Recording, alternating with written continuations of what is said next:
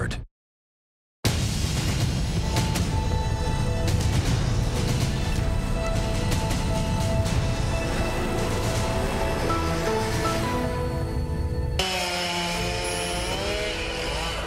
It was voted Tree of the Year, but that did not stop it from getting the axe. The 150 year old tree taken down in the UK to make way for a housing development that apparently did not include the tree in its plan. A strangely symbolic moment for a country that's been knocked down and now locked down again. Showdown in Georgia. Voters taking to the polls today, waiting on some long lines to decide the balance of power in all of Washington, D.C. The high stakes battle between Senate candidates who've accused each other with some low blows. President Trump attacking fellow Republicans in the state, how his high pressure campaign is playing out. Meanwhile, President Trump issuing a veiled threat to Vice President Pence, calling on Pence to step in on that brewing electoral college fight. The nation's capital on high alert with thousands of Trump supporters expected to protest there tomorrow. The COVID crisis not slowing down. Hospitalizations nationwide hit a new record high. Los Angeles County ICUs at threefold capacity. Ambulances told to not transport any patients who have little chance of surviving. As more people sleep in their cars overnight for a chance to get vaccinated, only to be turned away. And the emotional plea from a hospital bed from someone who once regularly went maskless. Just wear a mask. Do it for your children, for your loved ones. Do it for yourself. No charges to be filed against the officer who shot Jacob Blake in the back multiple times. A state of emergency now in place as the city of Kenosha, Wisconsin braces for possible unrest. What Blake's family is saying tonight. And with all the excitement that the new year will move us past the pandemic, the original epicenter already has. A look at how Wuhan is thriving while so many Americans are dying. Good evening, everyone. I'm Linsey Davis. Thanks so much for streaming with us. Well, I can't sing it like James Brown or belt it out like Ray Charles, but many of us have Georgia on our minds tonight. It is now past 7 o'clock on the East Coast, and the polls have closed in the runoff that will decide the balance of power in Washington. Democrats need to win both runoff elections to get 50 seats in the Senate, and with Vice President Kamala Harris breaking the tie, they would have control of the chamber. So let's show you the two races that we will be tracking for you all night long. Republican Senator David Perdue is taking on Democratic challenger Jon Ossoff, and Republican Senator Kelly Loeffler, appointed one year ago by Georgia Governor Brian Kemp, is trying to win election for the first time over Pastor Raphael Warnock. Votes are expected to come in any moment now in both races. Voters lined up before sunrise this morning in Atlanta after a record early vote of more than 3 million in a runoff. Tonight, Democrats hope their strong early turnout will prove decisive, while Republicans are banking that a big turnout today will give them the victory. Our Steve Osunsami leads us off tonight in Atlanta. In Georgia tonight, they are starting to count the votes and ending the national focus all over this one runoff election. The future of the country is on the ballot here in Georgia today. Y'all sound like you're ready to win an election. It is super clear to voters here who are lined up before the polls even open that their decision is bigger than Georgia, that the results will decide if Republicans keep control of the U.S. Senate, allowing them to put a thorn in the president elect's agenda. At the 11th hour, Joe Biden and the Democrats are saying that what happens here today could determine if Americans get those $2,000 stimulus checks. What do you think about this election? It's a lot. My phone has been vibrating. have you voted? Do you have a voting plan? Have you told three friends to vote? It's insane. Do you think that the two Republicans can win? I hope so. We'll see. You know, I hope democracy does uh, does what it does, and the people of Georgia get to decide who's best. Democrat Jon Ossoff, who's hoping to take the seat of Republican David Perdue, was out late trying to get more of his supporters to the polls. Georgia voters have never had more power than you have today. That's the reason the whole world is watching us in Georgia. A constant noisemaker in this election is the President of the United States, who held a rally for the two Republicans Monday night. After weeks of saying that the November election in Georgia was rigged, he was here telling supporters to go out and vote anyway. Senator Kelly Loeffler, who's hoping to defeat Democrat Raphael Warnock and is trying to please the president and his supporters, announced that she'll join the group of senators trying to fight the election results. I will object to the Electoral College vote. That's right. That's right. All of this has put election officials here, who are all Republicans, in a tough spot as they try to convince their voters that this election was safe and secure. The Secretary wants me to make clear that everybody's vote is going to count. Steve Osunsami joins us now from Atlanta. And Steve, you've been talking to election officials all day. Have there been any significant issues at all? Nothing significant. And in fact, they're telling us that, you know, in most of these polls, they're seeing people getting through the polls within minutes. However, we are learning tonight of a few counties, counties that are actually friendly to the Republicans, where there are people who are waiting in long lines trying to get through the polls. Linsey? Lots of excitement and anticipation on both sides. And, and Steve, you've been covering Georgia politics for quite some time now. Is there anything that you're particularly paying attention to tonight to get an early indication of how these races might go? So I'm, pay, I'm, paying attention to a couple things. One is the total turnout, because this is about who can get their people to turn out and vote. In the general election, by this point, election day, before the before the actual the number of early votes that were counted, it was about 3.9 million. Tonight, it's about 3 million early votes. So that's that's one indicator. It's it's it's fewer people voting in this particular election. But what's important to note in that is that most of that early vote in this instant is coming from the blue counties. The turnout in the early vote from the blue counties was higher this go round than it was in November, lower in the red counties. So that's something to watch. But again, you you you never know what is going to happen with this election um, because it's it's really hard to tell who got their people out to vote. Both sides were trying hard.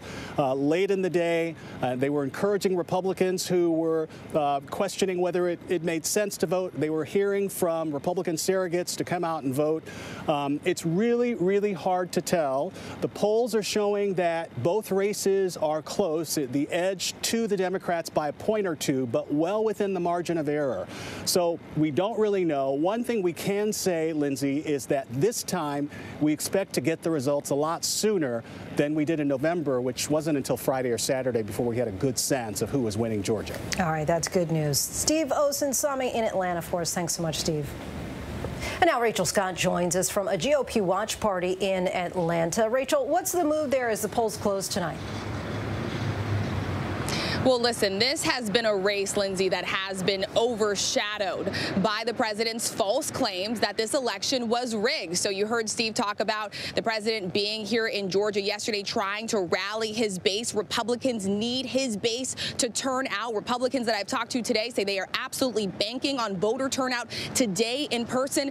But I talked to so many of the president's supporters yesterday who told me they were on the fence about getting out to vote. I don't have a lot of faith in it. It's frustrating. It's just very frustrating. But I still believe in the democratic process, that we have a right to vote. Just kind of like after the election for the president, it was just kind of like, wow, did our vote count? You think the mixed messaging could potentially cost your party the Senate? It could. I don't know. I, I have friends that have been even, and these are people that were door knockers, like they were on the ground, boots on the ground people, all in for the GOP that actually have felt conflicted wow. because our Secretary of State has lost our trust and we have not understood why our governor didn't call a special session like we asked. We called our state legislators, we sent them emails and phone calls, we did, and we feel ignored and we don't understand what's going on. And that woman, Shauna, told me that she had been personally convincing her family, her friends to turn out and cast their ballot. You heard her say so many people that were actually door knocking for the president during the general election this time around just didn't know whether or not they wanted to sit this one out. We have to say this, that the votes here in Georgia have been counted three times. The president and his allies have lost more than 50 cases in court, state courts, federal courts, even the Supreme Court rejecting the president's claims. Still, he is insisting that he won this election election. It is just simply not true, Linsey. And Rachel, at a rally last night in Georgia, the president repeatedly pushed Mike Pence to come through tomorrow during the Electoral College certification. Were voters more fixated on the November election or the runoff? They were uh, highly focused on overturning the results of this past election, the election that has already been certified by the Electoral College, an election that the president has been challenging now for weeks. And election officials here in Georgia have said today that everything has been running smoothly. The biggest thing that they are concerned about are the rumors, Linsey. And lastly, Rachel, Senator Perdue has been off the trail the past few days after a COVID exposure. Is there a concern that might influence the outcome? Yeah, I mean, it really could not have come at a worse time for Senator Perdue. Obviously, something that his own campaign was concerned about. He had to be in self quarantine after coming into close contact with a campaign staffer who tested positive for COVID 19. And Republicans are particularly concerned about the northwest part of the state. That's why you saw the president there in the 14th congressional district here in Georgia yesterday. That's an area that has seen some of the worst voter turnout when you compare it to the general election for the early voter turnout. Republicans there are hoping that those conservative towns turnout, and we will just have to wait and see whether or not the president had any effect on voters last night, Linsey. We will be waiting and watching. Rachel Scott, our thanks to you. After today's high stakes runoffs, we'll take a preview at tomorrow. Big day on Capitol Hill with Congress set to certify the presidential election results as Vice President Mike Pence presides. But President Trump is pressuring the vice president to overturn the electoral count, something that Pence has no constitutional power to do. Meanwhile, Republican senators remain divided on whether to certify Biden's win or to object. Here's ABC's chief White House correspondent, Jonathan Karl. He lost at the polls, he lost in the courts. Now Donald Trump is demanding that his own vice president act to overturn the results of the presidential election. I hope that our great vice president, our great vice president comes through for us. He's a great guy.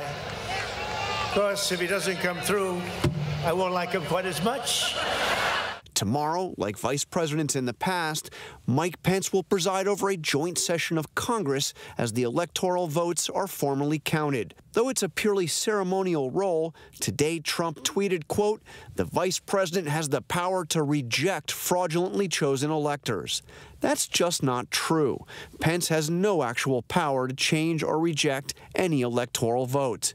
And one of Trump's longtime lawyers is saying as much, directly contradicting the president. I actually don't think that's what the Constitution has in mind. If that were the case, any vice president could refuse any, any election. Pence has been trying to walk a fine line, not repeating the president's conspiracy theories while remaining ever loyal. I'm here because I stand with President Donald Trump. Trump's effort to pressure his own vice president come after he tried to turn the screws on local officials in Georgia, demanding the Secretary of State find enough votes to change the election result. So what are we going to do here, folks? I only need 11,000 votes. Fellas, I need 11,000 votes. Give me a break. Now Trump sees tomorrow's joint session of Congress as his big last chance. He has summoned his supporters to Washington. So far, several hundred have arrived. 13 Republican senators say they'll join the more than 100 House Republicans expected to vote to reject Biden electors. But more and more Republicans are coming out to say the effort to overturn the election is unconstitutional. There is no role for the Congress to object to, to the electors. Senator Tim Scott, a top ally of the president's, released a statement saying, quote, there is no constitutionally viable path. As for President-elect Biden, he said he is encouraged to see Republicans standing up to Trump. There are enough really decent Republicans, you're seeing them step up now in, in the United States Senate, who don't want to be part of this Trump Republican Party. Uh, Biden making a distinction between the Trump supporters and Republicans. Jonathan Karl joins us now. John, we know that President Trump and Vice President Pence met today. What are you hearing from his camp on how the vice president will handle tomorrow, and how do they think that President Trump will react if he ultimately certifies Biden's victory? Well, the bottom line, Linsey, is that the president believes that the vice president has a power that he just doesn't have. And the vice president himself is fully aware that he doesn't have this power. So Pence has said nothing publicly. We've asked uh, his spokesperson nothing uh, in response to what the president has said here. Uh, but I am told uh, by people close to the vice president that he intends to defy the president on this, that he intends to follow the rules, which means that at the end of the process, process tomorrow, it will be Vice President Pence who is the one announcing that Joe Biden officially, formally, and finally has won the Electoral uh, College and has won the presidency. And that is something that, by the way, they uh, the, these allies of the vice president fully expect will incur the wrath of a very angry Donald Trump. Right. We heard him say at that rally last night that he'll like Pence a little bit less if yeah. that is to be the outcome. Now, Republicans in the House and Senate are divided on how they'll vote tomorrow. So just explain to us the process for tomorrow's joint session and how these objections will be raised. Uh, Republicans are deeply divided on this. I mean, it's interesting, although you're going to see a large number of Republicans uh, object to this, that some of the most prominent Republican voices uh, in Congress are on the other side, saying that this is wrong, this is dangerous, it's unconstitutional. That's what Mitch McConnell has said. That's what Liz Cheney has said. They have said that to a degree publicly, but even more strongly in their private conversations with fellow Republicans. But what's going to happen is uh, it's, it's a, usually a formal process that you know is kind of an afterthought. Uh, each state Uh, uh, uh, ballot is presented, uh, each state's electors, and counted, starting with Alabama and going through alphabetically. And there are at least six states that Republicans intend to challenge, at least House Republicans intend to challenge. And on several of those states, they will be joined by Republicans. If a Republican and a, a Republican from the Senate and from the House both step forward to challenge a state's electors, then there are two hours of debate and, and a vote about whether or not to accept those electoral votes. So I expect to see on several of those states, at least three, maybe more, uh, there will be senators and House members objecting and two hours of, of debate and a long voting process. Because keep in mind, this is happening in the midst of the pandemic, and only 70 or so members at a time are allowed on the House floor where this will all be uh, taking place. So the voting takes place in waves. It's going to take a very long time. Each vote uh, will take uh, at, at, least an hour, perhaps quite a bit longer. Uh, so this could go on into the night. Sounds like a long night ahead. Jonathan Karl, thanks so much. Thank you, Linsey. We're joined now by Delaware Senator Chris Coons, a close ally of President-elect Biden. Thanks so much for joining us tonight, Senator. Now, as of now, 13, you, 13 Republican senators plan to object to the final certification of the Electoral College vote tomorrow, instead calling for a commission to conduct an immediate audit in certain states where there have been allegations of voter fraud, which we note there's been zero evidence to support. So what's the Democratic strategy to respond to this at this point? How do you anticipate that this will all play out tomorrow? Well, Linsey, I expect senators, both Democrats and Republicans, in the Senate tomorrow to emphasize what we know is the truth that on November 3rd, the American people elected Joe Biden and Kamala Harris to be the next president and vice president of the United States, that in more than 60 court cases, state and federal court cases, um, they've either been thrown out for lack of evidence or withdrawn, and that state after state, with both Republican and Democratic governors and secretaries of state, have certified their results in some cases like Georgia after several recounts.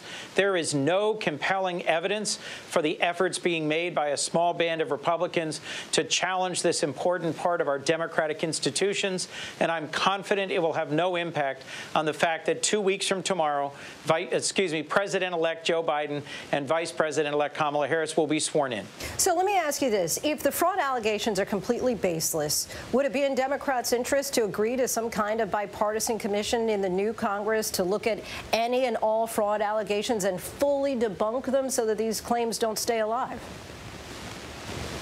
Linsey, that is something we might consider, um, looking at ways in which voter suppression has been a real challenge in recent elections and to consider allegations. Uh, but let's be clear, we should not be considering that in any way that would slow down the swearing in of the next president. We have a raging pandemic. We have economic recovery to get to.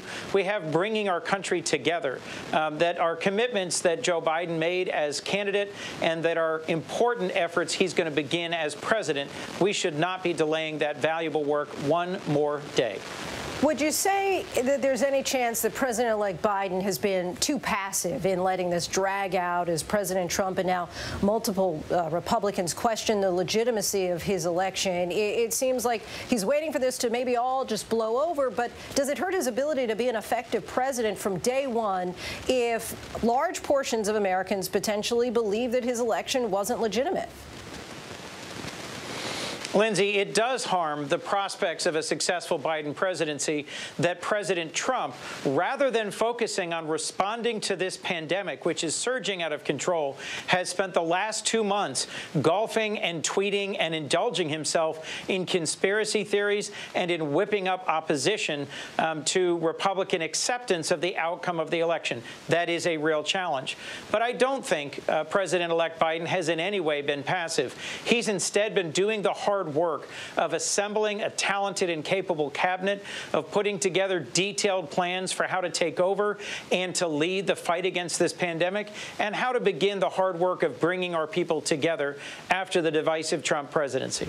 Now, I know you've been an optimist on the idea of bipartisan cooperation in the new Congress, but how can President Biden and Democrats work with these senators who are questioning the results of this election? Are Biden's unity efforts going to be harder to achieve after January 20th than he expected? Expected? Linsey, I'm heartsick at the colleagues who've chosen uh, to throw themselves in the way of what is an important next step in our democratic process tomorrow. Uh, I'm surprised at some of my colleagues who are uh, lashing themselves to the mast of Trumpism and refusing to recognize the legitimate outcome of the election.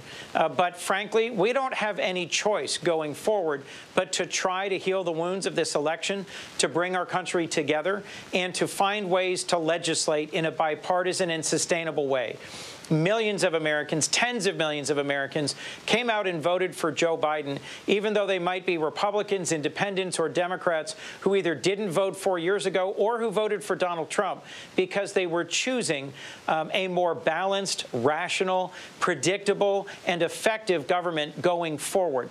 I think Joe Biden's done just the right thing to lay the groundwork for a successful administration. Turning now to the runoffs tonight in Georgia, I'm sure you're confident the Democrats are going to be able to pull off these wins. But if they don't, how much does it damage the ability of President-elect Biden to be able to implement his agenda if Republicans maintain control of the Senate? I've served in the United States Senate for 10 years now, Linsey, and I've seen how Majority Leader McConnell has at times been the obstructionist who's made it very difficult uh, for the Obama-Biden administration to move their agenda forward, um, for Democrats in the Senate to get legislation moved forward, and for us to deliver solutions to the real needs of the American people the last eight months, whereas the pandemic surged and uh, recession continued, uh, we failed in the Senate to move forward. COVID relief is just one of many moments uh, when I've seen that Republican majority control get in the way of our delivering solutions that meet the needs of the American people. My hope is that if Majority Leader McConnell continues in the majority in the next Congress, that he and Joe Biden, who enjoy a long working relationship, will still find some way to come together, that he will stop his obstruction, and that he will give a fair opportunity for confirmation votes uh, for those nominated for a Biden-Harris cabinet, uh, and that we will find ways that we can work together on things like rebuilding our country's infrastructure, responding to the pandemic, strengthening education and health care, and moving our country forward. I know it's a tall order, but the only way that I can get up and go back to Washington in the days that we're in session is by being an optimist. It's an active choice. I think that our entire country really needs that dose of, of optimism at this time. And lastly, any word on when we can expect the final round of cabinet selections, including President-elect Biden's pick for Attorney General? 13 of your Senate colleagues wrote a letter in support of former Senator Doug Jones for the position. Would he be the best choice? Linsey, I think he would. I have both publicly and privately supported my friend and colleague Doug Jones, uh, an experienced U.S. attorney and an experienced senator, um, someone who is from the Deep South and has been an advocate uh, for civil rights uh, and for um, stronger community policing. I think he would be a great attorney general. Uh, I expect announcements on the remaining cabinet positions in the coming couple of days. But more than anything, I'd like to draw your viewers' attention to the experienced and skilled and cohesive group um, that President-elect Biden has already chosen to serve as the core of his cabinet. I'm very optimistic that the great team he's assembled will deliver real results for the American people. Senator Chris Coons, thanks so much for your time tonight. We appreciate you coming on the show. Thank you, Linsey. Next, turning to the COVID crisis. Imagine being in a serious car accident or being shot and knowing that an ambulance might not show up.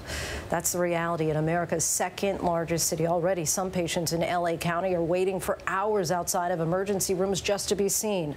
All this is now a sixth state. Georgia is reporting a case of that UK variant. Matt Gutman has more. With each new patient delivered to the doors of an ER tonight, the health system spirals deeper into crisis. LA County now issuing an alarming order to ambulances. Trauma such as gunshot, car crash, or cardiac arrest victims who cannot be revived after 10 minutes in the field should be considered dead and not transported to a hospital. This is absolutely a form of countywide triage. This is what they call crisis medicine. And this is something that any healthcare provider or first responder, this is our kind of our worst nightmare. Has this ever happened in the history of LA? It has not. That crash of COVID patients has log jammed ambulances at ERs. Some waiting as long as eight hours to get patients admitted, others turned away. I've never heard of emergency departments literally refusing to accept ambulance patients, saying, we have no more room. Go somewhere else. Tonight, a record 128,000 patients in hospitals with a 26% spike in the last month. Arizona with the highest rate of infections in the country, patients driving as far as six hours to find an open ICU bed. I consider myself lucky that they just have me on oxygen. Tonight, that vaccine rollout continues to sputter. In Palm Beach, Florida, this line for seniors stretching for hours just to schedule an appointment. And in Daytona Beach, seniors waiting overnight. It is a combination of difficult, frustrating, and rewarding if you get it. About 4.5 million vaccinations administered, not even a quarter of the goal of 20 million. Vaccine reluctance remains a hurdle. New York City reporting 30% of healthcare workers turned down the opportunity to get a dose. In Texas, pediatrician Dr. Nira Butani died on Saturday. She was three weeks shy of getting her vaccine and it would have saved her life. In California, funeral homes now using refrigerator trucks. They have six times the usual number of bodies. Unable to keep up, one mortician telling ABC News he's advising families to buy ice to keep bodies cold. The reality of the surge setting in. I didn't wear a mask. I should have. I didn't. I believe this was just a flu. Chuck Stacy's making this emotional plea from his Florida hospital bed. You don't want to end up like me. I'm having trouble breathing. Just wear a mask. Do it for your children, for your loved ones. Do it for yourself. People still being implored to wear a mask. Matt Gutman joins us now from Los Angeles. And Matt, turning back to the vaccine, there was a proposal to look into cutting those doses in half. What can you tell us about that? Well, the FDA has taken a look at that, and it says right now it's not solidly rooted in the science. So they're tapping the brakes on it. They're not ruling it out completely. So at this point, researchers from Moderna and the National Institutes of Health are going to spend probably the next couple of months or so researching if the vaccine can still remain effective if it's split in half. Therefore, essentially doubling the doses, right? But the problem in America right now is not the quantity of doses of vaccine. It is administering the vaccine at a fast enough rate. That is the bottleneck right now. In addition to that, by the time that the research is done, Linsey, other vaccines like the Johnson & Johnson single-shot vaccine that could be just as effective might be available on the market and ready for use. So this whole proposal might be moot anyway. Linsey. Okay, thanks for that update. Matt Gutman, thanks as always. Joining us now to discuss more on the COVID variants and vaccines is former acting CDC director and former ABC News medical editor, Dr. Richard Besser. Thanks so much, as always, for coming on the show, Dr. B. Now, the UK has gone into lockdown due to the spread of COVID and the variant. Five states here have officially confirmed the presence of the variant. How concerned should we all be, and, and how long do you think it'll be before it spreads to the rest of the country? Well, you know, Linsey, I, I, think one of the things that is always certain when there's a new virus is that it will change, it will mutate. It's something viruses do. And so I think it's really important that we remain vigilant, that we look to see what's happening in the UK. And it does appear that this this strain, this this mutant, is able to transmit more more readily. Uh, and we should expect that what we're seeing in the UK may occur here in the United States. So it's observing, it's watching, it's being ready, and, and being able to, to respond quickly should we see that this strain starts to take over in, in the transmission in the United States. Now, it's believed that the vaccines will work on the UK variant, but there seems to be doubt when it comes to the South African variant. What's the likelihood that the original COVID-19 virus mutated in such a radical way that would be resistant to this vaccine? You know what, what I'm hearing from virologists, from vaccine specialists, gives me some some some encouragement that they don't think that's happening here. Uh, but it's something that we have to be ready for. And you know, one thing about these mRNA vaccines uh, is that they can be modified very very quickly. Uh, if that were to to happen, they would need to do again additional safety and and uh, effectiveness trials. Um, but that is something to watch for. At this point, there's no evidence that the vaccines are less effective against these variant strains. Now, let's talk about the topic of cutting vaccine doses in half. As the former acting director of the CDC, if you were in that role now, would you be advising this move in order to help curb the spread? And, and do you fear that a change like this could cause people to become even more hesitant about getting vaccinated? Yeah, I, am I'm, I'm not comfortable moving in in that direction without data. And my understanding is that the NIH is moving in in the direction of doing studies to see could you reduce the amount of of uh, material that's in the Moderna vaccine and would it still be effective? You know, in 2019 there were a lot of people, uh, myself included, who were very concerned about politics interfering with science. And I was really heartened to see the process that FDA went through, that CDC went through that their their advisory committees were were left alone to make science-based decisions. And I would hate to see that thrown away with and and and and seeing a change that isn't based on data. If there's a way to safely and effectively expand the vaccine supply, that would be a terrific thing. But it has to be based on good good studies, especially with the amount of hesitancy that we're seeing around the country. We want to do everything we can to inspire confidence, not to undermine it. Dr. Richard Besser, thanks so much.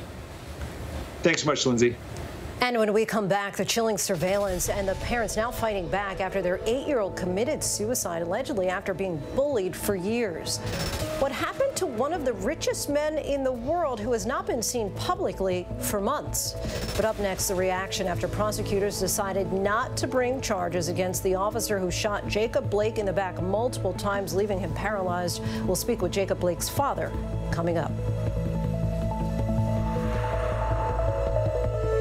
Admit it. These days, what you need to know seems to change, well, like every day. So, what is it that you really need to know, want to know, to help you not just get through your day, but make the most of it? Feel smarter, feel better, feel happier. Well, how about a third hour of Good Morning America in the afternoon? GMA 3, what you need to know. It's all about you. Lunchtime at 1 Eastern, 12 Central and Pacific on ABC. This is going to be so good. The reality is our country can collapse from within. You see the white power movement on the march. Klansmen and neo-Nazis, skinheads, it's meant to incite war. From the KKK to Oklahoma City to Charlottesville, the new documentary event special. We just need to start talking about race. Homegrown hate, the war among us. This is a real wake-up call. Streaming now on ABC News Live. And now to Kenosha, Wisconsin, where a district attorney has announced that he will not bring charges against a police officer who shot 29-year-old Jacob Blake several times in the back, leaving him paralyzed. How the DA explained his decision and what happens next. ABC's Alex Perez is in Kenosha tonight. Tonight, Kenosha, Wisconsin bracing for more protest after the prosecutor declined to bring charges against the officer who shot Jacob Blake seven times. No Kenosha law enforcement officer in this case will be charged with any criminal offense based on the facts and the laws. The ordeal back on August 23rd unfolding after police responded to a call about a domestic dispute.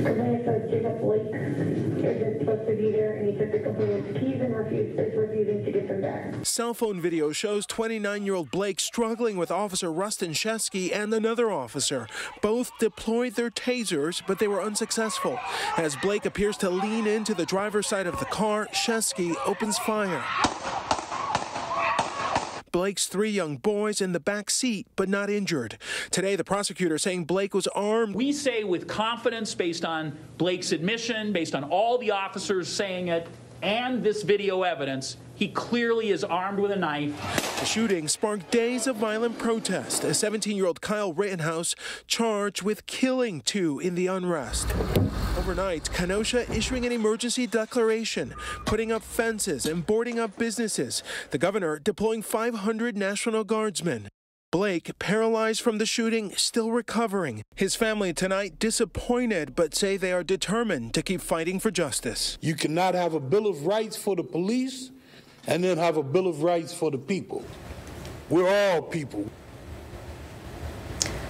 Our thanks to Alex Perez. And joining us now is the father of Jacob Blake, Jacob Blake Sr., and his attorney, Patrick Salvi. Thank you both for being here. Mr. Blake, let's start with you. First of all, I know this, this was not the outcome you were expecting.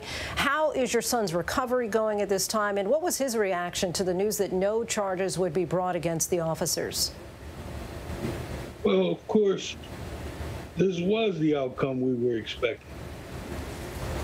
So, um, nobody's disheartened. Nobody's stopping. The outcome you were hoping for. Well, uh, I mean, everybody is, is, is optimistic. We were we were we were hoping for something different, but we were willing to deal with what we have to deal with. Patrick, today the district attorney said that he would, quote, have to disprove the clear expression of these officers that they had to fire a weapon to defend themselves in order to press charges. Do you feel that the video provided enough evidence for this? And were you surprised to hear that no criminal charges would be brought against the officer? Well, I'd have to echo uh, Mr. Blake's comments. I'm not sure surprised is the right word. I'm certainly very disappointed in the process that unfolded today. A district attorney uh, who uh, works with these police officers every day, and a police chief uh, who came before everyone in that press conference and sounded like an advocate uh, versus a neutral fact finder. Uh, so I was very disappointed uh, in the process. The video provides no evidence. I challenge anybody to watch that video to see evidence of Jacob thrusting at the police officers. And so what we're talking about here are the statements of uh, police officers that were held in higher regard than a number of witnesses who I know are prepared to testify uh, that that's absolutely not what happened. And the video is evidence enough. And Mr. Blake, your family, along with other community leaders, are calling for the firing of Officer Rusten Sheskey. Given the lack of charges brought against him, how likely do you think it is that you'll be successful in being able to get that accomplished? Well, I, I think they, they may be using the uh, the Louisville uh, playbook. You know, they didn't charge, but they fired those officers. So I feel like eventually he has to be fired because there was no thrust, thrusting movement. He's changed from he was worried that uh, my son was going to kidnap children to he was scared for his life. Then he changed back. So now we're doing a juggling act now. So it's one way or the other. You can't keep flip flopping, not when it's this important. And Patrick, what are your legal options at this point? And has your fight for criminal charges ended? And what about the possibility of a civil case? Sure. So there are some options still available uh, to us as far as potentially uh, uh, raising, uh, I, I, suppose, uh, criminal charges. That's, of course, not something we can do on our own, but we still have some options available. But with respect to a civil case, we do plan on pursuing a civil case uh, very soon. Uh, ben Crump, uh, my co counsel, and the rest of the legal team intend on filing a case soon. And Mr. Blake, what do you think the next step is for you and the community in Kenosha in order to feel like some semblance of justice has been served and in order for, for healing to happen? What do you want from your elected leaders and those who took an oath to serve and protect? Well, until until systemic racism is erased, um, we won't be able to heal. Racism is what what brought this whole whole thing into uh, the two systems of justice and the racism that we have to deal with on a daily basis.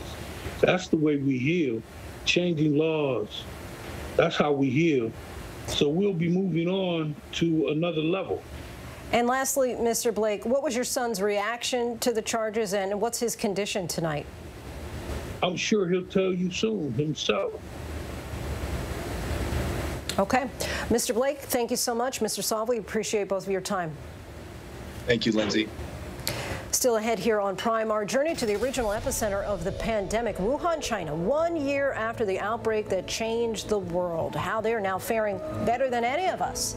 The announcement from American Airlines, what they will no longer allow passengers to bring into the cabin. And we're, of course, keeping our eye on the results from the Georgia special runoffs, but you may be shocked at how these elections began in that state and why. We'll take a look by the numbers. But first, our tweet of the day intelligence agencies making it official that massive cyber attack was most likely caused by Russia.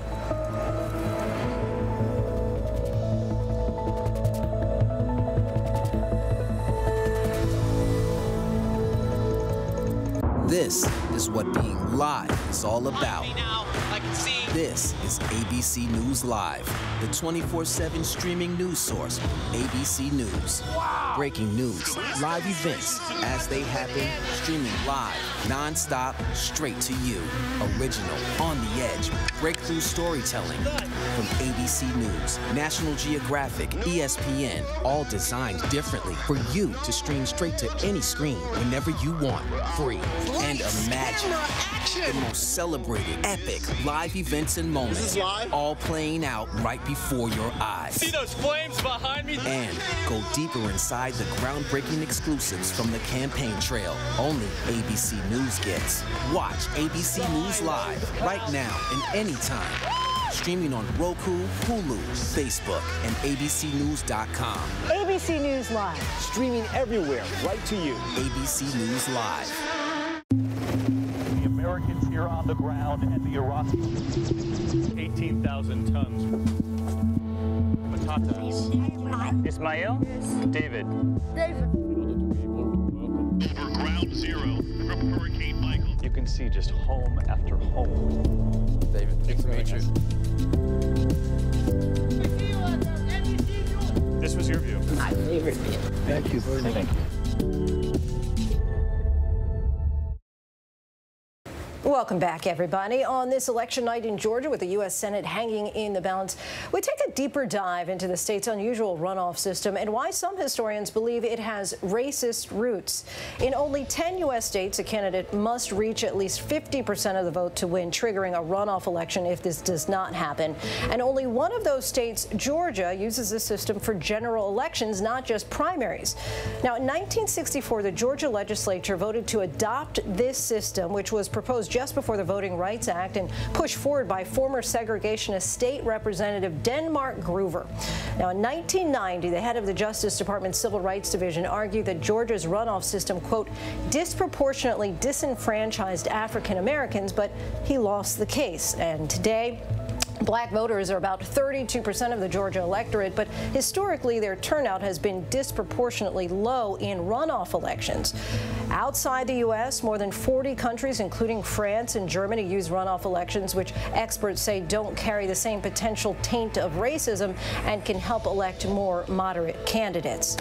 And we still have lots to get to on this very busy news day. The horrific video appearing to show students and even an assistant principal ignoring a young young boy who was laid out on the ground. The parents are now taking action. Not one, but two huge jackpots that could make your 2021 far better than your 2020, but you may not need $400 million for that. But first, a look at our top trending stories on abcnews.com.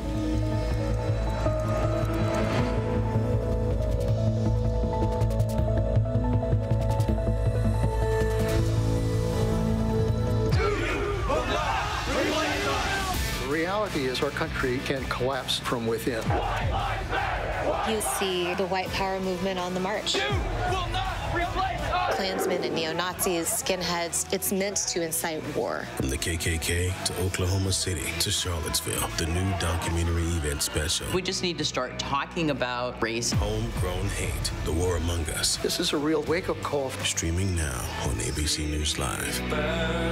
Now, when it matters most, the straightforward facts. ABC News is America's number one news. Number one in the morning, number one in the evening, with America's most watched newscast. Number one in late night versus the competition. The number one news magazine on Friday nights. Number one in politics across this historic election versus the competition. The number one daytime talk show. And number one in streaming news. ABC News is America's number one news. What's the most innovative daily news podcast out there to listen to every day? Well, the Edward R. Murrow Awards say it's Start Here, the daily news podcast from ABC News. Even the New York Times calls us a top news podcast worth listening to. So, if you like getting behind the biggest news stories of the day, inside all the details, the backstory, and what will happen next, then listen to Start Here, the daily news podcast from ABC News. It's like no other news podcast out there. Even the critics agree. Listen free on Apple Podcasts. Yes, mornings may look different these days, but where you start your day, where you spend your mornings, where you get connected to everything that's happening. And face it, there's a whole lot happening in our world these days. Where you get all the breaking new information of the day to help you navigate through these times. That's why we're here. Good morning, sunshine. And making sure you start your day off with a smile and some sunshine. Good morning, America. Good morning, America. Good morning, America. Oh, how I love saying that.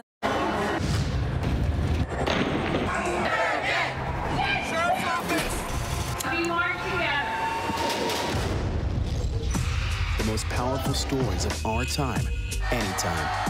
Nightline. Friday nights, 9, 8 central. True crime. Cinematic. Real life drama. Stunning. The unthinkable. Follow the clues. The Hunt. True crime. 2020. Friday nights, 9, 8 central on ABC.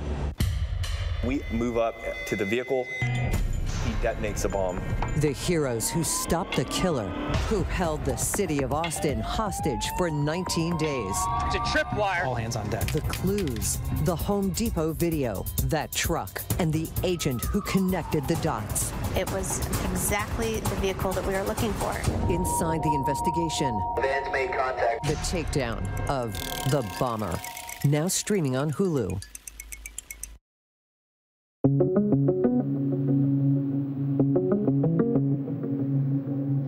On Tuesday, Georgia voters going to the polls one more time in a pair of runoff elections that will decide which party controls the U.S. Senate. Incumbent Republican Senators Kelly Loeffler and David Perdue and their Democratic challengers Raphael Warnock and Jon Ossoff making their final pleas to voters after none of the candidates achieved the required 50% threshold. My name is on the ballot and the bus, but this is a collective effort. Are you ready to show America that Georgia's a red state?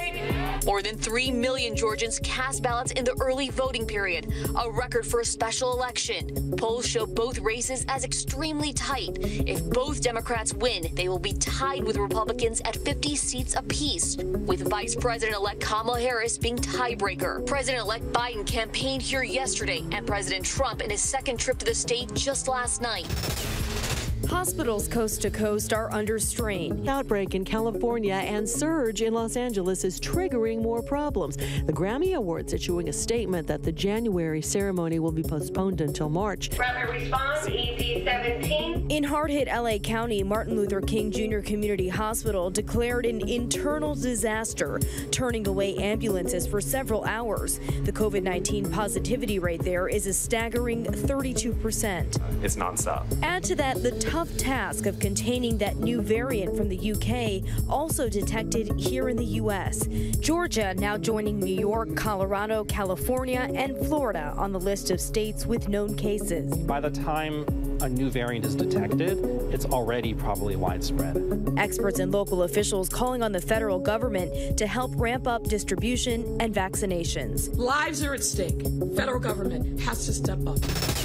Alaska Airlines was the first to do it, and now American Airlines will ban emotional support animals on its planes. The airline industry has had a hard time limiting which animals were allowed, so now none will be allowed. Passengers had been claiming their pets were emotional support animals so they could bring them on board for free and take them out of carriers on board. Official service dogs will be allowed. Small carry on pets can be brought on board for a fee, and they must remain in their carriers. The school district still, three years later, has not told us what happened. Nearly four years after this third grader died by suicide, a federal court is allowing his parents to move forward with a wrongful death lawsuit. In the suit, parents of eight year old Gabriel Taye accuse the district of covering up bullying and aggressive behavior at Carson Elementary School. They point to this disturbing security video showing their son at school knocked unconscious and left there for several minutes. Some students appear to taunt and kick him. It took nearly five minutes before help came when the assistant principal showed up. Two days later, Gabriel took his own life. His mother says the school never told them about the alleged bullying, saying instead he had fainted. The school district was arguing, wait, don't let this case go forward, we'll get sued all the time. And I said, great, you should be sued if you're covering this up. Concerns are growing over the whereabouts of a Chinese billionaire. Jack Ma is worth $50 billion. He hasn't been seen in public since October when he gave a speech criticizing the Chinese government. The speech prompted Chinese officials to launch an investigation into his e commerce company, Alibaba. It's believed Ma may have been told to lay low because of the scrutiny. Both Mega Millions and Powerball at more than $400 million. That's only happened twice before. Pandemic had an impact on sales. People weren't getting out there and buying the tickets. But 400 million, you'd still be worth more than Taylor Swift's reported net worth at 400 million. But you'd have to win both of them to be worth as much as Tiger Woods. It was about this time last year that alarm bells started to go off inside Wuhan, a mysterious virus claiming lives in the massive city. Next, life as we know it altered. But one year later, we sent a team back to Wuhan, China to see what's changed in this original epicenter. And what Ian Pannell will show us may stun you. You could be forgiven for thinking this is old footage, a reminder of a world left behind. Happy crowds jostling at New Year, sharing and breathing the same air. But this isn't an old film. It was taken this New Year's Eve. Because while most of the planet hid behind closed doors, the city where the pandemic began parted in style. It's almost surreal how normal it all looked in Wuhan, China.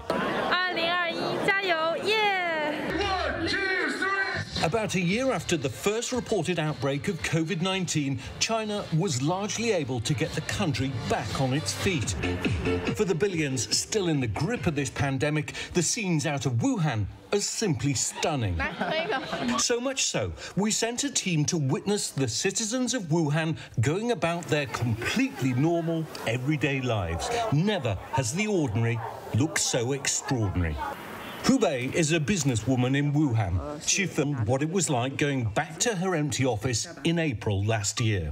Today, her office is packed. She even has face to face meetings. Now, in most places, we basically don't need to wear masks. Life is back to normal like before. China achieved what's eluded much of the world by flexing its authoritarian muscle to impose one of the strictest lockdowns on Earth in one of their largest cities. Wuhan is a bustling metropolis of 11 million. It was also ground zero for the first suspected outbreak of COVID 19. Look at this airport. This is the international section of the Wuhan uh, airport, and there's basically almost no one here. Overnight, highways and airports turned into ghost towns. Health checkpoints were set up, and Beijing warned what would happen to those who tried to pass by with a temperature. The world watched aghast as people were confined to their homes. blissfully unaware that soon after, most of us would know what it was like to be locked down. Milan is an industrial but of course massive fashion powerhouse. Brands like these are having real problems with production. So whatever the medical reality of this virus, the economic consequences around the world are huge. Almost a year later and 1.8 million lives lost, many countries continue to reel from a pandemic that just won't let up. We now have a new variant of the virus, and it's been both frustrating and alarming to see the speed with which the new variant is spreading. We're running probably 300% of our normal capacity, right? I mean, 300%. China, on the other hand, now has an exhibit that celebrates all of its successes against the virus, but it mentions almost none of its mistakes. Citizen journalist Zhang Zhan was sentenced to four years in jail last week for reporting a far bleaker picture of the outbreak than China's official narrative would have us believe. And then there's Dr. Li Wenliang. He was the first to raise the alarm about COVID 19 and was accused by police of spreading false information. He later died of COVID 19 and now appears on the memorial wall. Many accuse China of hiding the threat of coronavirus and the true death toll.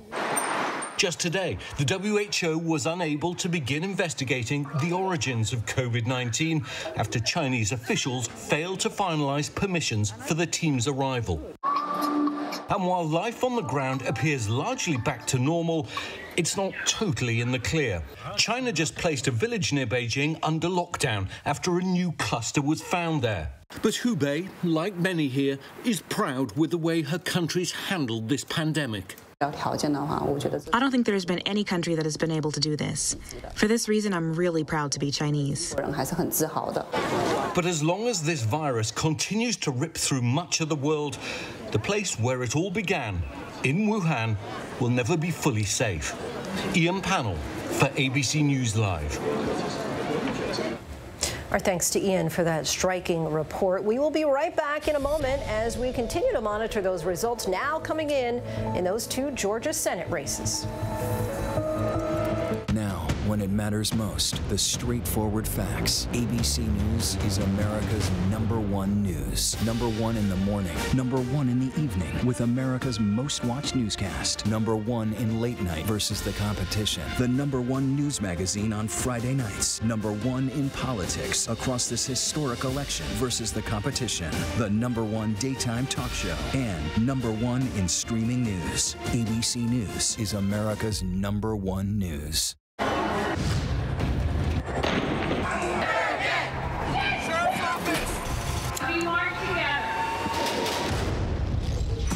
The most powerful stories of our time, anytime. Nightline. With so much at stake, so much on the line, more Americans turn here than any other newscast. ABC News World News Tonight with David Muir. We have made it through another week together. America's number one most watched newscast across all of television. Admit it. These days, what you need to know seems to change just about every day. What is it that you really want to know, need to know? To help you not just get through your day, but to make the most of it. Feel smarter. Feel better. Feel happier. Well, how about a third hour of Good Morning America in the afternoon? GMA 3, what you need to know. Lunchtime at 1 Eastern, 12 Central and Pacific on ABC. It's all about you. What you're seeing right now, this is part of the eye wall. This procession of migrants goes back two miles. There is going to be catastrophic damage. This fire has made a run. You can see those flames shooting up into the sky. We are on the jam-packed red carpet. To the right, guys. So this is the fourth weekend of protest.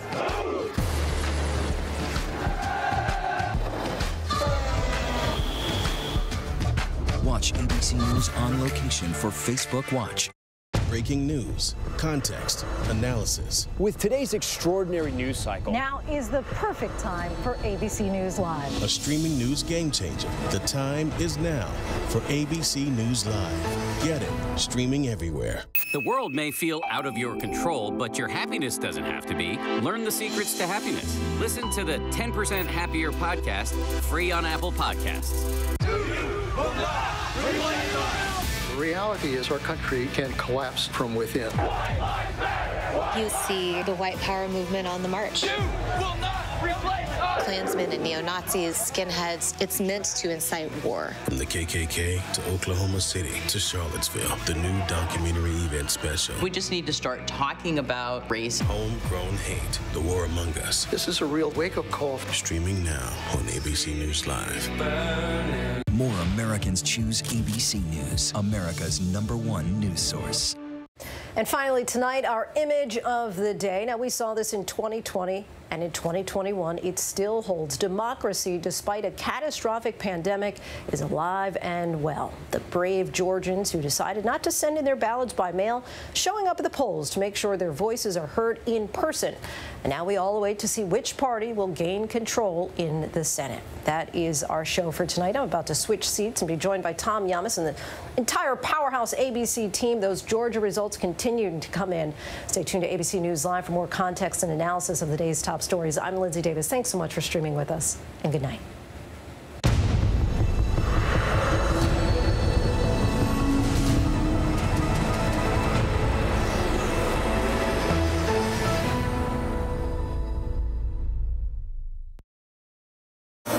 Yes, mornings may look different these days, but where you start your day, where you spend your mornings, where you get connected to everything that's happening. And face it, there's a whole lot happening in our world these days. Where you get all the breaking new information of the day to help you navigate through these times. That's why we're here. Good morning, sunshine. And making sure you start your day off with a smile and some sunshine. Good morning, America. Good morning, America. Good morning, America. Oh, how I love saying that.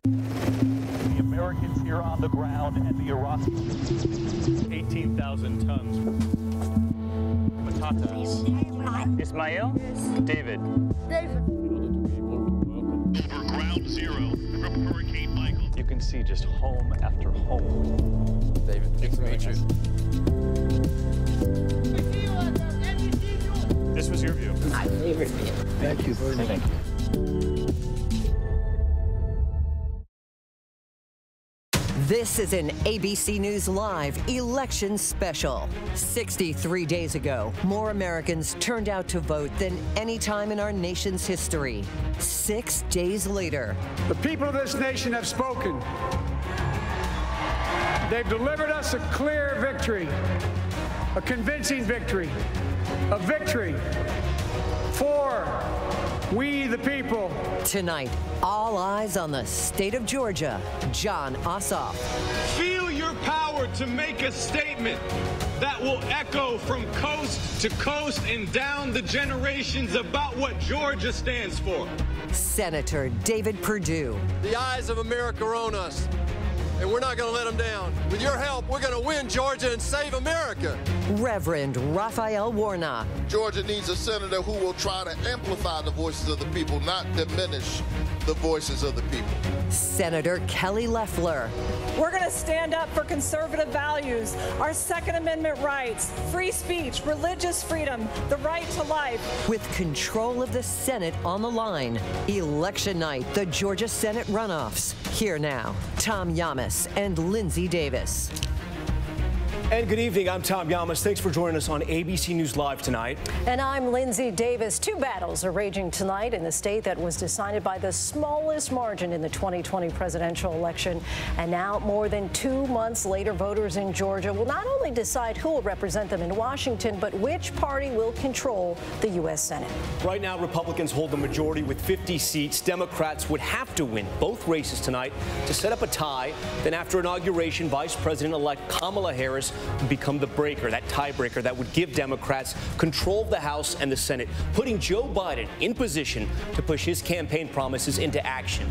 Otherwise, he faces a GOP controlled Senate led by Majority Leader Mitch McConnell. Polls are closed. Votes are already being counted. You can see them there in Fulton County, Georgia, tallying the votes. Let's take a step back for a moment to get a better understanding of how we got here. A crowded field vied for these two U.S. Senate seats back in November, but according to Georgia law, in order to win, a candidate must receive more than 50% of the vote. That did not happen, which resulted in a runoff election in both races. So, first, a special election. Senator Kelly Loeffler, a political outsider who was appointed by Governor Governor Kemp after GOP Senator Johnny Isakson stepped down, citing health reasons, is trying to hold on to her seat against the Reverend Raphael Warnock, who's a senior pastor at Ebenezer Baptist Church, that famed church in Atlanta, a position once occupied by the Reverend Martin Luther King Jr. Here is where the vote stands right now. We also want to make sure that we make this very clear. It is very early in the night. The polls just closed at 7 o'clock. 23% of the expected vote in, and with 23% of the vote in right now, Raphael Warnock is on top, 52 to 48%. It's incredibly close. Just looking down at the monitors right now, we're talking about a spread of about 30 to 40,000 votes. Still very close. The second Senate race, incumbent Senator David Perdue, a longtime business executive and Trump loyalist, is facing off against Democrat Jon Ossoff, the 33-year-old, saying the election of President Trump motivated his candidacy. And look at this. It's almost a mirror image of what we just saw seconds ago. David Perdue with 48%, just behind Jon Ossoff at 52%. But again, only 23% of that vote in, Linsey.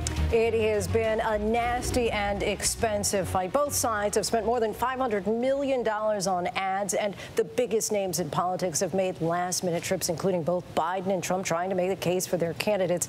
Some say what happens in Georgia tonight will determine America's future, insisting the stakes are just that high as COVID continues to ravage our country and millions struggle to pay bills. All as America continues to grapple with racial injustice. And this is playing out in Georgia, a long shot battleground state that turned blue and pushed President elect Joe Biden to a victory. In fact, President Trump refuses to accept as he continues to make false allegations of voter fraud and tries to strong arm Georgia election officials into finding him votes. And it's unfolding less than 24 hours before Congress is set to certify the vote of the American people and the Electoral College and seal President elect Joe Biden's place in the White House.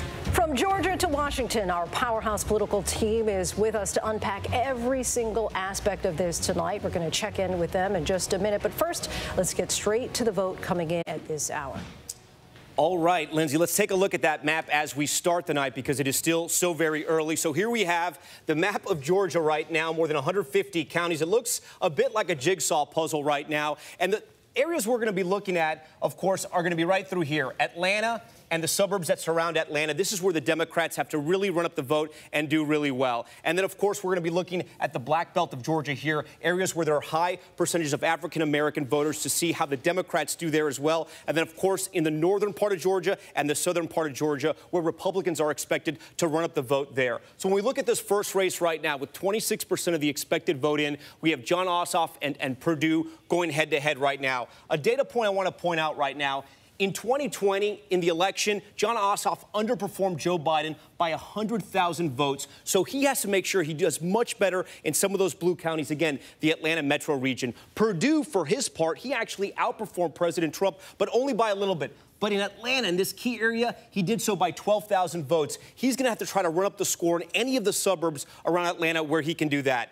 All right, let's go now to the second race that we're looking at right now. This race is a little harder to compare to the 2020 race, the Senate race, because there were so many people running in this special election. You can see there were three Democrats, two Republicans. If you add up the numbers here, Loeffler comes out a little bit on top, but we do expect this to be a very, very tight race. So we want to go back to the second uh, special election here in Georgia to see where it stands. Again, only 26% of the vote in. We know that Kelly Loeffler has campaigned very hard in the northwest and northeastern parts of this state to drive up the votes from some of those rural voters that supported her just a few months ago. And again, we're going to be watching the Atlanta metro region. So let's come in here and see where we're at. Fulton County, the largest county in Atlanta, 22% of the expected vote is in right now. You can see Raphael Warnock's off to a very big lead, uh, and he's actually doing better at this point, very early in the night. He's outperforming Joe Biden, who was at 72%. If he can hold that trend, that's the type of trend that Democrats want right now. Uh, but as we look at these races, we also kind of want to know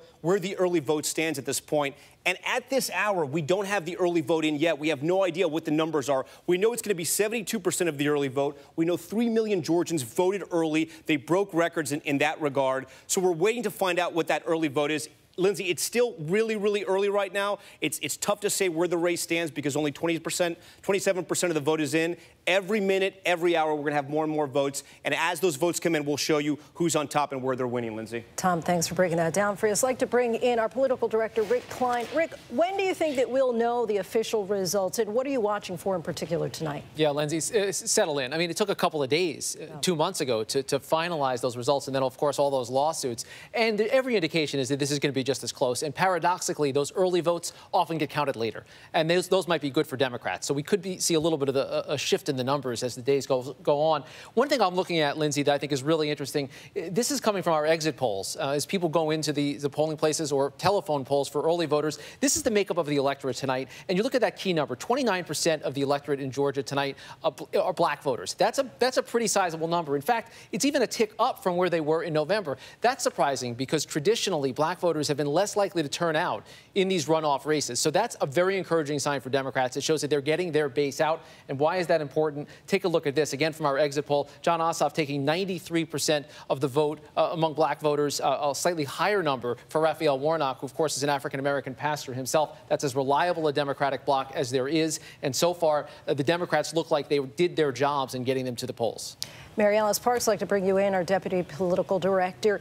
Uh, when you Think about us getting right out of the gate. Are you expecting that red mirage that we saw on the night of the presidential election? And also, when you talk about that urban and rural divide, which voters in particular are you looking at tonight? Yeah, coming into tonight, we were expecting a red mirage, but I'm actually interested in the fact that some of these big Democratic counties right in the Atlanta metro are reporting numbers pretty early. And we're seeing state officials saying that they are processing some of those absentee ballots fast. They've learned lessons from November, and they do not want it to take days and days again. They worked with counties to make sure that those counties would be opening those ballots, checking signatures, uh, starting that process ahead of time so that when polls closed right at 7 o'clock, they could hit count on the machines and get some of those numbers out. So I'm right now, you know, an hour in, actually, I think there's evidence we might see less of that red mirage, but, but we'll have to see. The fact is, Republicans do better in much more rural counties, smaller counties, where it's just easier to count a few thousand votes compared to hundreds of thousands of votes in the very large counties of Atlanta. Thanks, Mary Alice. All right, Linsey. Uh, we want to go to our man in Atlanta now, Steve Osunsami, who's been covering this race uh, since the first time it happened a few months ago, back in November. So, Steve -O, so far there's been a lot of data that's been thrown at us, uh, a lot of research. What's the single data point that you've seen tonight so far that has really stood out to you? What stood out to me so far tonight is the break that Mary Alice referred to in the blue counties in the center of the state where most of the people who live in this state live. Fulton, Gwinnett, uh, we, we need to look out for Cobb. Right now in Fulton, and this is early, I think about 22% is the note that I saw of the vote so far. It's breaking eight to two in general, in general for both of the candidates. Uh, in the other county, I think it was 7-3. That break is important because, as you all have just been saying, what we are talking about is an urban versus a rural divide here, urban and suburban and rural divide. And what, what is going to really determine this race is which of those two sides can overcome the other. And, you know, as we've also been saying, you know, most of the urban and suburban votes were already in the bank. Uh, those votes were those votes are mostly people who early voted. Uh, they didn't have the lines here in Georgia that we are hearing about tonight in some of the more red-friendly counties where people have been waiting in line. And, you know, Ossoff and, and, and Warnock are, are, are probably enjoying what they're seeing right now, but of course it is early. Um, it is interesting also to point out that Perdue and Loeffler put out a joint statement today uh, thanking voters for the high turnout as they saw it uh, across the state. The state election officials who we've talked with say they would describe the turnout as steady.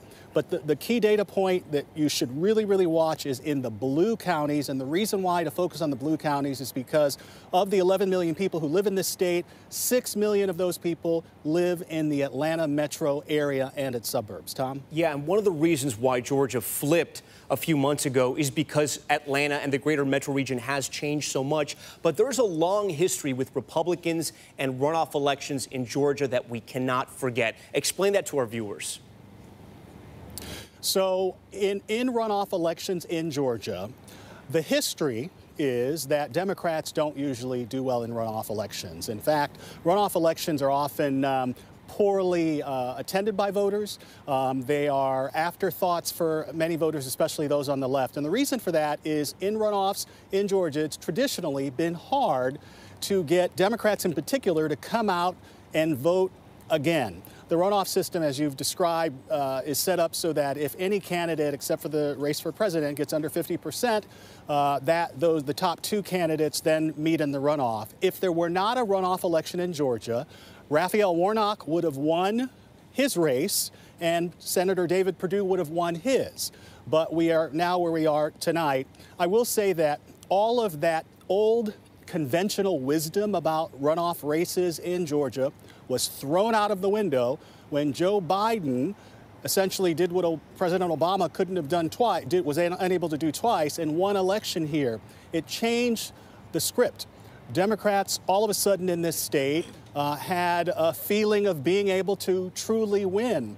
In addition to that, the pandemic played a role into this and has changed all sort of notions of what we sort of have come to expect in runoff election in the, in the state, and that's because so many voters are now voting by mail. That mail-in vote has changed the dynamic, it's changed the expectations, it's changed the predictions, and this race is anyone's guess at this point. And because of all of that, Georgia is not the center of the political universe in this country. All right, Steve, stand by for us. We are going to be checking back with you throughout all of our coverage. Linsey? Now let's bring in Rachel Scott. Rachel, you're at a GOP watch party tonight. Last night, you were at that Trump rally in Georgia. Give us a sense of the sentiment of those you talked to in the crowd as far as the influence that President Trump has had. Of course, he said time and time again that the election in Georgia was rigged. Did they plan on voting? So many of them told me, Linsey, that they were on the fence. These are runoff races that have been overshadowed by the president's repeated false claims that this election was rigged. He has called these runoff races illegal and invalid. That is also false. So I talked to so many of his supporters that turned out yesterday. This was in the 14th congressional district here in Georgia. It is an area where conservatives are seeing lower voter turnout in comparison to the general election. And so the president flew in just yesterday. They want to drum up support for these two Republicans in this race so that they can hang on to control in the Senate. But I talked to several of the president's supporters who told me they were thinking about sitting this one out. They thought the president's repeated false claims that this election was rigged was true, even though the votes in the state have been counted three times. The president and his allies have lost more than 50 cases in court. It is just simply false to say that the president won this state. And yesterday we saw him walk on that stage, and before he even said one single word about these two Republican candidates, he repeated that false claim, Linsey. Rachel Scott, thanks so much. I'd like to bring in TJ Holmes. And TJ, these are unusual times for a number of reasons, but among them, it seems like on both sides, uh, you have uh, the opponents who are pretty much trying to play tag team or a package deal. You had the opportunity to talk to Jon Ossoff on GMA3, and he talked about that bond that he has with Raphael Warnock. Explain to us what he said. Yeah, and it, uh, to your point there, it seems like you do have almost two presidential tickets, if you will. They are like, you're right, you have Warnock and Ossoff running against Loeffler and Perdue. It's exactly how it feels. It's exactly how it's set up.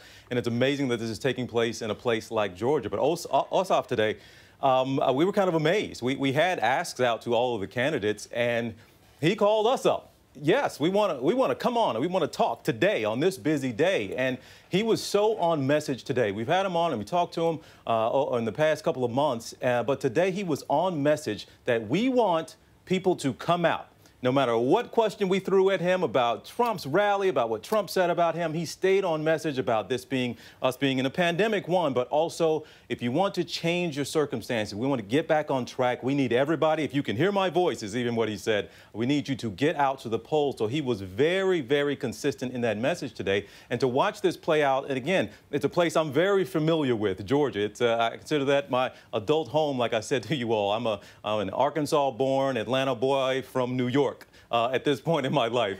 But Atlanta is something that's very familiar to me, and Georgia, to see these politics play out to where we now have, you talk about rural and you talk about urban, you talk about the Atlanta center with these uh, rural areas where you got uh, uh, essentially the, uh, the black population versus, and you would argue, the white population. And this is happening in the South. And now you have this two tickets, you argue, with, with a, a Jewish kid, no disrespect to Ossoff, but he's 30 years old, a Jewish kid and a pastor who grew up in the projects in Savannah who quite literally leads MLK's flock today going up against two conservative Christian, the evangelical crowd on the other side.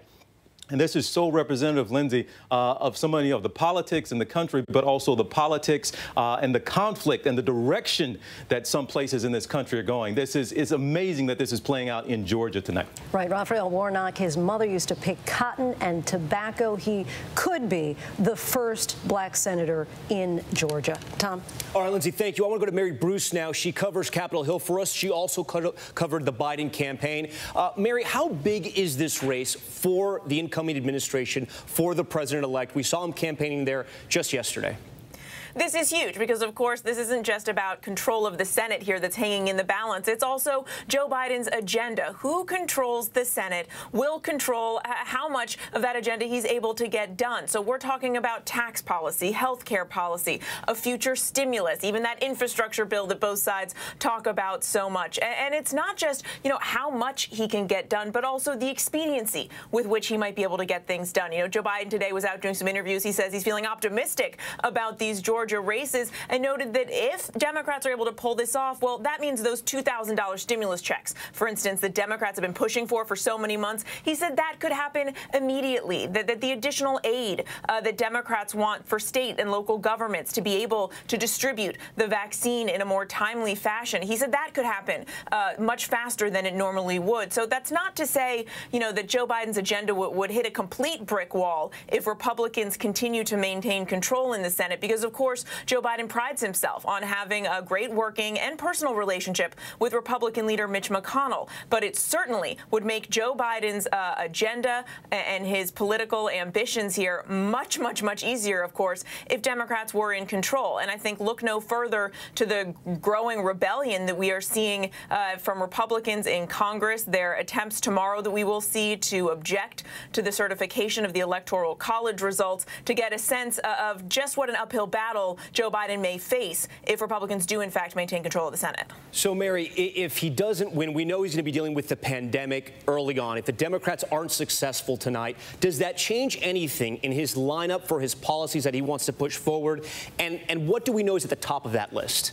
Well, it's a really good question. You know, how will he then uh, recalibrate if, if Republicans continue to stay in control of the Senate? Obviously, uh, getting more financial relief for Americans who are desperately in need of a lifeline in the midst of this pandemic continues to be the top priority. But I suspect they may put, you know, higher up on the list areas where we know there is agreement uh, between the parties. That infrastructure bill we talk about so often, things like that may be moved higher up the list, whereas other issues that we know will be more challenging where Republicans may object more, well, they may move down on the list. And they're going to have to pick and choose, right? You only have so much political capital in this town. What fights uh, will the Biden administration be willing to really push on uh, versus others where they know that they're going to, you know, face more opposition from Republicans? So it will obviously change uh, the order on that very lengthy Biden to-do list. Okay, Mary Bruce, stand by for us. We do want to come back to you once we have more of the vote in. I want to go to Jon Karl right now, our chief White House correspondent. John, on that last point that I was talking to Mary about. Joe Biden is a creature of Congress, and, and before the partisan politics that took over now at the level they are um, with the Trump presidency, he, he was friends with the Republicans. He could cut deals. If he's not successful tonight, if the Democrats aren't successful tonight, is that old Joe Biden going to be able to still make those deals, or has Congress forever changed? Well, I think that this is why Biden was elected, and, and I think it's going to be a tremendous challenge. He's facing a, a Congress uh, where you have a number of Republicans, a large number in, in, the, in the House, and certainly a significant number in the Senate, still refusing to accept him as the president-elect. So it's going to be an enormous challenge. But Biden does have those relationships. And look, no matter what happens tonight, he's going to have to work with Republicans. Even if the Democrats pull off wins in both of these Senate seats. It's a 50-50 Senate.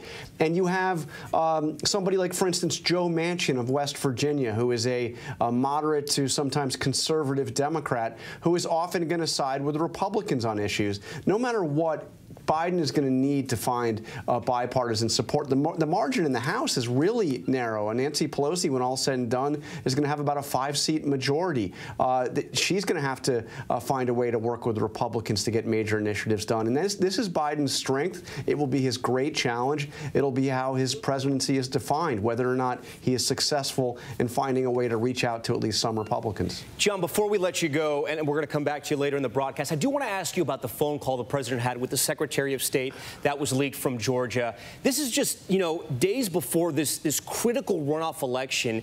Where is President Trump's mind right now? Because clearly it was not on the two Republican Senate candidates who were trying to win critical races there.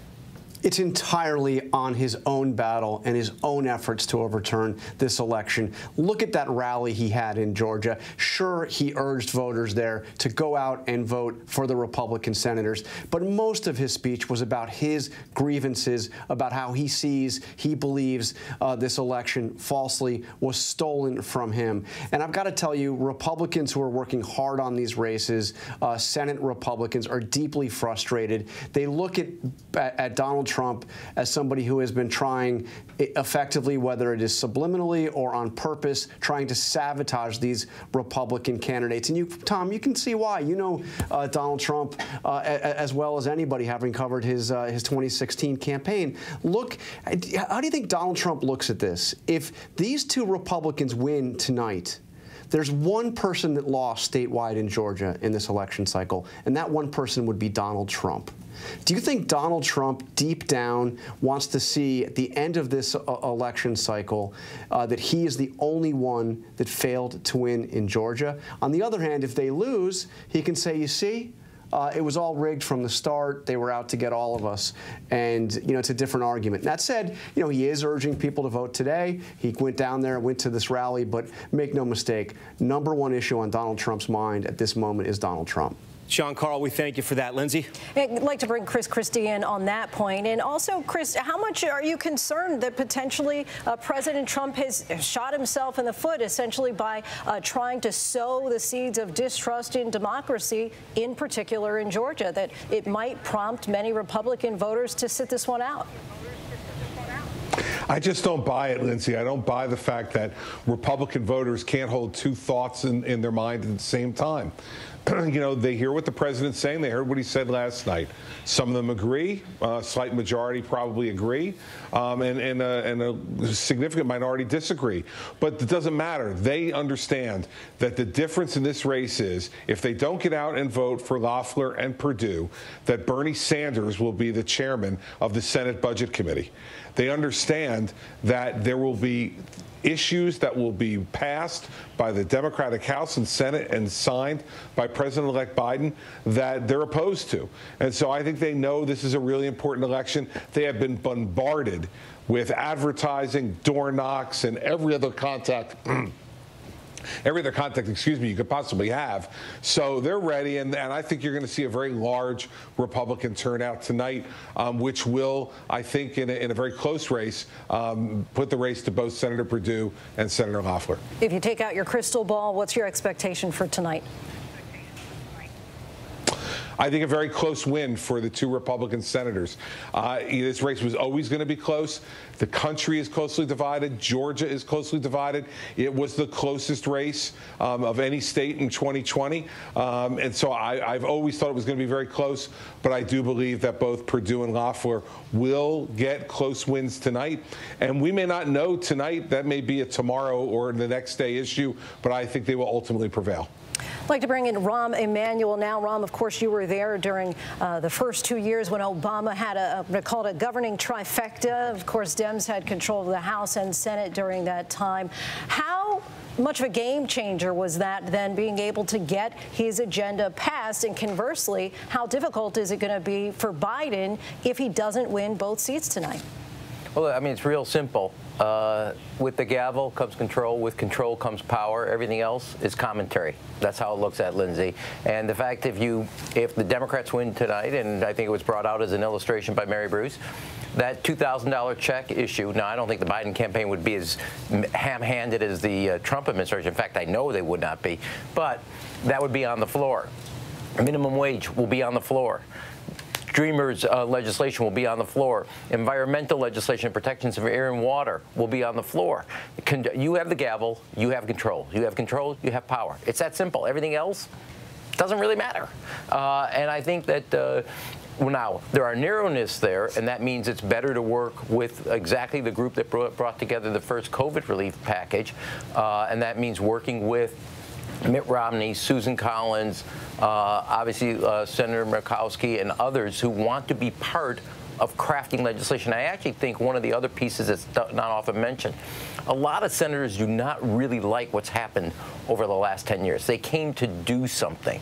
And I think the um, motion and creating motion for the Biden administration will be to gather that kind of sense that we're here to legislate, not just to try to obstruct is the thing that I think Biden captures most. He knows the days of when the Senate was a legislative body, not an obstruction. And if he can capture that spirit that exists within a number of senators on both uh, across both parties, but not as much in the Republican caucus, he will be able to get things done. But in the end of the day, the reason Georgia's come down is on election day, President-elect Biden did very well. There were no coattails. This would be the case to, to reverse that storyline and create coattails and then the ability to see through not only in this immediate area, but then also in reconciliation on the budget, his agenda. Rahm, thank you. I'd like to bring in former Senator Heidi Heitkamp. And eh, similar question to you. As a former senator, I mean, you know how the sausage is made and how the deals get done. How difficult would it be for Biden if he doesn't get control of the Senate tonight? Well, one thing that hasn't been mentioned so far is the fact that if Biden gets the majority, at least uh, an active 50 uh, uh, votes in the Senate, what you won't have is investigations on Hunter Biden. You won't have Ron Johnson running the uh, subcommittee on investigations at his Kisgak. And so that's a huge advantage um, for Biden. But I think, excuse me, I think if you if you think about going forward, you're going to have to fashion a workable majority. And I agree with Rahm that there are many many people on the other side, starting with uh, Lisa and even even Rob Portman, who is up in the next cycle, who are going to have to prove results. The other thing I want to say about this race, and I know everybody's looking at it nationally, but there was a dynamic in this Senate race in Georgia that wasn't in every race, and that is the allegations of insider trading. You have two multimillionaires who were both accused of insider trading, of, of, dealing on information they received in the Senate. Not saying whether it's true or not, but then they denied people a $2,000 check. And so that's a pretty powerful argument. And I think we're going to see that play out tonight as we look at um, kind of moving forward um, with this vote tally. And so we can't ignore that even though these races have become so nationalized, this is a very localized issue. And I think uh, uh, the Democrats were very wise to exploit it the way they did. Very personal for those in Georgia. Heidi Heitkamp, thanks so much. We'll send it back over to Tom as results continue to come in. All right, Linsey, thank you so much. Yeah, that's right. We have 43% of the expected vote in. So the vote is coming in, I, I, would say maybe a little faster than we expected so far tonight. In the first race, uh, GA1, we have Jon Ossoff with 55%, Senator the incumbent Perdue with 45%. In Georgia 2, we have Raphael Warnock, Reverend Raphael Warnock with 54, Loeffler with 46%, essentially mirroring both elections. I want to go back to this first race and Ossoff, I do want to bring in our chief political strategist, Matt Dowd. Matt, I know you can hear me. I'm not sure if you can see me on the return, but I want to talk through some data points with you and get your take on this because I think it's important. So when we started this broadcast, we talked about how Ossoff had underperformed from Joe Biden in the November election by about 100,000 votes. In the Atlanta metro region, this is an area where he had a drive of the vote. When we look at an area like Cobb County, and a reminder, this is a place that uh, six years ago, Perdue actually won this county. If you look at the data right now with 31% of the vote in, Ossoff is actually outperforming Joe Biden in Cobb County. Perdue is down to 33%. Again, only 31% of the vote in. We look at Henry County, 70% of the vote is in there, and Jon Ossoff is overperforming Joe Biden at 59%. Matt, it's still early in the night, but these are the kind of trend lines Democrats wanted in the Atlanta region, correct? I think the trend lines extend beyond the Atlanta region. I've looked at almost every county now, especially the counties that are 98 or 100% in. And all the indicators right now, every single indicator right now in this moment and time favors the Democrats, favors the two Democratic seats. The Democrats are overperforming right now in the blue areas, and they're overperforming by a point or two in the red areas. And I take a look at that, uh, Tom, vis-a-vis Joe Biden's victory, who won by 11, 12,000 votes. If they're matching Joe Biden, it doesn't matter what they did in the Senate races in November. It's where they are vis-a-vis Joe Biden, who barely won the state.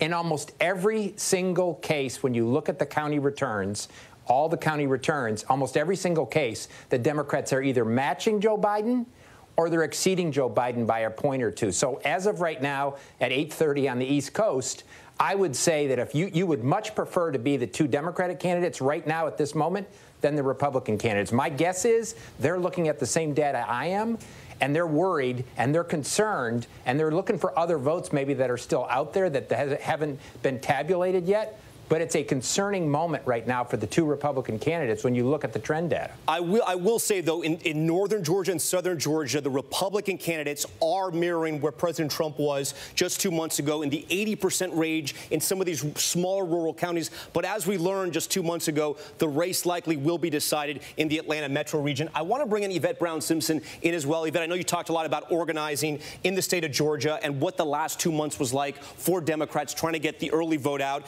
Uh, we have some new data in. This is the early vote so far. We have 57% of the early vote in. And again, both these res, uh, races, whether it be the Warnock Loeffler race or the Perdue Ossoff race, they're essentially mirroring each other. We're not seeing a split ticket, at least at this point in the night so far. So with 57% of the vote in, Democrats are on top, 57 to 43 in both Senate races. We expect the early vote, which we know is more than 3 million Georgians, to be about 72%. So this is the kind of position you want to be. Again, it's still very early in the night. We just started th this show, and we're going to be on for a couple of hours. But this is good news for the Democrats. Talk to me about how Democrats organized over the last two months, Yvette.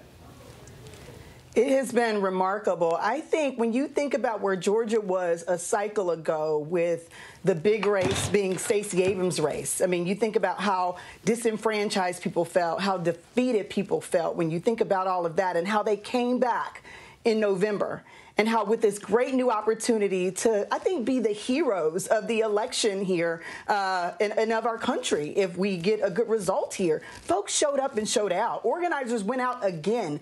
They registered new voters who were going to turn 18 on election day. So we had new registrants coming out. We had organizers going out and knocking on doors. And we talked earlier about how often during these runoff races, we just don't see that kind of turnout. They were not taking that chance this time, Tom, and they made sure that folks understood that this is not just about Georgia. This is about the nation. This is about making sure that we have the type of leadership that can get us out of the mess that we've been out of. And I think people saw that as an opportunity. And I think the fact, as you said, Tom, that these were linked together, that this wasn't just about Raphael Warnock or about Ossoff. It was about getting back control of the White House, getting back control of the Senate, getting back control of leadership. And I think they understand that. And so I'm really excited about the fact that the message was felt. The fact that these races are tracking the way they are means that people understood that it was it was a two for a ticket and we needed both of these candidates to win. Okay, Great organizing. Thank you so much, Linsey. One more data point before I send it back to you. This is Columbus, Georgia, 47% of the vote in. Raphael Warnock overperforming Joe Biden at this point in the race, 73% to 26%. Again, these are the kind of trend lines Democrats want. But, Linsey, as we know, it's still so early. Still early. Joining us now is Georgia's Republican Lieutenant Governor Jeff Duncan. Thanks so much for joining our coverage tonight. First, the polls are now closed in Georgia. By all accounts, things went smoothly. Are you satisfied with how the election was run, and should voters have confidence in the outcome? Well, uh, certainly we have worked hard here in Georgia. We've been in the spotlight, uh, national, if not international spotlight. Uh, Secretary of State Brad Raffensperger has done a great job of continuing to try to uh, eliminate as much of the background noise as possible uh, to put on a fair uh, and legal election. And certainly I'm comfortable with what he's done to this point and looking forward to the results coming in. Are you worried about the constant claims of fraud without evidence by President Trump that that may have depressed Republican turnout? Absolutely. Uh, I've said it for weeks now on end that it is a distraction. Uh, I just heard the earlier piece, uh, somebody talking about the Democrats the last two months, what they've been doing, uh, signing folks up, uh, making sure that they get their message out. Uh, unfortunately, too many folks in our party over the last uh, two months have been talking about misinformation, election fraud, and creating a distraction. we've been outworked, outfocused, but my hope is that Kelly Loeffler and David Perdue's hard work over the last two months is going to get them across the finish line and help us kind of regroup and as a party here in this state and also as a country uh, and uh, be able to roll back out and get the White House in 2024.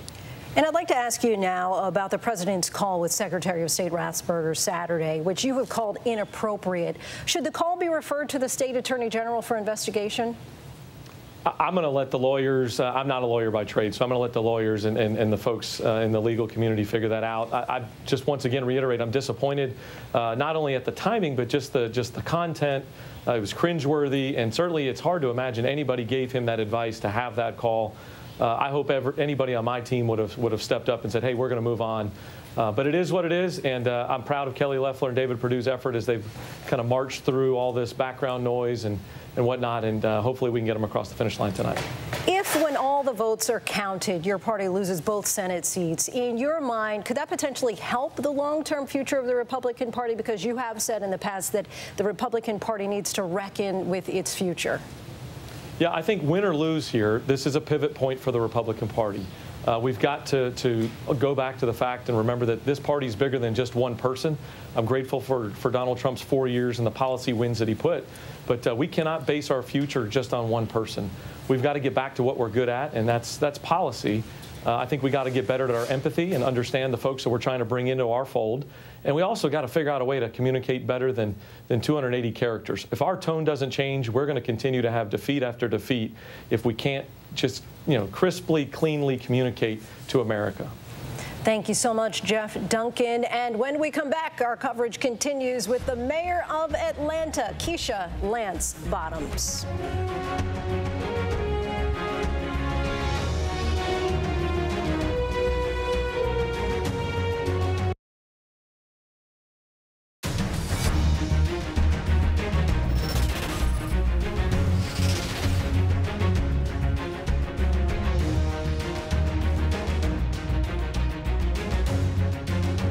Most innovative daily news podcast out there to listen to every day? Well, the Edward R. Murrow Awards say it's Start Here, the daily news podcast from ABC News. Even the New York Times calls us a top news podcast worth listening to. So if you like getting behind the biggest news stories of the day, inside all the details, the backstory, and what will happen next, then listen to Start Here, the daily news podcast from ABC News. It's like no other news podcast out there. Even the critics agree. Listen free on Apple Podcasts. Right now, at this defining moment in America, with so much on the line. We gon' be alright.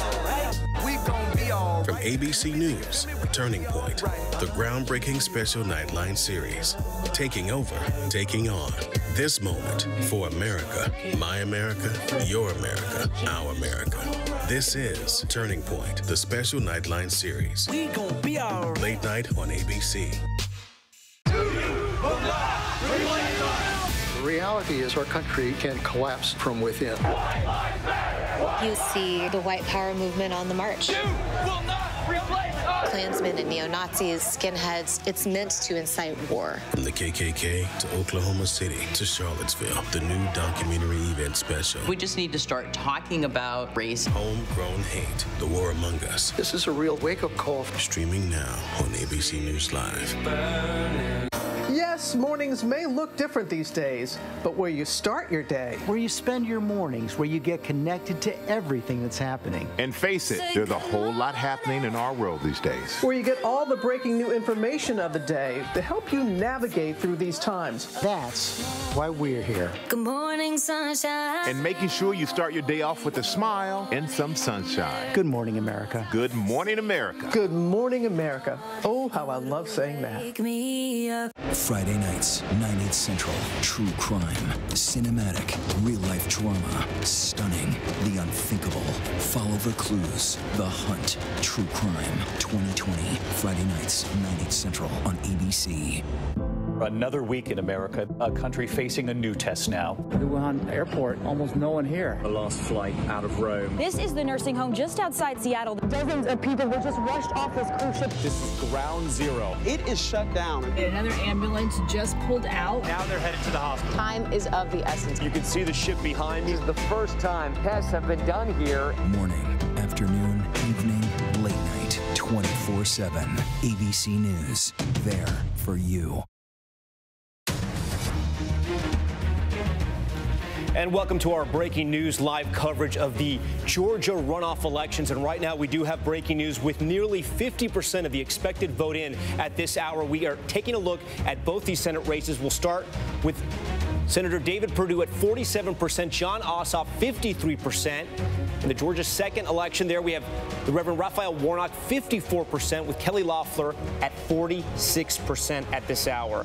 Some interesting so far expected votes in, the findings that we've seen so far. I want to bring in Nate Silver, who is the founder and editor of the world famous 538, one of our partners here at ABC News. Nate, so far we're looking at the map. I was comparing what the map looks like right now, the jigsaw of all the counties there in Georgia, to what we saw just two months ago in Georgia with the presidential race, and of course these yeah. Senate races as well. They, they almost look identical to each other. What is standing out for you tonight so far?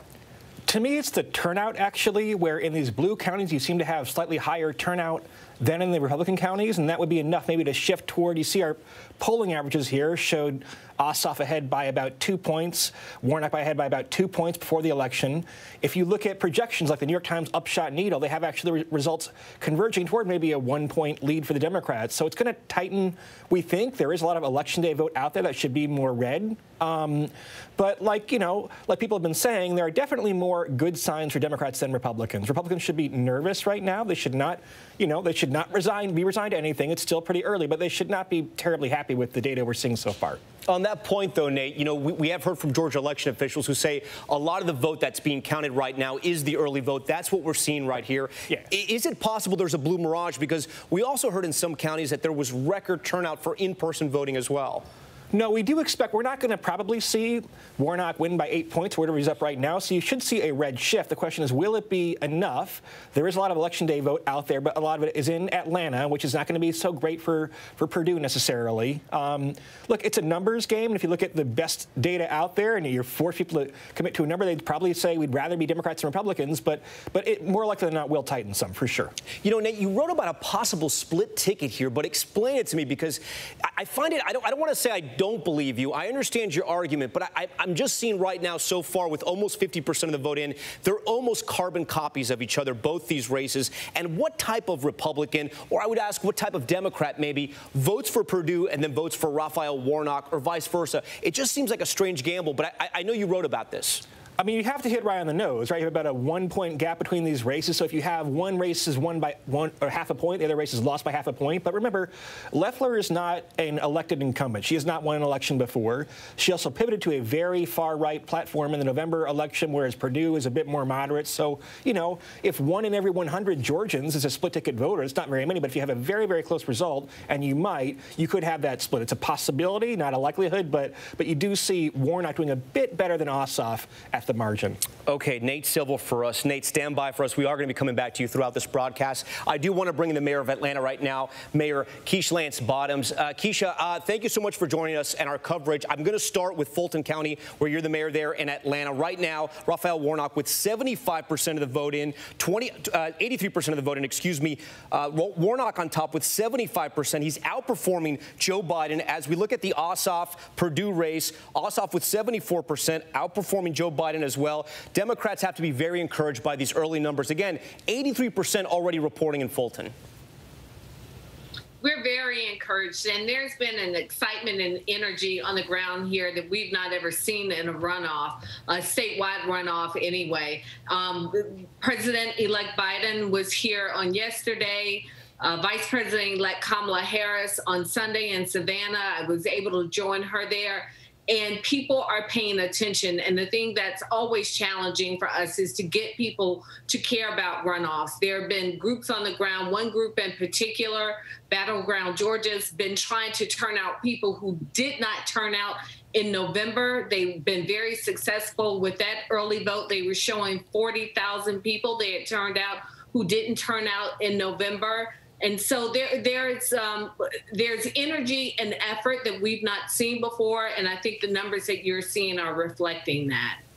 You know, Democrats have been so disappointed before in the past with these runoff elections. Our Steve Osunsami, who is our correspondent based in Atlanta, was talking about this earlier tonight. What worries you tonight? You know, we have 50% of the vote in, so we still have a lot of vote to come in. What, what is worrying you so far about some of the things you're seeing, if anything? Well, what concerned me was election day, and that's what concerned me in November. My 18 year old son went to vote today. He walked right into our precinct, voted. There was no line. So that's always a concern.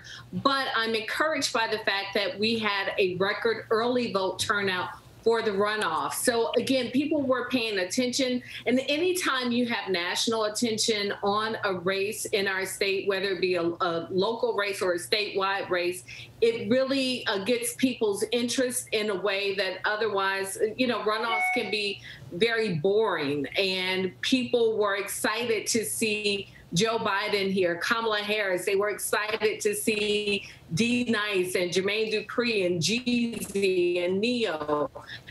There was a national energy that we felt on the ground, and it got a lot of people uh, paying attention. They early voted. A steady stream uh, throughout the city and throughout the state, and talking with my fellow mayors. But that's what concerns me what will we do on election day? Mayor, Atlanta right now is dealing with serious COVID issues. It's also dealing with serious crime issues as well. Whomever wins tonight, what will be the first thing you ask for help for your citizens there in Atlanta from the new senators that are coming in? We've got to get some help with vaccine distribution in our state. We are per capita, I believe, second to last with distribution. So we've got to get some help with that, getting more vaccines in the state. Um, and also something that I've talked with President-elect Biden about uh, on more than one occasion has been the mental health recovery piece that we aren't having a big discussion on. And that's what we're seeing across the country. Mayors across the country are talking about the spikes in violent crime that we're having. We know domestic violence cases are up. People are suffering from depression and anxiety and it's spilling out into our streets, and we're going to need some national leadership with that. Mayor Bottoms, thank you so much for your time tonight. We appreciate it, uh, as always. I want to bring in Republican strategist Sarah Fagan. I'm also going to go back to the map. Sarah, I just want you to kind of hear me out with some data points here. So, you know, with 50% of the expected vote in, Republicans may have some things to worry about. I want to take you to Alabama, uh, to Georgia's Black Belt, excuse me, uh, an area that they call the Black Belt because of a lot of the African-American residents who've lived there. Twiggs County, this is a county that President Obama won that flipped to uh, President Trump. And right now, Perdue is holding the line. He's actually just slightly below President Trump. We go to another county as well over here, Dooly County. Again, this was a county that swung from Obama to Trump, and Trump held it, you know, two months ago. Perdue's holding the line there. A lot of times people forget that President Trump was able to grow his base and that Republicans can still win these elections in the rural counties. From what you're seeing tonight, is there any optimism on the Republican side so far this early in the night? Well, you know, it's interesting. So Republicans went in tonight, I think, fairly pessimistic yeah, across the board. Almost everybody I talked to felt not good about this election. Uh, uh, spirits built throughout the day because of high turnout in these rural areas. There was fear because of uh, Trump's comments and his attacks on the governor and the establishment in the state that turnout would be depressed. It, it appears like it won't be depressed, although it is still early and the, the tale is yet to be told on that. So, you know, it's cliche to say this, but it really comes down to turnout. And we know this is going to be a close race. I think what's different about tonight compared to November is Republicans came in strong. Uh, Election day turnout showed up early. Republicans were leading. People were less worried about Georgia until we got late in the night. And of course, as the absentees were counted outside of uh, Atlanta, Democrats picked up, picked up, and overtook very, very late. Uh, in the process. Uh, this is different tonight. And so I think people are scratching their heads a little bit about why that is.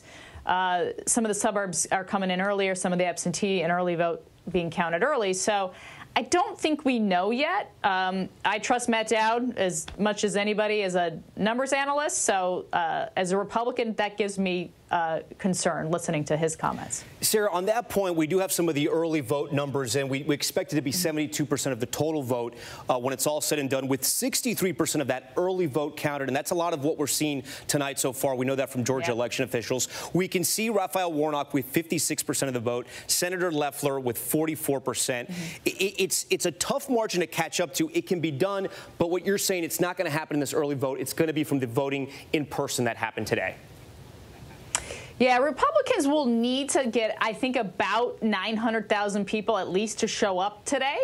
Uh, they walked into today probably down about 200 to 230,000 votes, so you've got to make it up. Of course, you don't get all the votes. So I think we're looking at 900 to a million people having voted, and if that happens, Republicans uh, will win these seats.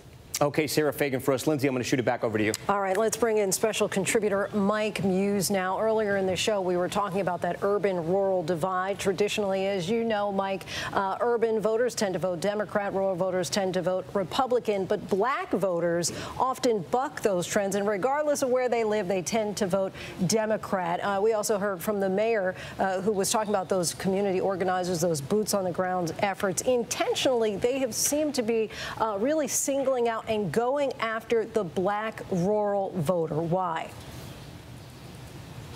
That's an important vote. I think it kind of goes back to Stacey Abrams back in 2014 with her initiative, the New Georgia Project. What Stacey really focused on was she recognized that when we think rural, we think white. Um, but the whole narrative is that there are a lot of black Americans who make up the rural South. And what was recognized was that a lot of people hadn't went to them. They weren't seen. They weren't invited to participate in the democratic process, which is voting. And so what they did was really focus on that black rural South. And what we're seeing in the numbers in terms of early voting and possibly same day voting is not only just Atlanta, we keep focusing on Atlanta and Fulton County, but that South rural aspect of Georgia, that is where I'm really interested in seeing in terms of does the black rural South of Georgia cut off of the rural aspect of the northern part of Georgia. And so I think that is going to be really key as we go through the night. Mike Muse, thanks so much. I'd like to bring you back in, Steve Osunsami. You know, throughout the night, we've also been talking about this idea of the new South, this real intentional shift. What do you attribute that to? Well, a couple different things. You have not only the black vote, uh, but you also have new populations here to the south, especially the Atlanta metro area, a large Latino population, a large Asian population. Um, there was a there was a period of time here in the south where there was white flight from the city of Atlanta to the suburbs. And you had suburbs that, when I first moved here, were almost entirely white in the northern suburbs of Atlanta. Now, many of those suburbs are quite diverse. Cobb County, Gwinnett County, which we keep talking about just north of the city, has a large Asian population and Latino population. And both of those counties are now blue. Uh, something, Linsey, you and I talked about earlier, I was explaining that, you know, some of the history here, just to show how different things are, how the population shift has happened. When the trains were set up in Atlanta, the residents of one county, Cobb County to the north of Atlanta, successfully were able to prevent the trains from coming into their county because they had crime concerns about uh, crime coming from the city. That county now has a large Latino population that has changed the nature and the politics of those counties. So there is a major population shift that has happened. I've talked with um, with a, a, a friend who used to work for one of the Republican governors here, who explained to me that every two years, about 50,000 more people move to the Atlanta metro area, and that is changing sort of the dynamic here. And so this friend estimated that if Stacey Abrams were to run again today, she would have gotten the 50,000 votes that she needed to win because of the population shifts that are happening and keep happening here in Georgia. And what's happening here in Georgia is reflective about reflective of what's happening in many other uh, areas across the country. Right, and of course that we've seen that there's been a 5% increase in registered black voters in Georgia in recent years. I'd like to bring back in TJ Holmes. TJ, of course, as you talked about before, used to live in Atlanta, worked there. And so you have seen this shift shift really firsthand because then you were back in Georgia for the election. So kind of talk us through that Stacey Abrams effect, if you will. You were there, it was ruby red, now quite a purple state. Quite purple, but we were talking about the numbers and the increases over the past several years. But if you look from 2000 to 2019, there were about 2 million new people added to the electorate there in Georgia half of those were African Americans. There has been a shift. We talk about the Great Migration, right, when African Americans were trying to free the uh, or flee the Jim Crow uh, South. But so many people are coming back to the South. African Americans, they have roots there, they have family there, they have history there. And now it's a place that they, they see a place certainly like Atlanta, which is referred to as the black capital of the United States, where African Americans can do well, where African Americans are flourishing, where you have this center the, uh, uh of, of, education with, with Morehouse and Spelman uh, and colleges, Clark Atlanta University. So it's a place that has great appeal uh, these days, more so for African Americans who are coming coming back. And, and, and, we talk about, guys, this runoff election that we're in. We, we will see this dynamic continue to change uh, over the years. No, Stacey Abrams was not successful. But what she has done is set up Georgia probably for years and years, maybe decades and decades to come, and that she got so close in a controversial election. But we're talking about the runoff and how Al, Al Warnock would have been uh, the, the new U.S. Senator. Well, some of these runoff laws, it's important to note, these runoff laws laws have a history in Jim Crow in trying to keep African Americans from getting political power, trying to keep African Americans from voting as a plot, as a block against multiple white candidates to make it more difficult. So even though we look at a runoff now and say, "Oh, those are just the rules there," and it seems pretty innocent, all of these things were put in these in place to actually suppress black voters and also to keep black folks out of office, and they're in place in Alabama, Mississippi, Arkansas, Georgia, South Carolina, places like that. So all of this is coming to a head and coming together in a state like Georgia, where it's now a national race and all eyes are on a place that's becoming diverse and really representative in a lot of ways in how the country is changing, how the face of the country is changing, how we're getting diverse, where you have people trying to hold on to some old ways, and you got others, Linsey, and, you had uh, Mayor Keisha Lance Bottoms on. Do you, do you, know on her transition team, she had T.I. and Killer Mike? If you don't know who that is, then you're not only missing some good music, but you're missing the point of what's happening in a place, a cultural and a black mecca like Atlanta is having such such uh, uh, an impact on this race and on national politics, and it is a beautiful thing to, to kind of watch us all go through it, no matter what side you're on, to just to see the country evolve like this, and it's happening in Georgia tonight. And with the Jeezy and the Gucci Mane uh, versus as well, they gave the plug yeah. to go out and vote. I'm sure that you were watching that. We appreciate your dual citizenship uh, between Atlanta and New York. But Linsey, you make that point we about. We'll be right back. Okay, go ahead, go ahead. we'll be right back with more from our legal team.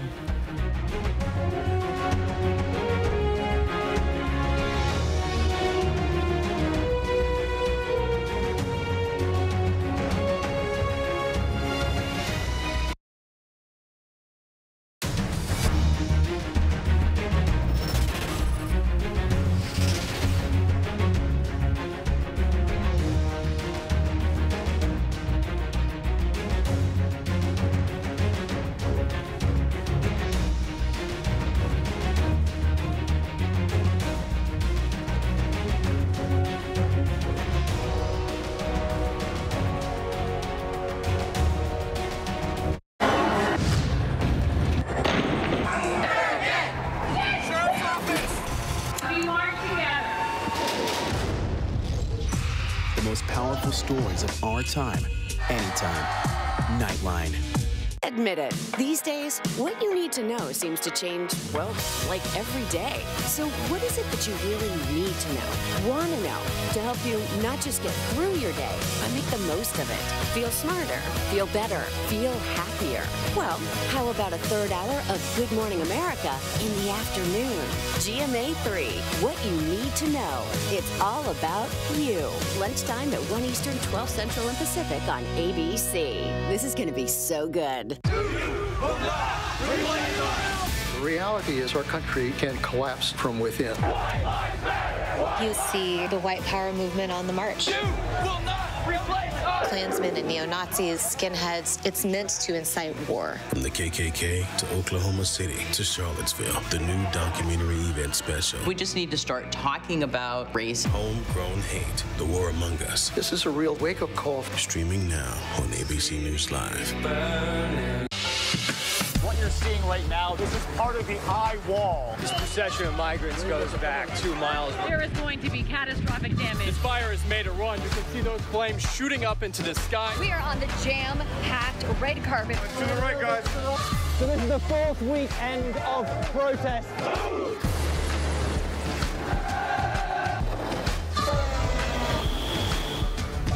Watch ABC News on location for Facebook Watch. Your mom said, comb your hair. Your dad told you, smarten up. Your dog is judging you right now. And your best friend just called you crazy. We all need someone who'll pull no punches and give it to us straight. Now imagine getting your news like that. No bull, no spin, just give it to me straight. Straightforward news, straight to the heart of the story. ABC News, straightforward. What's the most innovative daily news podcast out there to listen to every day? Well, the Edward R. Murrow Awards say it's Start Here, the daily news podcast from ABC News. Even the New York Times calls us a top news podcast worth listening to. Start Here, free on Apple Podcasts. Ossoff versus Perdue. Warnock versus Loeffler. Election night, the Georgia Senate runoffs. Here now, Tom Llamas and Linsey Davis. And welcome to our special coverage of the Georgia Senate runoffs. We have breaking news coming in. We have a tied race, folks, as the entire country right now is watching what's happening in the Peach State. Of course, so much importance and emphasis on tonight as control of the Senate hangs in the balance. And after all, Georgia has not sent a Democratic senator to the Senate since 2000.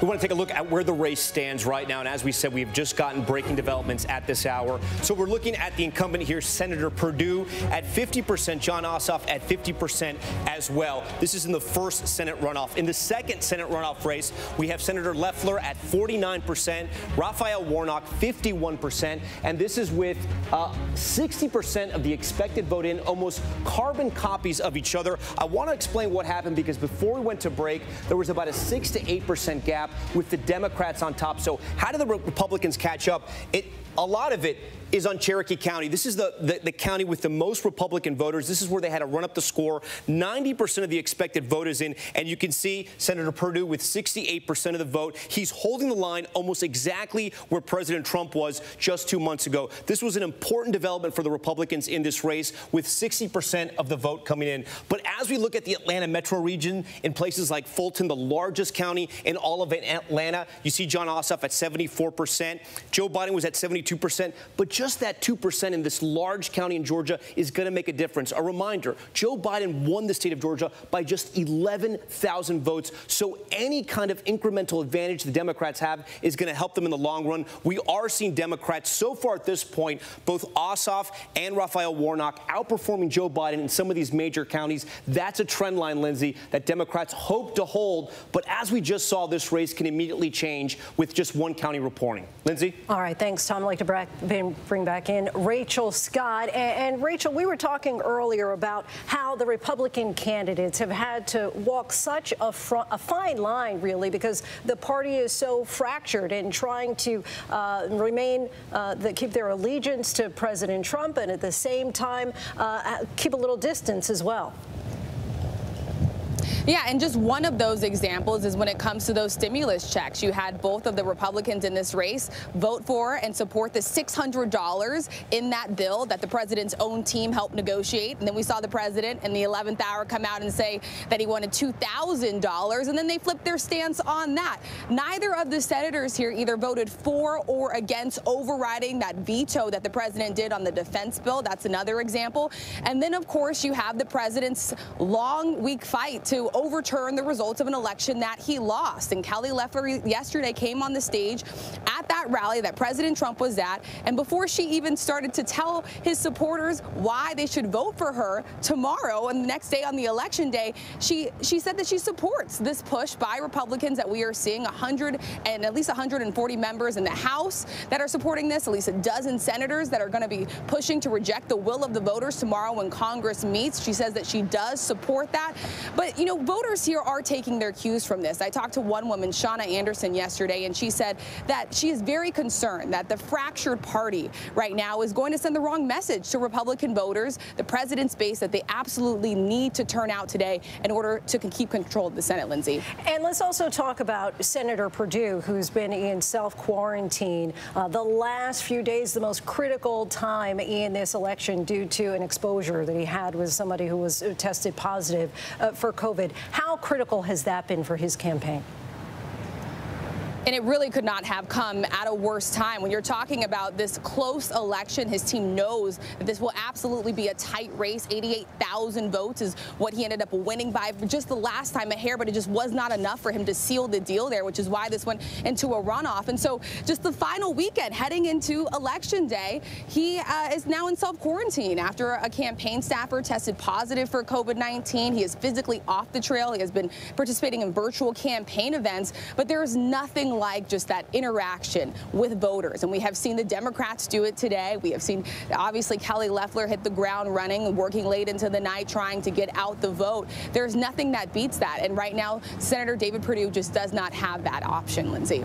All right. Thanks so much, Rachel Scott. Let's bring back in Mary Bruce and just kind of give us a sense of what's at stake here uh, for the Biden administration and potentially how difficult it might be if they don't win both seats in the Senate tonight.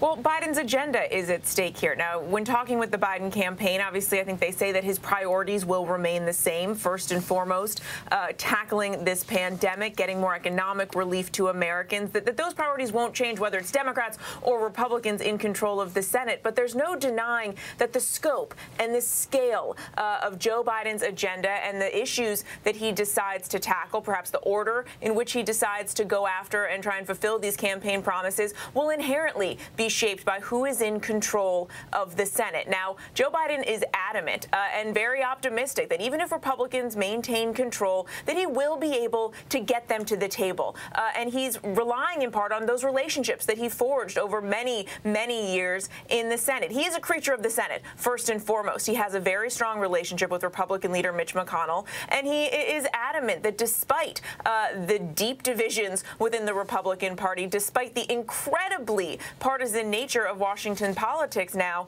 that he will be able to work across the aisle. Uh, that is a lot easier than said than done. Uh, the Washington that Joe Biden is inheriting is very different, far more uh, bitterly divided than the Washington that he left. Uh, so Joe Biden, if Republicans maintain control of the Senate, will have a lot of work ahead of him. And I do think you don't have to look much further than the, the fight within the Republican Party uh, over whether or not to certify the results of the Electoral College, as Rachel just mentioned, to see really what Joe Biden may be up up against if Republicans maintain control uh, of Congress.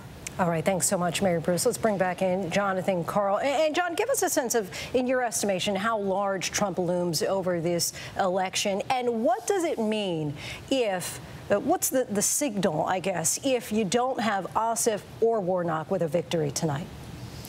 Uh, well, look, he looms large over the entire Republican Party, and this is the single biggest event uh, left uh, in in the uh, in the Trump presidency for his party. He has had a very hard time uh, helping Republicans win when he is not on the ballot. Look what happened in 2018.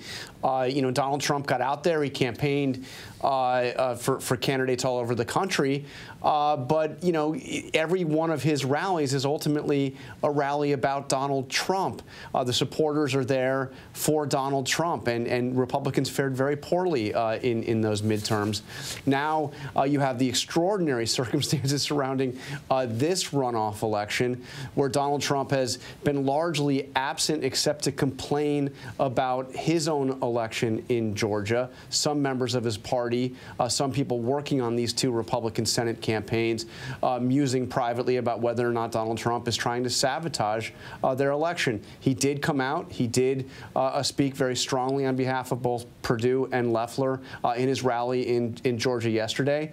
Uh, we'll see how that goes. But I, I think that ultimately uh, Donald Trump will either uh, take credit or get, uh, or get a heck of a lot of blame if the Republicans lose tonight. But if you think, if, if potentially Ossoff and Warnock both lose, do you think that that means that this blue shift was perhaps a, more of a referendum on President Trump than anything else? Uh, you know, perhaps, but but you know, th this is you consider the history here, as as Steve Wilson-Sami uh, talked about earlier. Uh, Democrats have a hard time uh, with these uh, runoff elections in Georgia. There have been many of them. There have been many uh, Democratic hopes of knocking off Republicans that, that, that, have crashed and burned. And I think that Republicans, you know, believe that if if Trump had made this less about himself and more about providing a check on, on a Biden presidency, uh, that the Republicans would have won both of these easily. If they win, if they pull off victories here, there will be narrow victories. Jonathan Karl, thanks again. All right, Linsey, I want to invite back Rahm Emanuel and Chris Christie, two of our political analysts, to talk about some of the data that we're seeing so far. Rahm, I'm going to start with you. So, as the race stands right now, 63% of the expected vote is in. It is 50 50. Both races, both the first and second Senate races, runoffs, are, are carbon copies of each other. The only difference is maybe about 600 votes more for, for Ralph Warnock uh, than Ossoff. But, but I want to talk about Ossoff and how he's doing in places like Fulton County. This is where Atlanta's at. He's overperforming from from Joe Biden. He's about 2% over in Fulton. In the entire Atlanta region, really, in Clayton County, a smaller region, 75% of the vote in, he's at 89% versus 85%. And then DeKalb County as well, 85% for Jon Ossoff, 83% for Joe Biden. Rahm, these numbers are important for Democrats because going into this race, there was some real worry about this 33 year old political newcomer, if you will. Could he actually win a statewide race in Georgia? He underperformed from Joe Biden by about 100,000 votes. But tonight, with 63% of the vote in, you got to be happy with what you're seeing, Rahm. yeah, look, I actually, one county you left off there, you did a lot of Democratic counties. I think the Democrats are doing better in some of the areas. Take Cherokee County.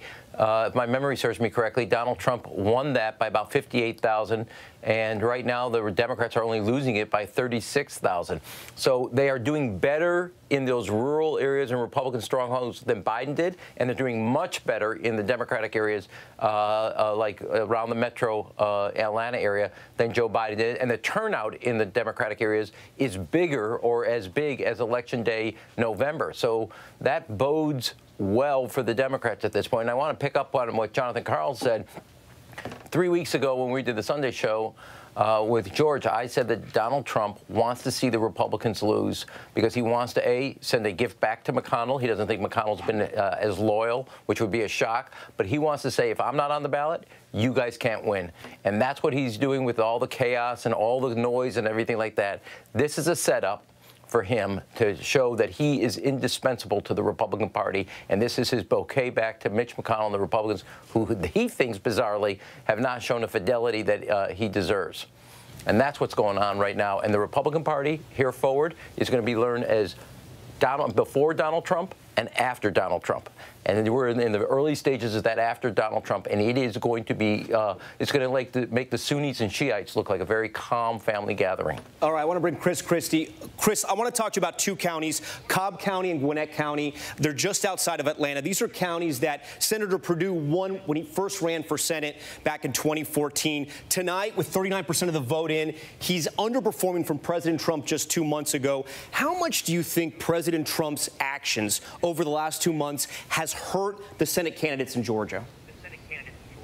Uh, we won't know until we get the final results of the election. But what I will say is that when you look at counties like Fulton, for instance, you've got well over 85% of the vote in Fulton already counted. Um, and you have a race that's now, you know, in uh, eight or 9,000 vote difference. Um, so I still feel very good about the way these numbers look for Republicans. Um, the day of vote is just now being counted. Um, a large amount of the uh, early vote and mail in vote has been counted already already. And so, you know, I like the way the numbers look for Republicans. Always said it was going to be very, very close, but I still think that both Senator Loeffler and Senator Perdue um, appear to be in good shape. And on the Cherokee issue, very little of the vote in Cherokee has been counted yet. And so, I, I, if I were Rahm, I wouldn't start dancing quite yet. Governor, I do want to ask you something, though. On election night, I should say election week, we, we, were here for so many days. And one thing we kept pointing out was President Trump was losing states, but his base was growing. He brought more voters to the table on, on election night. My question is with that type of momentum, even in Georgia, where 11,000 votes separated him and Joe Biden, you know, you got to think, and I guess, I guess it's still early, we, we don't know how this is going to end up, but you got to think if the president focused on Georgia, if, if he campaigned there a little bit more, if he truly fought for these Senate candidates. And I know he was there last night, but we know what his focus has been the last few days. You got to think these Senate candidates would be in a better position. Tom, I just don't agree with your premise. I mean, you know, the fact is that everybody's base grew um, in the 2020 election. So did Joe Biden's. Um, he got more votes than any presidential candidate in American history. And so everybody grew more. Why? Because we had COVID and we had rampant broad mail-in voting um, that made voting uh, a lot easier than it is normally. And so now we're having a second race, six, seven weeks uh, or seven, eight weeks after the last one.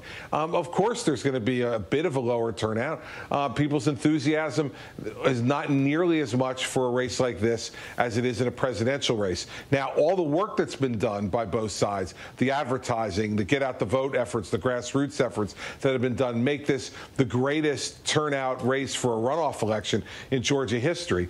But, uh, you know, I think that the, the obsession of the media is to, to tag everything with Donald Trump, either pro or con. It's all about him. It is not all about him.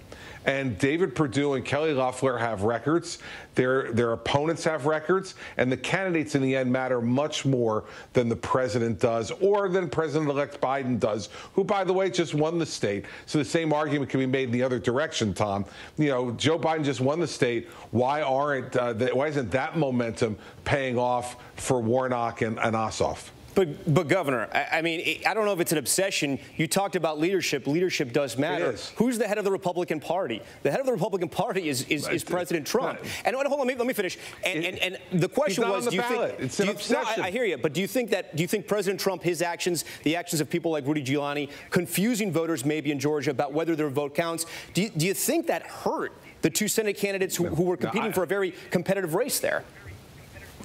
I have a lot more faith in the voters of Georgia than apparently you do. I don't think they're confused. I don't think they're confused about anything. I think that they know what the stakes are here, and they're going to turn out and vote. Both sides are going to turn out and vote because they know what the stakes are. I don't think anybody is confused um, at all about what the stakes are tonight. And the stakes are tonight if you want your party to win, if you want your preferred candidates to win, you got to turn out and vote because everyone has said from the day after the last election that this was going to be a very, very close election no matter what. And I just don't believe that Donald Trump is the determining factor in tonight's election, given the numbers that I've seen so far. Now, if Warnock and Ossoff were to pull away in a much bigger way and win this thing tonight, which I don't expect will happen, then maybe we'd have to reevaluate it then. But right now, Tom, I know, I know everybody just wants to talk about Donald Trump all the time, um, but this is about Kelly Loeffler and David Perdue. Uh, it's a lot about a lot of people. I agree with you. It's about the two Senate candidates. All right, Governor, we thank you so much. I do want to bring in Terry Moran, our senior national correspondent out of D.C., who has covered so many political races for us, along with the White House and, of course, Washington. Terry, the way you see this race so far, because we have seen it sort of get a little bit tighter with 63% of the expected vote in. And, and I want you to take up some of the, the points that Governor Christie was making. He, he was saying essentially, you know, uh, we just heard him, but that, that this wasn't about President Trump. It was about the people who were on the ballot. Do you, do you buy that? Well, I, I, A, defer to Governor Christie's political expertise. I've never run for office, and I agree with him that basically trust the voters. They, they can walk and chew gum at the same time. It never seemed logical to me that, that by uh, Trump saying, don't trust uh, the results of my election, people couldn't go out and vote for the candidate they wanted to. The problem that Donald Trump made for Kelly Loeffler and David Perdue is he changed the issue. The issue is not an ordinary bread and butter issue about higher taxes, the way the Democrats are going to run the Senate. The issue is, do you want to betray the Constitution with me or not? And he forced Kelly Loeffler and uh, David Perdue to sign on to his effort to overturn the democracy. And the problem is that today's exit polls show that 70 percent of the people of Georgia, demonstrating their very good common sense, believed that their election in the November in that state was held fairly, as every court has demonstrated, as their own Republican election officials certified, along with all the other 49 sovereign states. So he forced them to get into his cartoon view of what happened in November. And that, it turns out, uh, was, at least as far as that particular issue is concerned, it could well be that they'll both win at the end. But Donald Trump twisted this election around his vanity and his need to defy reality to say that he won Georgia when 70% of the people of that state, according to today's exit polls, said, you know what, I think we had a fair election in November. That and, hurt the Republican candidates. And so many major elections since President Trump was elected, and even in his first race, were about President Trump in one way or another. I want to bring Rahm Emanuel back in because I know he wanted to get in when, when his good friend Governor Christie was making his point. Yeah, but look, if anybody sitting there on November 7th said, okay, we're going to have a runoff, it's clear, let's design it where the president's running around for the final three weeks, making charges about the election and throwing doubts about ballots and on the integrity of the vote, that would be not how you choreograph it. And the, Donald Trump has always, for, since four years ago, been the centrifugal force that drives energy on both parties. And the notion that somehow this was all about Perdue or uh, Senator Loeffler and had nothing to do with the uh, overarching uh, environment and atmosphere that Donald Trump did. In the end of the day, no voters got persuaded for or against a candidate in any way. They got motivated to vote. And what Donald Trump was doing was con creating confusion around that vote, and that was not helpful. That is not how anybody, and I know Governor Christie campaigned for state legislators, state senate. This is not sure. how you organize a campaign. Now, will it have a detrimental effect? It wasn't helpful. We don't know if it was detrimental. Governor Christie, I know you want to get the final word in before we hit this break. And I'm not taking dancing advice well, from well, him. yeah, well, you, sh you shouldn't. You're a much better dancer than I am, Rahm. Yeah, but that's very uh, clear. But listen, at the end of at the end of his point, it took Rahm a while, but he finally got it right. My point was, thanks, Chris. It, it's it's not going to be determinative. I mean, does the president have an effect on the election? Of course he does. The same way Joe Biden has an effect on the election, but not a determinative effect. And my point is that every question comes at me about Donald Trump. And did Donald Trump do this or should he have done that? And my point is that the candidates ultimately are the ones who matter the most and the campaigns they run and how they do things. And when you look at it right now, with 68% of the vote in, David Perdue's now pulled ahead, and Kelly Loeffler is, is within 5,000 votes of, of of Raphael Warnock. Um, this is going to be a very close race and one that's going to be determined ultimately by Warnock and Ossoff versus Loeffler and Perdue, with Biden and Trump as background music. Governor Christie, Rahm Emanuel, Terry Moran, please stick with us. I want to show you guys something fascinating that's happening right now in this race. Take a look at our big board right here. And, and we have what Nate Silver was sort of talking about, a, a, a split ticket right now. Again, still very early in the night, 14,000 plus for Senator David Perdue, 11,000 plus for Raphael Warnock. It is still very early. Our continuing coverage continues right after this break.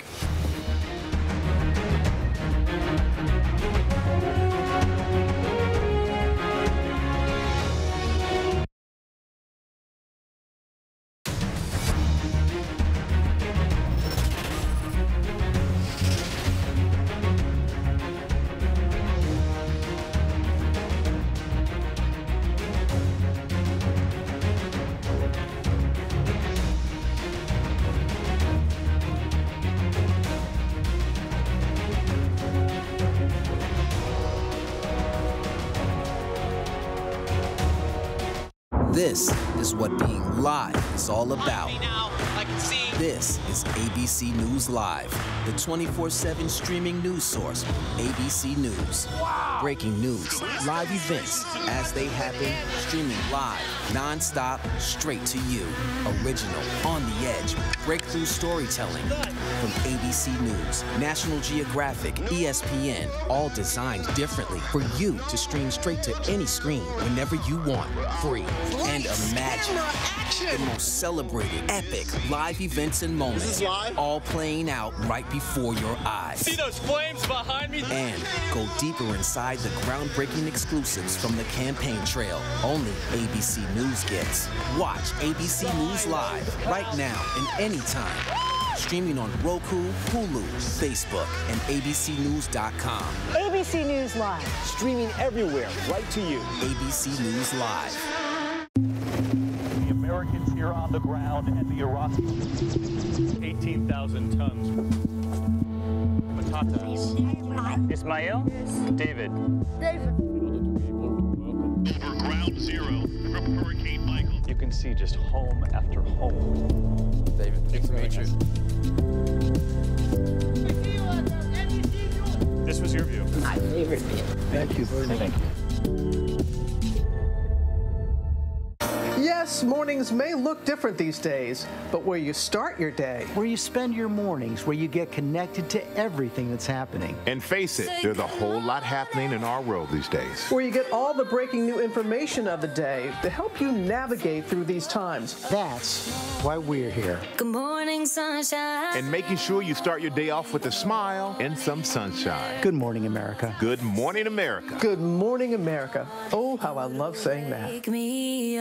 Wake me up. The world may feel out of your control, but your happiness doesn't have to be. Learn the secrets to happiness. Listen to the 10% Happier podcast, free on Apple Podcasts. ABC News honored winner for the second straight year with the Edward R. Murrow Award for Overall Excellence in Television. ABC News, America's number one news source. This is GMA3, what you need to know. GMA3. A third hour of Good Morning America in the afternoon. It's all about you. Lunchtime on ABC.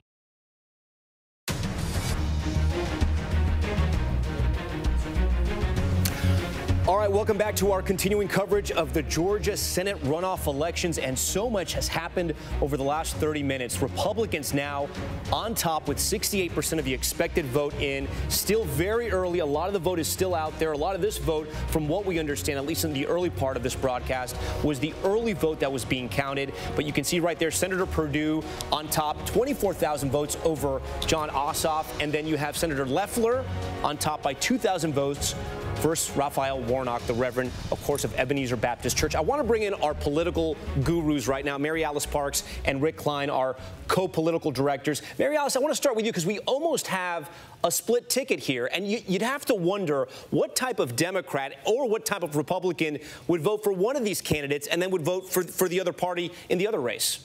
Look, I still think it's pretty unlikely that the, at the end of the night we have a split ticket. But uh, coming into tonight, everyone thought if that was to happen, it would be this scenario.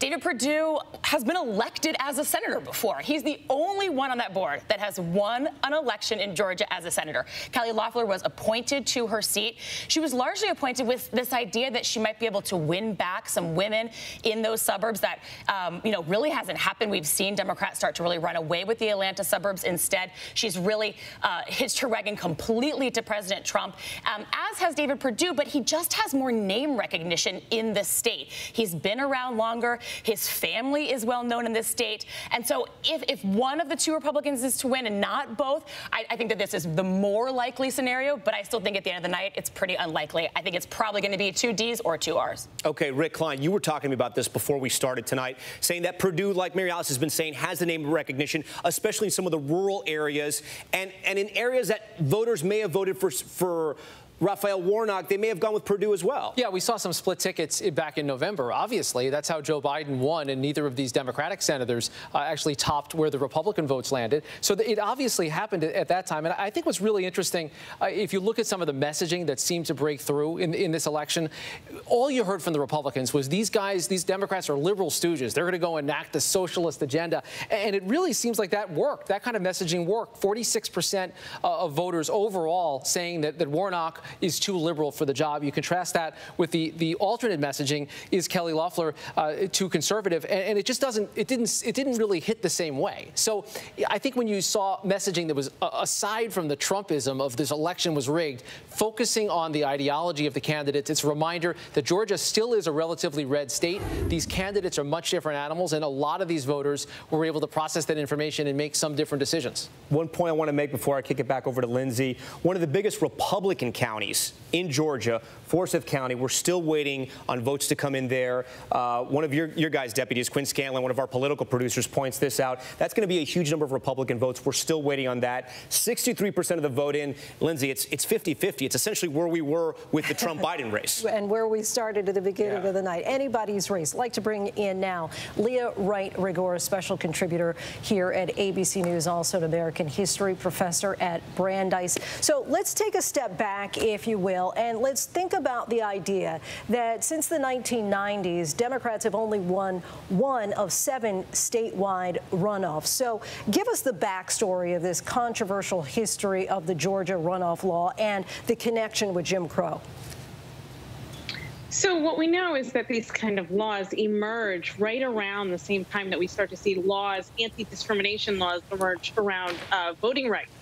And so we see, we start to see in Georgia's case, we see in 1963 roughly, we begin to see these laws emerge that are designed to really stamp out what we call black bloc voting, or the power, this large power of black, uh, large black voting.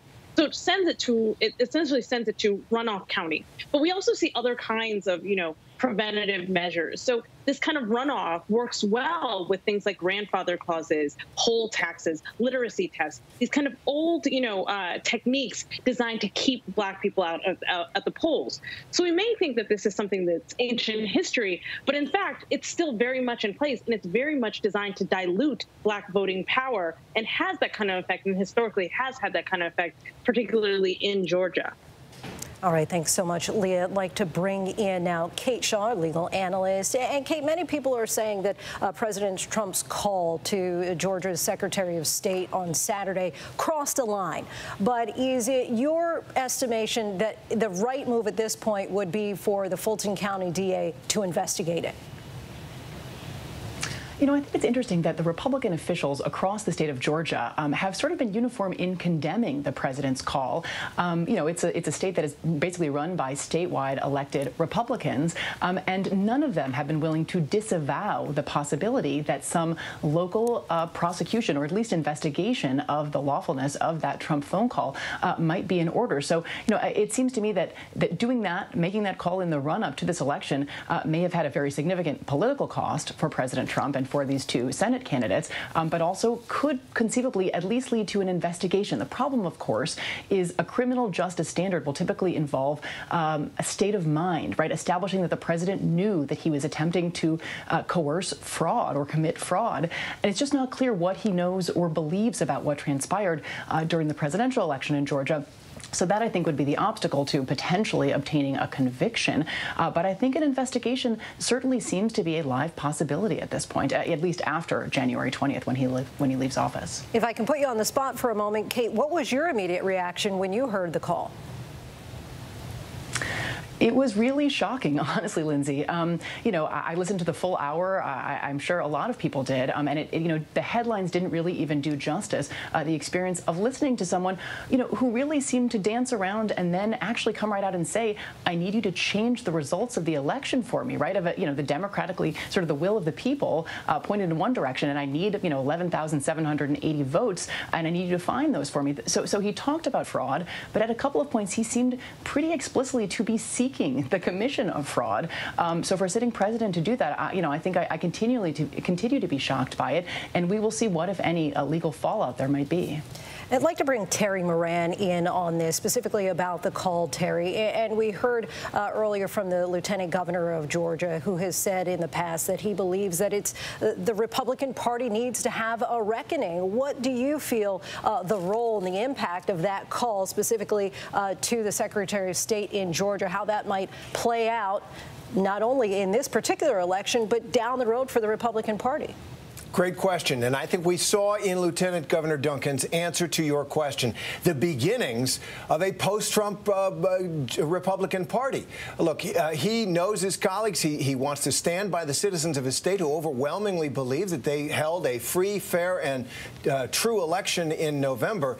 And so he said very carefully uh, that one of the things that had mucked up this election was Republicans talking about these issues of fraud, which were not true. He praised uh, the other uh, his, his, the Secretary of State and, and um, uh, the, uh, Brad Raffensperger and, and Governor Kemp.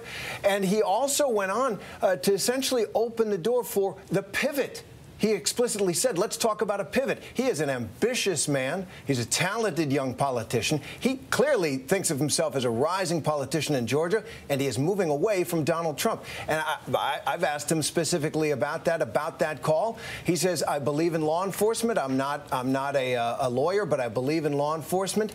Uh, that's the kind of thing that most Republicans have been terrified even to whisper uh, with Donald Trump in the White House. This is a guy who looks to the future for himself and for his for his cause and his state, and I think he's seeing a future post-Trump in part because of that call. Terry, we're going to pick up on that call now with Sarah Fagan. You also wanted to play. What's your thought as far as the role uh, of that call on this election and also the Republican Party at large? Well, I think it was really inappropriate, uh, the call, and I'm glad that the Secretary of State and Governor and others have pushed back on it. I believe it deserves to be pushed back. I think that, you know, the president doesn't put any strategy into how he approaches these politics. And sometimes that has really benefited him. He's he's done some amazing policy things because he doesn't know what he doesn't know, and the Abraham Accords and tax policy. But here in a political race, man, it's really a problem. And I, you know, I look at this race and I think there's there'll be a lot of factors as to why uh, candidates win or lose, but but he is going to be the biggest factor. And if our candidates, Republican candidates, lose cl a close election, all of the sowing he has done and the distrust will undoubtedly, in my mind, be the biggest factor. Yvette, you wanted to play with this as well. What's your thought as far as the, the implications of the call?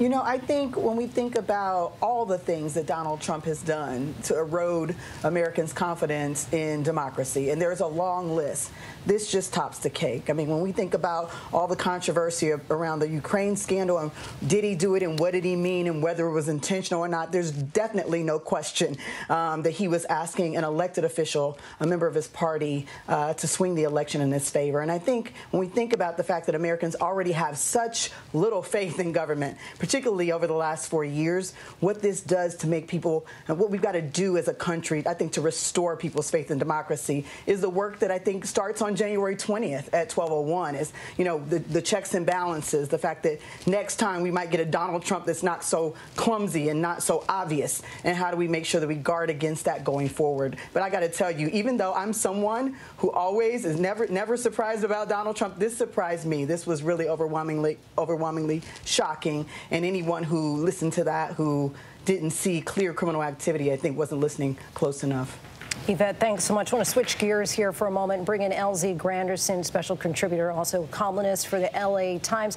Now, you have said, and you're taking us back to the back back story a few years, that we might not be in this predicament had Stacey Abrams actually won and become governor of Georgia. Absolutely. I mean, considering how much credit she's gotten, uh, and deservedly so, for helping to flip Georgia for Joe Biden, remember, if she was governor at the time, she would be consumed with trying to manage a COVID crisis in her state. If she was governor at the time, she probably would not have been organizing to get African Americans to vote the way that she did over the last two years. So, in a lot of ways, the corruption that preceded this election actually kind of created the scenario that we have here today. But, you know, one of the other things I think that's really fascinating about what Stacey um, Abrams has been able to do is that she has really challenged this notion that the South is still the South, which is a phrase a lot of us, particularly who are black, talk about about the South. That yes, there are hubs, urban hubs like in Atlanta, but you go a little bit further outside of Atlanta and it's still the deep South.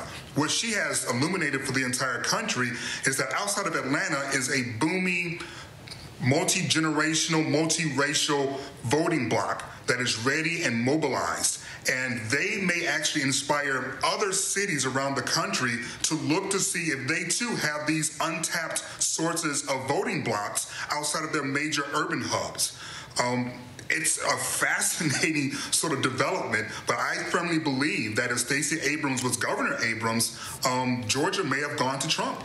Heidi Heitkamp, like to bring that same question to you. Do you agree with LZ? And many people talk about the Stacey Abrams effect. Uh, perhaps it has dual meanings.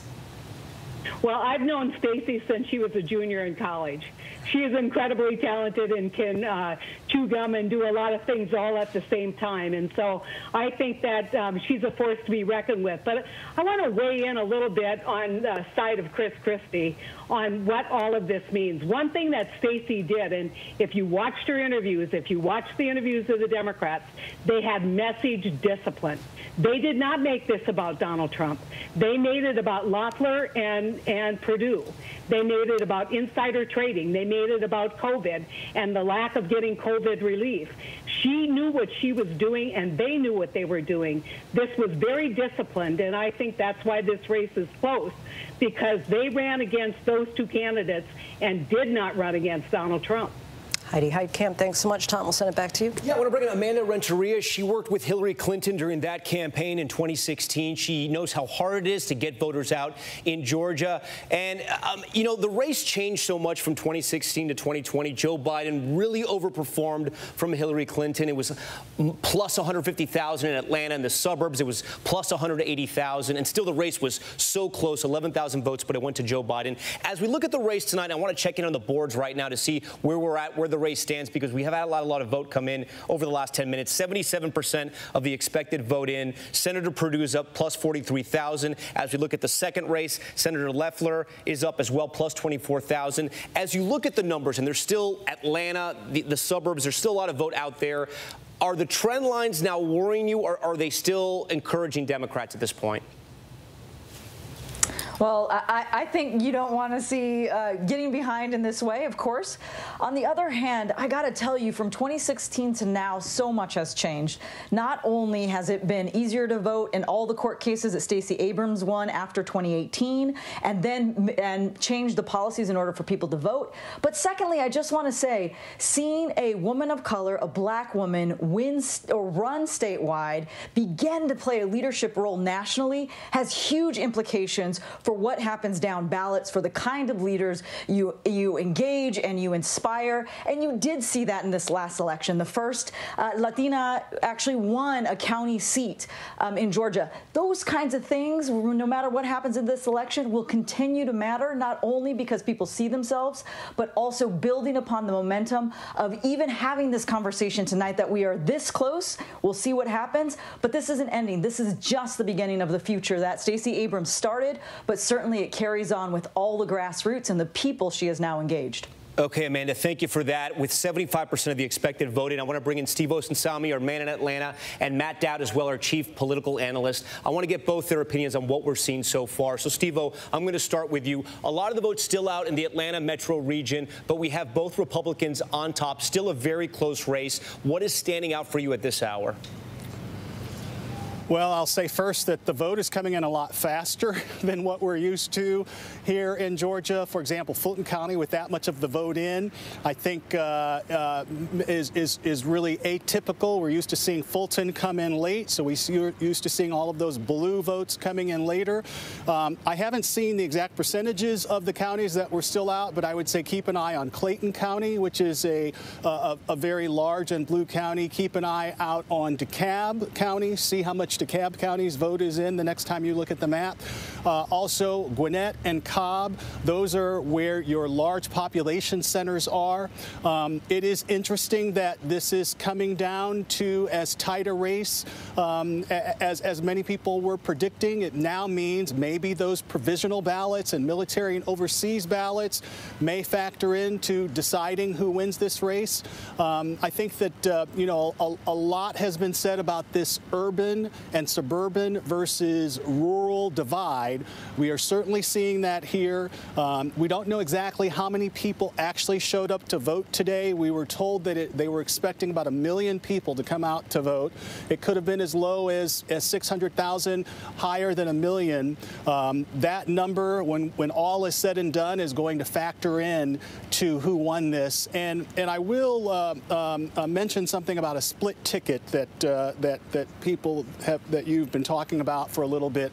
You know, there is plenty of evidence here in elections, in the November election, that either Republicans or Democrats chose to vote for a Republican in, in one race and a Democrat in, in, in, the other. And proof of that is Joe Biden's victory here.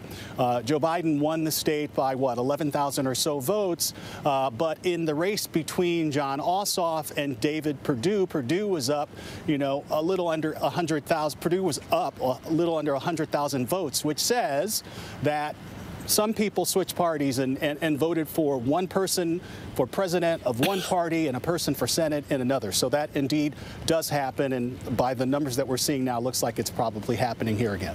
Steve O, we thank you for your reporting out of Atlanta. I want to go to Matt Dowd now. Matt, we, we, hit you at the top of the broadcast. You said the trend lines were encouraging for Democrats. Steve O mentioned some of those, you know, counties around Atlanta that, that the vote is still out, but some of them the vote is is coming in, and, and, and a lot of them, you know, we almost have all the vote in. I'm looking at the rural counties, and both Republicans are performing either at where President Trump was or slightly better in those rural counties. At this hour, with 78% of the vote in, tell me what you're seeing, Matt. I still think all the indicators are that, that favor the Dems in this race. And it's not what the number is total right now, it's what's remaining. And then when you add to it, it's I always do this. Keep in mind that in 2020, Joe Biden had an early lead, then Donald Trump took a big lead, and then as the remaining 25% of the vote, 20% of the vote came in, Joe Biden took a lead. That's what I think is going to happen in this race. Let me give you a couple of facts. First, the majority of the votes remaining to be counted are early votes. Our early votes are people that cast votes in person or by mail. So that's what remains. And the majority of the votes that were cast on election day that remain to be counted are in the Atlanta suburbs. DeKalb County alone, the remaining votes in DeKalb County alone that haven't been added to the mix yet, will give both both Democratic candidates a net 80,000 margin just out of DeKalb that's remaining to be counted that will be added to the mix. So to me, if you're a Democrat, and I know they see these numbers overall slightly behind, which is why every time I'm in a room in a campaign, I tell people don't just look at what the overall numbers, look at what remains. And right now, I mean, obviously this is a close race, a point or so on each side of it, and we'll see what remains. But all of the remaining vote looks much more favorable to the Democrats than it does to the Republicans. Matt, are you the guy in the campaign room with a calculator, or are you just doing you're doing this in your head? Uh, well, I learned to do it in my head. I did have a calculator, but I learned to do it in my head. And, I, and it's it's just a pattern that you fo follow in all of these things. As people watch the overall numbers, I looked at like already while we were not while I wasn't on. I looked at whole counties that had come in, and one of the things you mentioned, Tom, this is why the Republicans are are going to end up being behind when that DeKalb vote comes in um, is that even where they're matching Donald Trump, the percent of total vote is under 90% of what it was in November. And where the Democrats are exceeding them in the blue areas, their vote is above 90% of what it was in November. So even where Republicans are matching, they're not matching on a total net vote. They're matching on a percentage, but not total net vote. And Democrats are exceeding the turnout of Republicans in the red counties from the blue counties from November. So look at what's remaining. It's still a lot of early vote and still a lot of absentee by mail that's out there. And as I said, the remaining remaining election day votes, the majority of the remaining election day votes are in the suburban. They're in DeKalb, Gwinnett, Cobb. Those are the remaining, the majority of the remaining election day votes. So if I were the Dems, I know they get nervous and they run around like cats in a rocker factory. That th that they should feel pretty good. It's going to be a close race. It'll be a point or so but they should feel pretty good right now at this point in the evening. All right, Matt Dowd, we, uh, we love you for your brain and for your sayings and your analysis. We appreciate it all. I want to go to Nate Silver, a man who doesn't need a calculator. Nate, so we're seeing Republicans on top right now with 20% of the votes still out, 22%. Uh, Senator Perdue looks to be growing his lead, 62%, 62,000, excuse me. Loeffler with 36,000 uh, ahead of Warnock. But do you agree with Matt Dowd that there's still a lot of Dem vote out there, a lot of the, those blue counties? There's so much of that vote out there that, that Democrats could come out on top? Yeah, for sure. In fact, that's the probability at this point. Um, as Matt mentioned, DeKalb County, we probably have about 100,000 vote shift there alone when these early uh, election votes are, are, are, accounted for in DeKalb County. Um, the rest of it beyond DeKalb is also fairly blue. So if you go to betting markets, they have Warnock is about a 95% favorite and Ossoff about 85%. So people putting money on the line are looking at where the vote is, and the math is actually not that hard here because we know how blue Atlanta is. We know roughly how many votes there are. It's going to be close, especially in an Ossoff race. I would not count on anything, but like, but you know, that's who you'd favor at this point for sure. Okay, Nate Silver for us. We're going to take a quick break. Things are changing pretty fast in this race, so stick with us. On the other side of this break, we're going to break down all the numbers and talk about some issues we haven't touched upon just yet. Stay with us.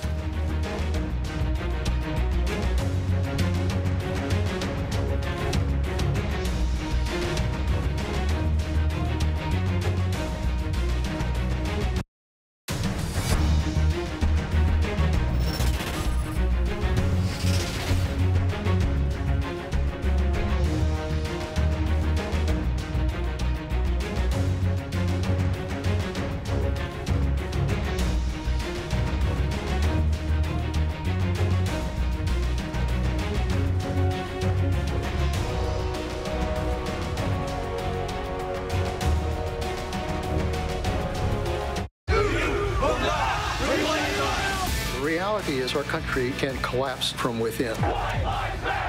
You see the white power movement on the march. Klansmen and neo Nazis, skinheads, it's meant to incite war. From the KKK to Oklahoma City to Charlottesville, the new documentary event special. We just need to start talking about race. Homegrown hate, the war among us. This is a real wake up call. Streaming now on ABC News Live. Now, when it matters most, the straightforward facts. ABC News is America's number one news. Number one in the morning, number one in the evening, with America's most watched newscast. Number one in late night versus the competition. The number one news magazine on Friday nights. Number one in politics across this historic election versus the competition. The number one daytime talk show. And number one in streaming news. ABC News is America's number one news. What's the most innovative daily news podcast out there to listen to every day? Well, the Edward R. Murrow Awards say it's Start Here, the daily news podcast from ABC News. Even the New York Times calls us a top news podcast worth listening to. So, if you like getting behind the biggest news stories of the day, inside all the details, the backstory, and what will happen next, then listen to Start Here, the daily news podcast from ABC News. It's like no other news podcast out there. Even the critics agree. Listen free on Apple Podcasts.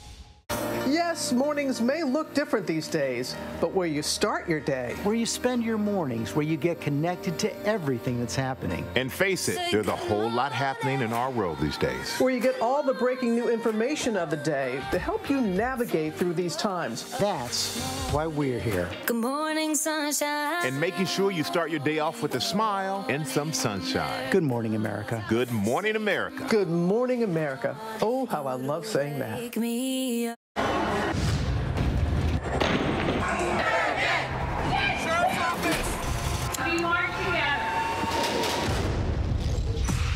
Most powerful stories of our time, anytime. Nightline. Friday nights, 9, 8 central. True crime. Cinematic. Real life drama. Stunning. The unthinkable. Follow the clues. The Hunt. True crime. 2020. Friday nights, 9, 8 central on ABC. And welcome to our continuing coverage of the Georgia runoff Senate races. This is where the race stands at this hour right now. With 79% of the expected vote in, you can see Senator David Perdue, the incumbent, plus 58,000 votes at this hour. Senator Loeffler, plus 32,000 votes at this hour. Again, 80% of the expected vote in. But this race is far from over. We're going to explain to you why as we come over here to the map of Georgia. So, as we've been telling you all night, a majority of the votes in the state of Georgia are going to be coming from Atlanta and the metro region. This is the most important part of the state when it comes to garnering votes. And when we go into one of these counties, a place like Gwinnett County, you can see there's 89% of the expected vote in. Ossoff is on top here.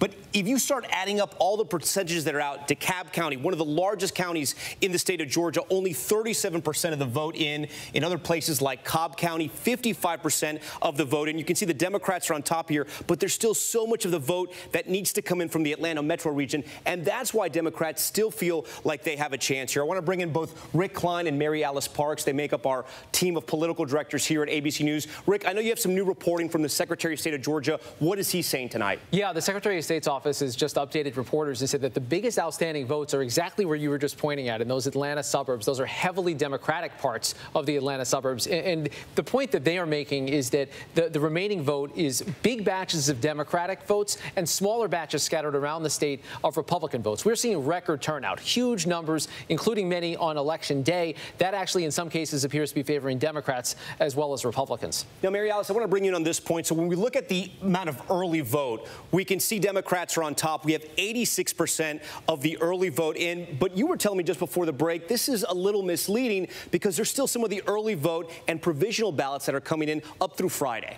Right. Democrats worked really hard to make it easier for folks to vote by mail. You could turn in an absentee ballot as late as today. So that term early vote is a little bit misleading because you could have an absentee ballot, not a traditional ballot, that was just dropped off today for someone that, that waited to turn it in, that didn't trust the mail. And remember, if this, if this race is really, really close, uh, mi uh, military ballots, ballots coming in from overseas can arrive as late as Friday. People that had issues with their absentee ballot, maybe a signature match issue, they can cure their ballots as late as Friday. So if this gets really close, we could still be in for a long haul. Well, I'm going to put you on the spot for both of you. Do you guys see a scenario at this point where we go to a Friday where it's going to take a few days to figure out who wins in Georgia, similar to what we saw in November when it was the presidential race and Joe Biden was up against Donald Trump and it was so tight? I, I, think it depends on two factors, Tom. One is going to be how, how quickly these places report in, and then what the ultimate margin is. And that's really all you're looking at. You know that the early votes favor the Democrats, and we're going to get that coming in over the next couple of days. I think there's some X factors that if it's if it's close enough, where it seems to be right now, it's just going to take a while. All that's going to matter is that margin. Yeah, somewhere like Cobb County, like you were just saying, we need more vote from there to really understand if the margins as they are right now hold. That's really good for Democrats, and they could wrap this up actually quickly if uh, we get another big drop from Cobb County. But if it starts to narrow somewhere like that, then we could be in for a few days. Okay, guys, thanks so much, Linsey. I'm going to kick it back over to you. All right, let's bring back Terry Moran. And, and Terry, you know, going into this night, people said that this race was going to be neck and neck, that it would be a statistical dead heat. And these races are really coming off as advertised. With the races being so close, with them being so tight, what are the necessary next steps to make sure that we can verify and validate? Well, that's a great question. I assume that they are being taken right now. In fact, uh, Georgia Secretary of State Brad Raffensperger tried to reassure voters, knowing that this kind of election was going to play out very close with some of those big population centers, which trend Democratic, bringing their vote, dropping their vote uh, totals in as they tabulate. That'll be later given the size of that vote and giving Democrats an edge there. That will lead to distrust. Look, a lot of voters have been told uh, that they can't trust the election results results. So what have they done? Well, they put monitors and cameras in there. They've they've uh, made sure that the observers are in and that and that they have the appropriate oversight of the counting itself. None of that is likely to help if Republicans follow in the footsteps of Donald Trump and without any facts that stood up in court, scores of court courts uh, allege that those Democratic counties fixed the vote. That is unlikely uh, uh to have happened, uh, obviously, given the security around it. But what Georgia needs to do, and frankly, what we in the media need to do, is report on the kind of security around this count. I've covered elections in other countries uh, where the military counts the ballots, and the military is run by a strong man. I've, I've seen that. Uh, you can't trust that count. In our country, the votes are counted by your neighbors.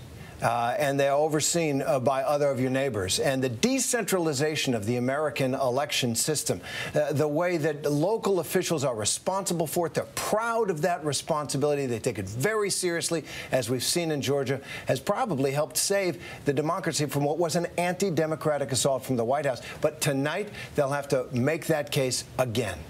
Terry Moran, thanks so much. We'll give the final word to TJ Holmes. And TJ, earlier tonight we heard from Chris Christie, and he called uh, Biden and uh, Trump just background music.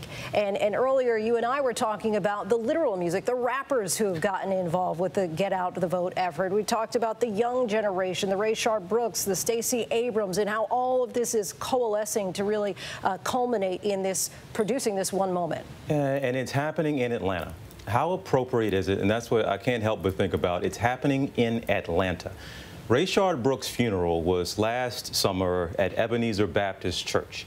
A month later, in that same Ebenezer Baptist Church, was the funeral of Congressman John Lewis. Two different men from two different generations who still suffered at the hands of police um, for different reasons in different places, but still representing the struggle of their times in a lot of ways.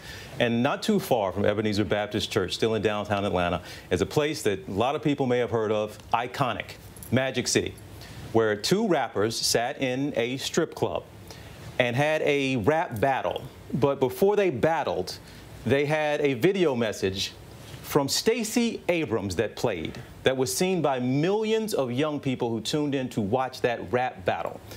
All of those things come together in a way that only it can in a place like Atlanta that has led the way for years and years and years now when it comes to black planning, black struggle, black protest, black hope, and representing the black struggle, but also the black hope for what can be. And so I look at Atlanta now, and once again, and I see this work that Stacey Abrams have done to get black voters involved, the work that, yes, the rappers have done down there to get black, young black men and women involved in the process to show that, no, this system was not set up for you. That's why it doesn't work for you. But you can't sit on the sidelines and expect that system all of a sudden to start working for you. That message seems to be getting through to some young people, and all of these things are kind of coming together in a place like Atlanta, which has led the way for change in this country, Linsey, for so long. And we might be seeing it, maybe not tonight, but somewhere in the near future, Atlanta is still going to, in a lot of ways, be leading the way for some type of change and an example for this country. And you brought up John Lewis. This all really all comes full circle because Jon Ossoff was just 16 years old when he wrote to the congressman that he would like to volunteer. And here we are 17 years later, that full circle moment. Tom. All right, Linsey, we thank you for that. And as we say goodbye for right now, we want to just check in with the race where it's at right now. We do have 80% of the vote just coming in. Both Republicans on top. Senator Perdue with plus 69,000 votes at this hour. Senator Loeffler with plus 43,000. But Democrats are poised to be in very good positions as more of the votes come in from those blue counties around Atlanta. So much is happening in this race. It's changing every minute. We are going to continue our coverage with our powerhouse station, WSB in Atlanta. And we are not going anywhere. We'll be right back here at 1030 on the East Coast with George Stephanopoulos. Keep it right here on ABC News Live.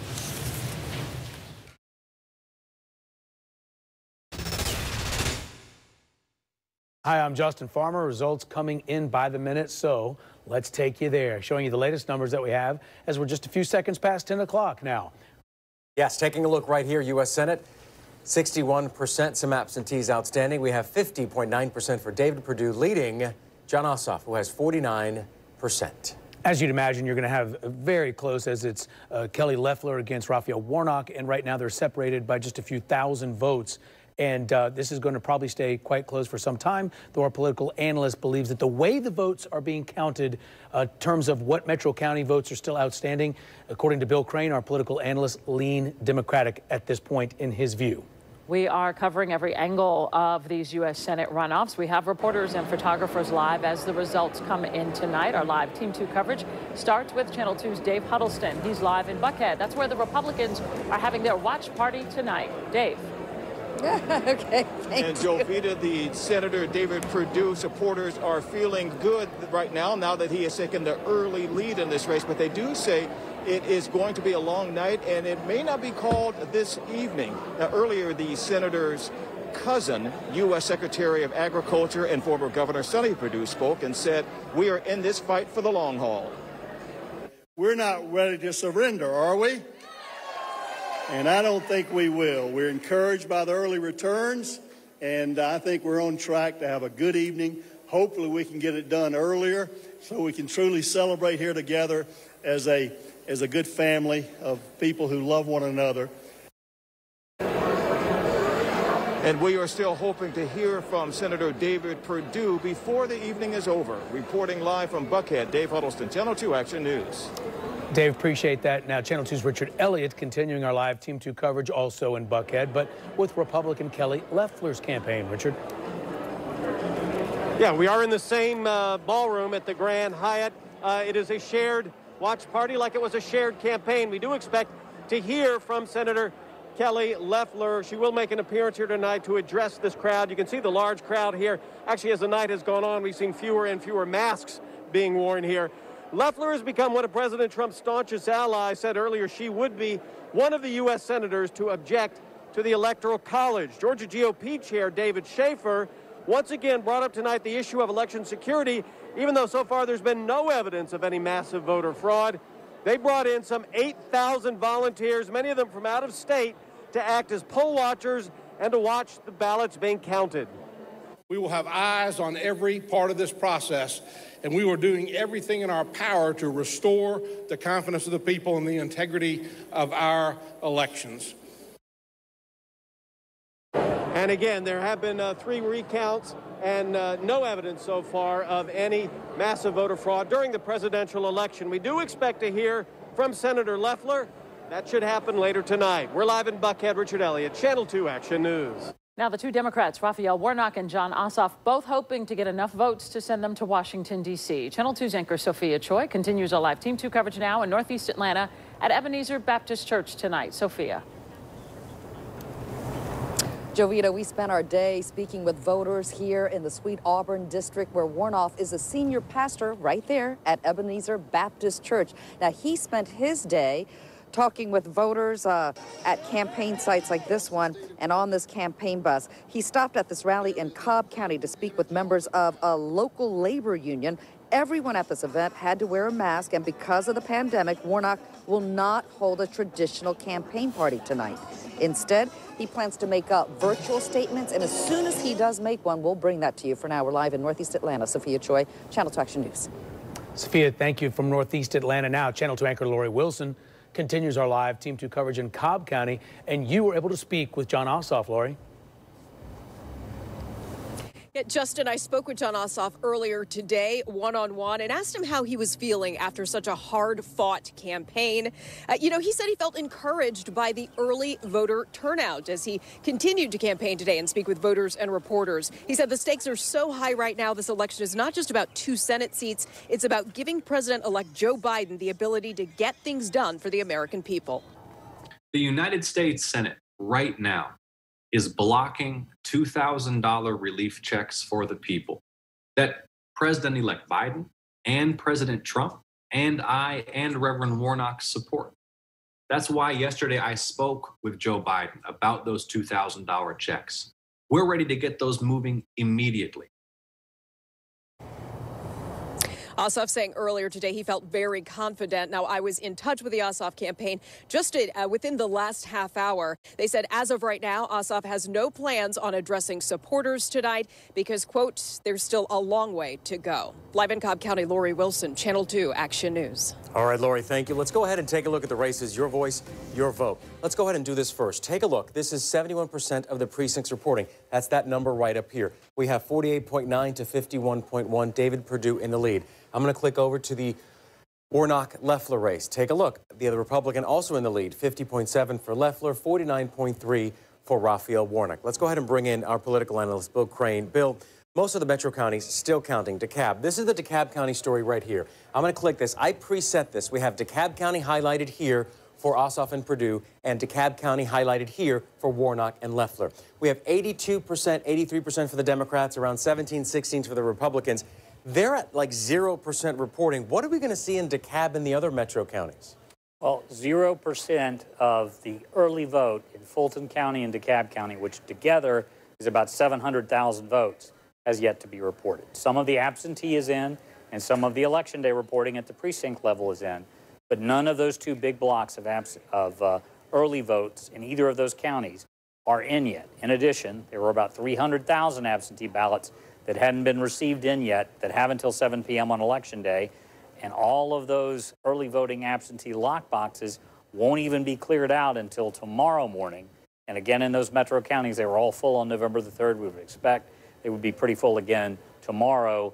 Those ballots yet to be tabulated in counties that are going for the Democrats more than 70%. One minor footnote Bubba McDonald, the Public Service Commission Republican candidate right now, has more votes than both Jon Ossoff and, and uh, David Perdue in the statewide contest. Interesting factoid there. So again, you're saying that there's hundreds of thousands of votes out there still that we have not seen on these maps that are coming from the metro area that will most likely be blue. Now, question, 124 of the 159 counties are done counting.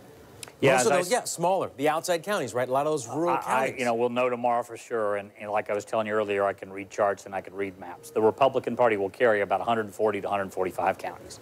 It's just not the counties where most of the votes are. Because, as we said, the counties where most of the votes are, we have the Black Belt here, a lot of black settlements decades ago. They stayed. This is that blue area we see here when looking at the Ossoff and Perdue race. This is the metro area, also blue. But we're talking hundreds of thousands of votes for both Ossoff and Perdue, and also in this race with Warnock and Loeffler. That's where these votes are coming from. When are we going to see these votes? Well, um, typically we don't see these larger metro counties or even Savannah and some of the secondary population centers till between 10 and 11 p.m. We are seeing more because the ballot only has three races on it. But we haven't seen all of Chatham yet. We haven't seen all of Augusta Richmond County yet. We haven't seen all of Macon and Bibb County yet. So those larger population centers and the nine county core metro aren't in yet.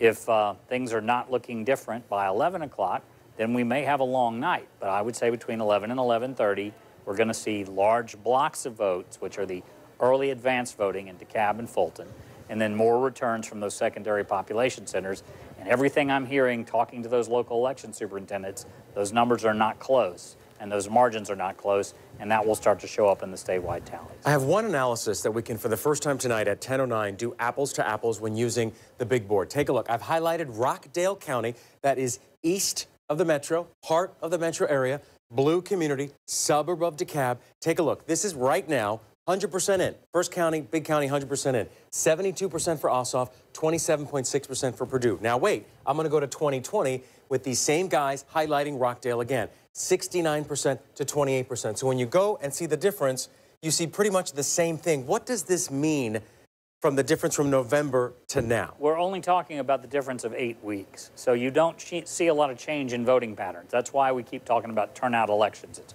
who's energized, who identifies their votes, who gets them back to the polls. And in the examples you've shown, the Democrats are a little bit higher, the Republicans are a little bit lower. That makes a wider gap. And you're going to see that play out. Rockdale County is has been a democratically controlled county for a little bit more than 12 years. Started with their county commission as that county became majority minority. And now all of the office holders, the sheriff, the school board, are all African American. And those shifts in demographics have been starting to across basically from southeast or middle part of the east across the, you know, through Gwinnett County right. over into Cobb County, and that kind of outside 285 next circle of counties is where the Republican Party has to start at, at a future date recapturing voters, or they will no longer be the majority party in Georgia. And again, talking about Warnock and Loeffler again, highlighting Rockdale for 2021 right now with 100% in, 72 for 27, something you expect to see. Bill Crane, we will check back with you a little bit later. Jovita. George, thank you, George and Bill. Happening now, let's take a look. This is a nine camera live look inside of the Fulton County ballot counting process right now. The county is live streaming this on YouTube. So you at home, uh, anyone who wants to stare at their screen for a couple of hours, you can do this as well and take a look at the process that's happening. And if you look in the bottom middle box there, like right at uh, 630, that's Channel 2's Audrey Washington there in the yellow. She continues our live Team 2 coverage now at the World Congress Center in downtown Atlanta. Again, that's where Fulton County's election workers are counting ballots tonight. Audrey. Yes, and I just got briefed by Fulton County election officials just about an hour ago, and they told me they are still counting those absentee and mail-in ballots. I'm going to step out of shot so I can give you a live look at what it looks like inside here at this hour. We are live inside the Georgia World Congress Center here in downtown Atlanta. You can see election workers checking those ballots and getting them scanned. Now, Fulton County election officials told us about 270,000 people voted early in Fulton County. and that doesn't include the absentee ballot drop boxes. Here's more from Fulton County election officials. We should be able to process almost all, if not all, ballots tonight. And we are uploading, uh, we will be uploading early voting results uh, shortly. We will continue working tonight until uh, probably around 2 a.m.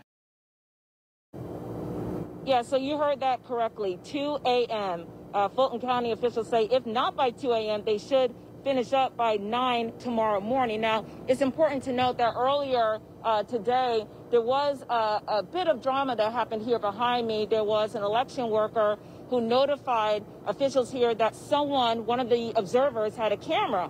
So what happened was, of course, that is not allowed for observers to take pictures. So one of the officials came over here.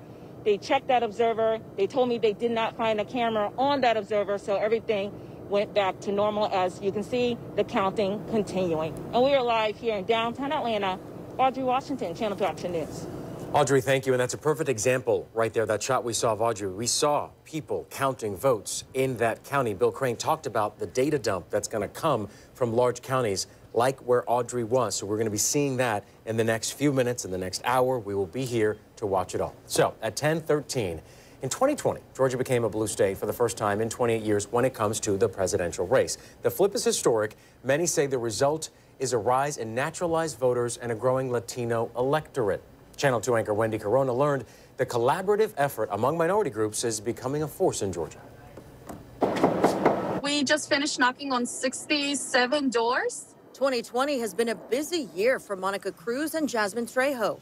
They canvass neighborhoods with Latino voters daily, ensuring those who can vote make a plan and do it. It feels great to see that we have a lot of younger Latinos who are really trying to go vote, and not only that, helping their parents go vote. Latinos now make up about 10% of the state's population. For 17 years, Galeo has worked to promote civic engagement and leadership development in the Latino community, and its efforts are working. The Latinos in Georgia uh, that are registered to vote are showing up to vote and are really participating in our democracy. In 2003, there were only 10,000 registered Latino voters in Georgia. Now it's estimated to be well over 250,000, with the majority of the Latino electorate being millennial. So that means that the uh, power of the Latino electorate is only going to continue to grow because the average age of a Georgia voter is much older than that. One in 10 Georgia voters are naturalized citizens. And at naturalization ceremonies across the state, groups like Galeo reach new citizens in the moment. They register them to vote on the same day they become U.S. citizens. This ensures their first step in the process. I wouldn't have been able to become a voting, active, naturalized citizen had it not been from community organizations that have been doing this work. And now, as executive director of the Latino Community Fund, Gigi Pedraza is among a team of volunteers who help voters at the polls with translation and guidance for many first time voters not familiar with the process. Of Georgia's 159 counties, only DeKalb has voluntarily made sample ballots available in Spanish and Korean. Gwinnett County was federally mandated to offer ballots in Spanish due to the Voting Rights Act. We think after the next uh, census, uh, we're going to see other counties and jurisdictions have to comply with the Voting Rights Act and provide English and Spanish and possibly other languages as well as for, for voting rights. In a candidate forum hosted by WSB's own Condace Pressley, Representative Brenda Lopez Romero noted the margin of victory is shrinking. And look who's leading the way. Of the Latinos that voted, 75% of those were Latinas, were women. And women are also leading the charge to get out the vote, even if they can't vote themselves like canvasser Monica Cruz, a DACA recipient. Sometimes it gets emotional for me because I'm out here um, basically asking them to be my voice and to be the voice of all of us who can't do it. It's a plea that gets even the unmotivated voter thinking. I like to ask Do you know or care about anyone who is a resident? Um, or someone who might be undocumented. And if your answer is yes, your ballot should reflect that. Years of work from a collaborative effort by numerous minority groups in Georgia have harnessed their potential, committed to vote, and now flex their power at the polls.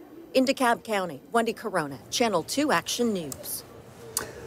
And we continue our special report and your voice, your vote. Take a look at your screen right here. This is the results right now. When you take a look at the map and walk over, we can go ahead and unselect that. You can have the entire state of Georgia right here 49% for Raphael Warnock, 50.9% for Kelly Loeffler. And we click this on right here. Take a look at the other race we're looking at 72.4% for Jon Ossoff, 26.6%. Uh, sorry, when I click on the entire state, it's 48.7% and 51.3. I had one County highlighted. 72% of the precincts reporting. Let's go ahead and toss to Justin Gray. Justin Gray's been following the Secretary of State's office at this point. And Justin, you have rare insight into what's going on in there. You actually have the Secretary of State, Brad Raffensperger, right now. Yeah, we, George, we got the Secretary of State pulled him out of the command center here, and you're telling me that big batch of votes that everyone's wondering about, those early votes from DeKalb, you expect those to be coming very soon. They should be here before 30 minutes. So uh, that'll make a big, you know, give us a good indication where we're going with this race. and, races. Yeah, as you say, that's the largest group of votes still yeah. outstanding. Yeah, one of the largest groups out there, and it's obviously going to be a bellwether. But uh, it's uh, interesting watching how it all's turning out. Uh, obviously, everyone loves Bubba right now. Yeah, you're alluding to the Public Service Commission race where he's running stronger than either of the Republican Senate candidates. Yeah, well, Bubba's just a great person, and he's been around for a while. And people really value what he's done for, on the PSC Commission, obviously. Do you think there's anything else going on there? No, I just think that uh, everyone loves Bubba, and that's a great thing. I'm sure he's feeling really good right now, and we'll just see how this all shakes out. The secretary has a mask. There might be a smile underneath that mask there, I think. Um, talk about how quickly these results seem to be coming in. This is much faster than we've seen in either the general or the primary. Yes. Well, that's really because we told the counties with the new SEB rule that you had to go ahead and scan those ballots one week and one day before. And so they are up to speed, and that's why we're not having this big delay. So we're going to get some results a whole lot quicker than we did in the November race. And you were always saying wait till tomorrow, but do you think we might have a final answer here? If not final, a good idea where we're heading tonight? Well, I know that some people are already making projections about some of the races, but uh, we're not there yet. But obviously, you know, they'll be working fairly late tonight, so we'll see where it leads, leads us, and definitely by tomorrow.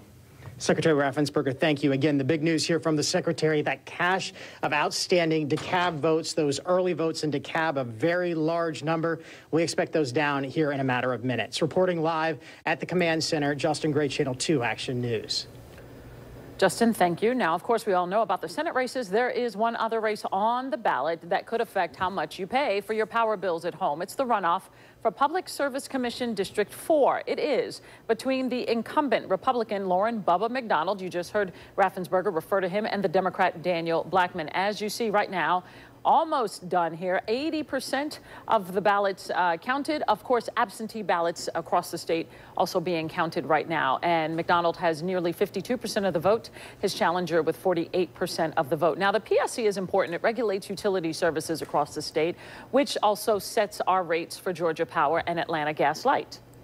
So it really does matter what you do in terms of deciding on a public service commissioner because those members of the PSC are the ones who completely control what you pay for power and other utilities. So you heard it there from Clark. Now, PSC commissioners serve six-year terms. All of the seats on the commission right now held by Republicans. Well, as we watch this evening's results coming in, remember, you can see them at the bottom of your screens. How did we get here? You may be wondering why Georgia even has this kind of runoff system. Channel 2 investigative reporter Richard Belcher now with us live to look at a law here. Maybe you don't know some of its history. It's quite fascinating how it works both ways. Richard. Yeah, after a Republican uh, surprised everyone and nearly won the governor's race in Georgia in 1966, Democrats, who dominated the legislature, quickly passed a law that said that in statewide races, to win, you had to have a clear majority 50% plus one, or there would be a general election runoff, which is what we have this year. In fact, we've got a couple of them. Republican incumbent David Perdue got 88,000 votes more than Democrat Jon Ossoff November 3rd, but he did not get a majority. Without the requirement that the winner get 50% plus one. We're the only state that does it quite like this. The law backfired on Georgia Democrats in 1992. Incumbent U.S. Senator Wyche Fowler got more votes than his Republican opponent, but not a clear majority. Political analyst Bill Crane says even Fowler didn't initially appreciate that he faced a runoff, which he ultimately lost. He got 49% of the vote and had been declared the victor by all three major news networks and cable news network. He thought he'd won re-election, only to find that that law also applied to Senate contest.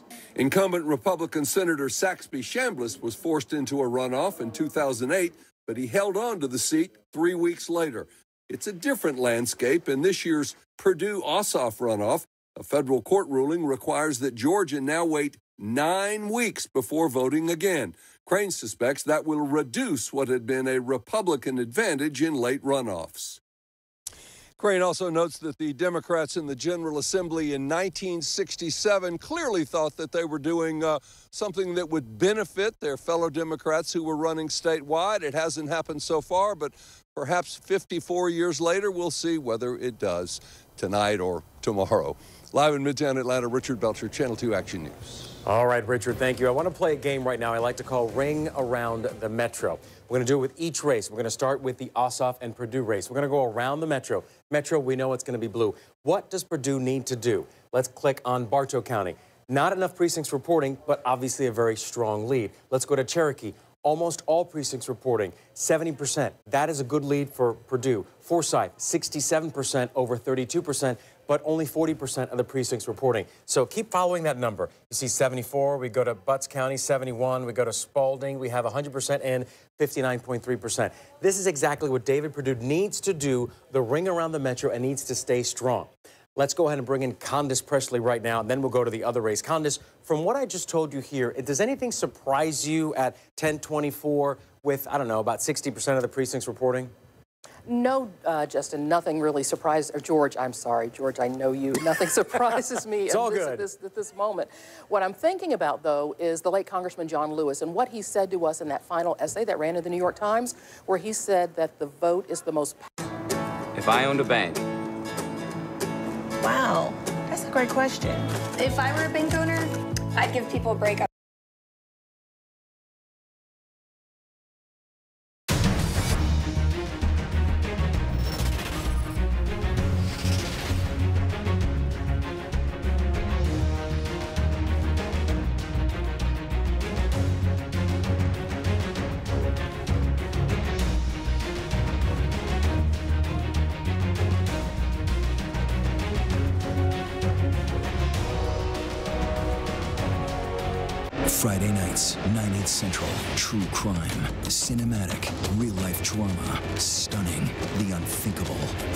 Clues. The Hunt. True crime, 2020.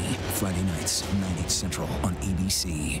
With so much at stake, so much on the line, more Americans turn here than any other newscast. ABC News World News Tonight with David Muir. We have made it through another week together. America's number one most watched newscast across all of television. As America fights back, GMA is there with breaking new details. With every challenge, question, concern, we'll be here for you every day. The answers you need, the information you want. We will get through this together. Right here with you on Good Morning America. ABC News, America's number one news source. Straightforward news, straight to the heart of the story. ABC News, straightforward. And download the app now and sign up to get important breaking news alerts wherever you are. What's the most innovative daily news podcast out there to listen to every day? Well, the Edward R. Murrow Awards say it's Start Here, the daily news podcast from ABC News. Even the New York Times calls us a top news podcast worth listening to.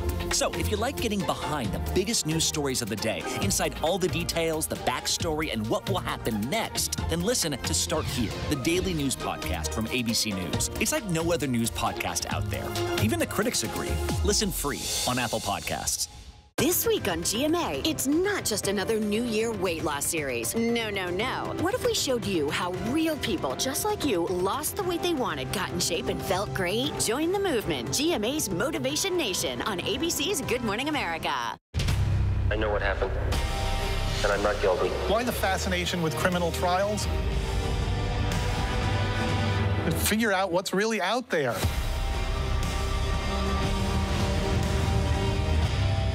From inside our homes to your home, now is the time. We all just need each other. And that's why we love starting the day together with you.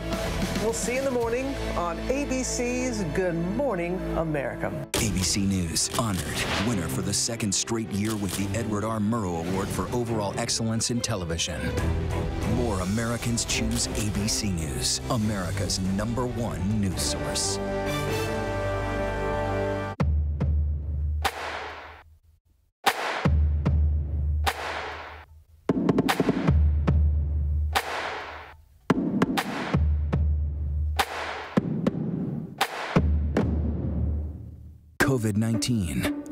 Do to help protect yourself? Where can you get your questions answered? The new daily podcast from ABC News with Dr. Jennifer Ashton and a team of experts. Listen free on Apple Podcasts or wherever you get your podcasts.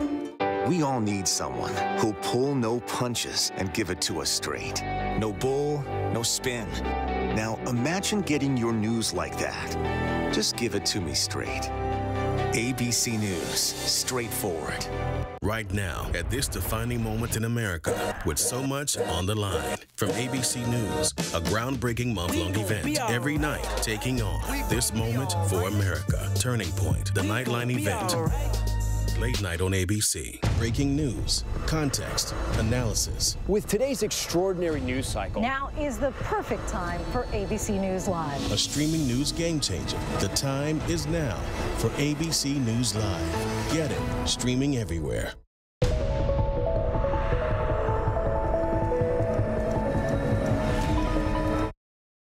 This is an ABC News special. Tonight, the battle for the Senate. Ossoff versus Perdue.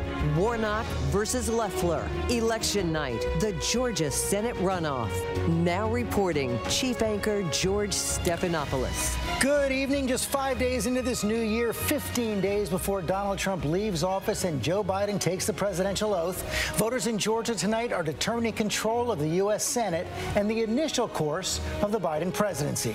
Two seats at stake. If the Democrats win both, the Senate will be split right down the middle, and the tie breaking vote of Vice President Kamala Harris will give them majority control. If the Republicans hold on to at least one of these seats tonight, they will control the Senate, with Majority Leader Mitch McConnell the chief obstacle to Biden's agenda. Which is why both parties have fought so hard in this state that Biden won in November by less than 12,000 votes. They have spent record amounts of money. They are driving record turnout.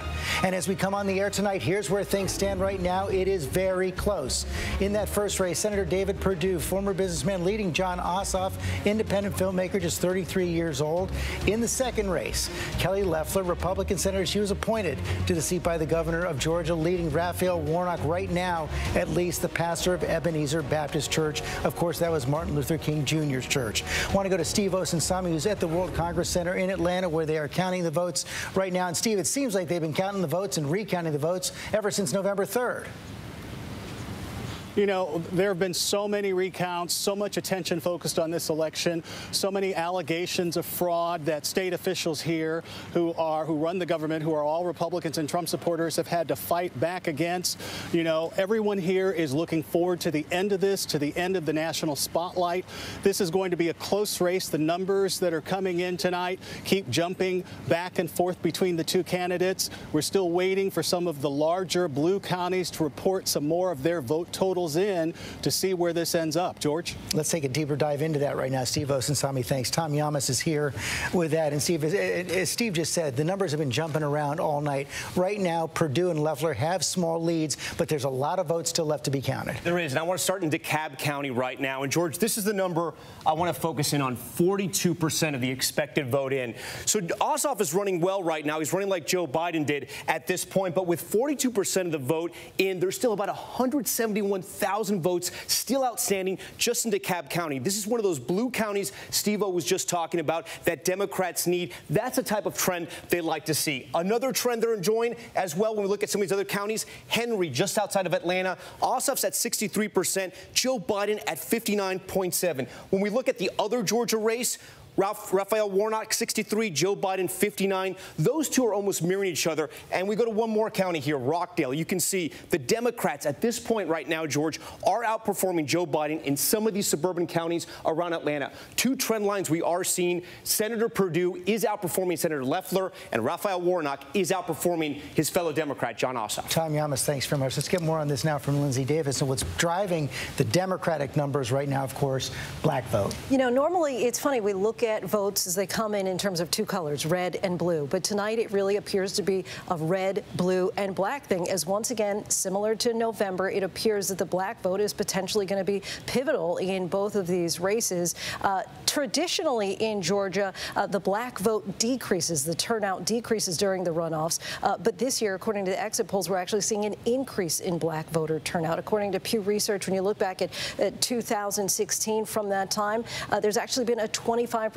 increase in black voter registration. That's the largest of any ethnic group. And so it really appears that for the Georgia candidate, they now have to reckon with the power of the black vote. Linsey Davis, thanks. Nate Silver, a lot of high quality pollsters decided to sit this race out uh, coming off of the November 3rd election. As Steve Osunsami said, the numbers have been bouncing around all night. What are you seeing? What are you looking at? I see DeKalb County where it's projected that about 150,000 votes could net out toward both Democratic candidates, and that would be enough for them to overtake the current GOP lead. So it really is kind of like a, a waiting game on DeKalb. So we're waiting for DeKalb County right now. As we do that, I want to go to Jon Karl, uh, who covers the White House, our chief White House correspondent. John, we saw uh, President Trump come in last night, but over the, so just about every day since November 3rd, he's been making these false claims about his own loss in Georgia, and that's led to recriminations within his own party. George, I've been talking to Republican leaders tonight who have been watching these returns and are frankly furious at Donald Trump. They are blaming Donald Trump right now. Both Republican candidates have a narrow lead, uh, but you have all these outstanding votes. They believe that if it weren't for Donald Trump effectively sabotaging the election for those Republican senators in Georgia, that these would have been easy victories in a solidly Republican state, uh, making the argument that these Republican senators would be a check on Joe Biden. That argument argument was thrown out the door by Donald Trump. Of course, you had that phone call to the Secretary of State that was leaked over the weekend where the president was trying to get him to change uh, the votes. Uh, it's led some to speculate that maybe the president wasn't all that eager to have the Republicans win these races there are a lot of Republicans who think that the Republican, that Donald Trump did not want these Republican senators to win, that if they win, there would be one Republican, one Republican who lost in Georgia this, this cycle, and that would have been Donald Trump, and that, that he just simply did not want to see that happen. Jon Karl, thanks very much. I want to bring in Mary Bruce, who's been covering the Biden campaign, the Biden transition. So much at stake for the president-elect tonight.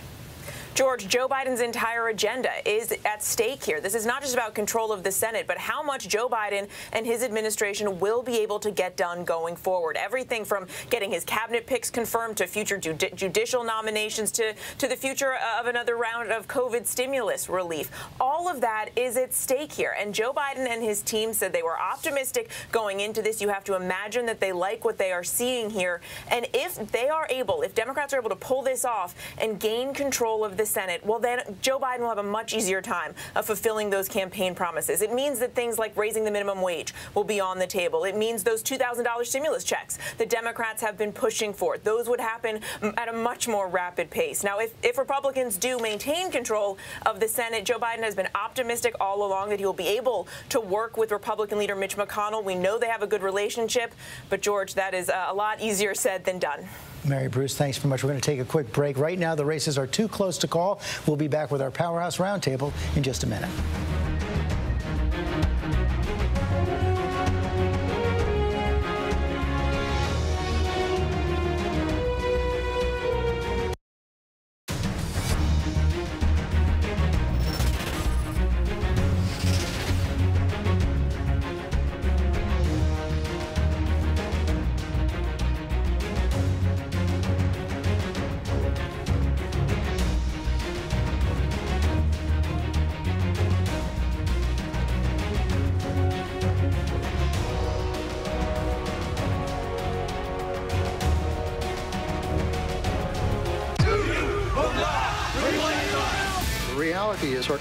Can collapse from within.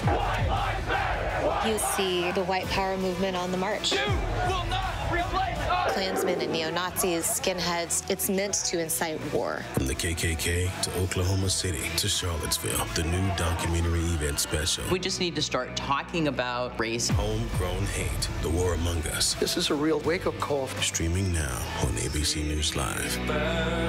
Now, when it matters most, the straightforward facts. ABC News is America's number one news. Number one in the morning, number one in the evening, with America's most watched newscast. Number one in late night versus the competition. The number one news magazine on Friday nights. Number one in politics across this historic election versus the competition. The number one daytime talk show. And number one in streaming news. ABC News is America's number one news.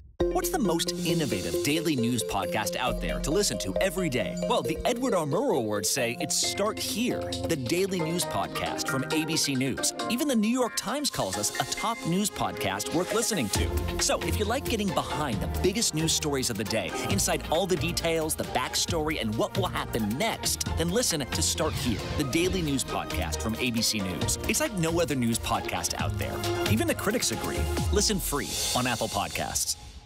Yes, mornings may look different these days, but where you start your day, where you spend your mornings, where you get connected to everything that's happening. And face it, there's a whole lot happening in our world these days. Where you get all the breaking new information of the day to help you navigate through these times. That's why we're here. Good morning, sunshine. And making sure you start your day off with a smile and some sunshine. Good morning, America. Good morning, America. Good morning, America. Oh, how I love saying that.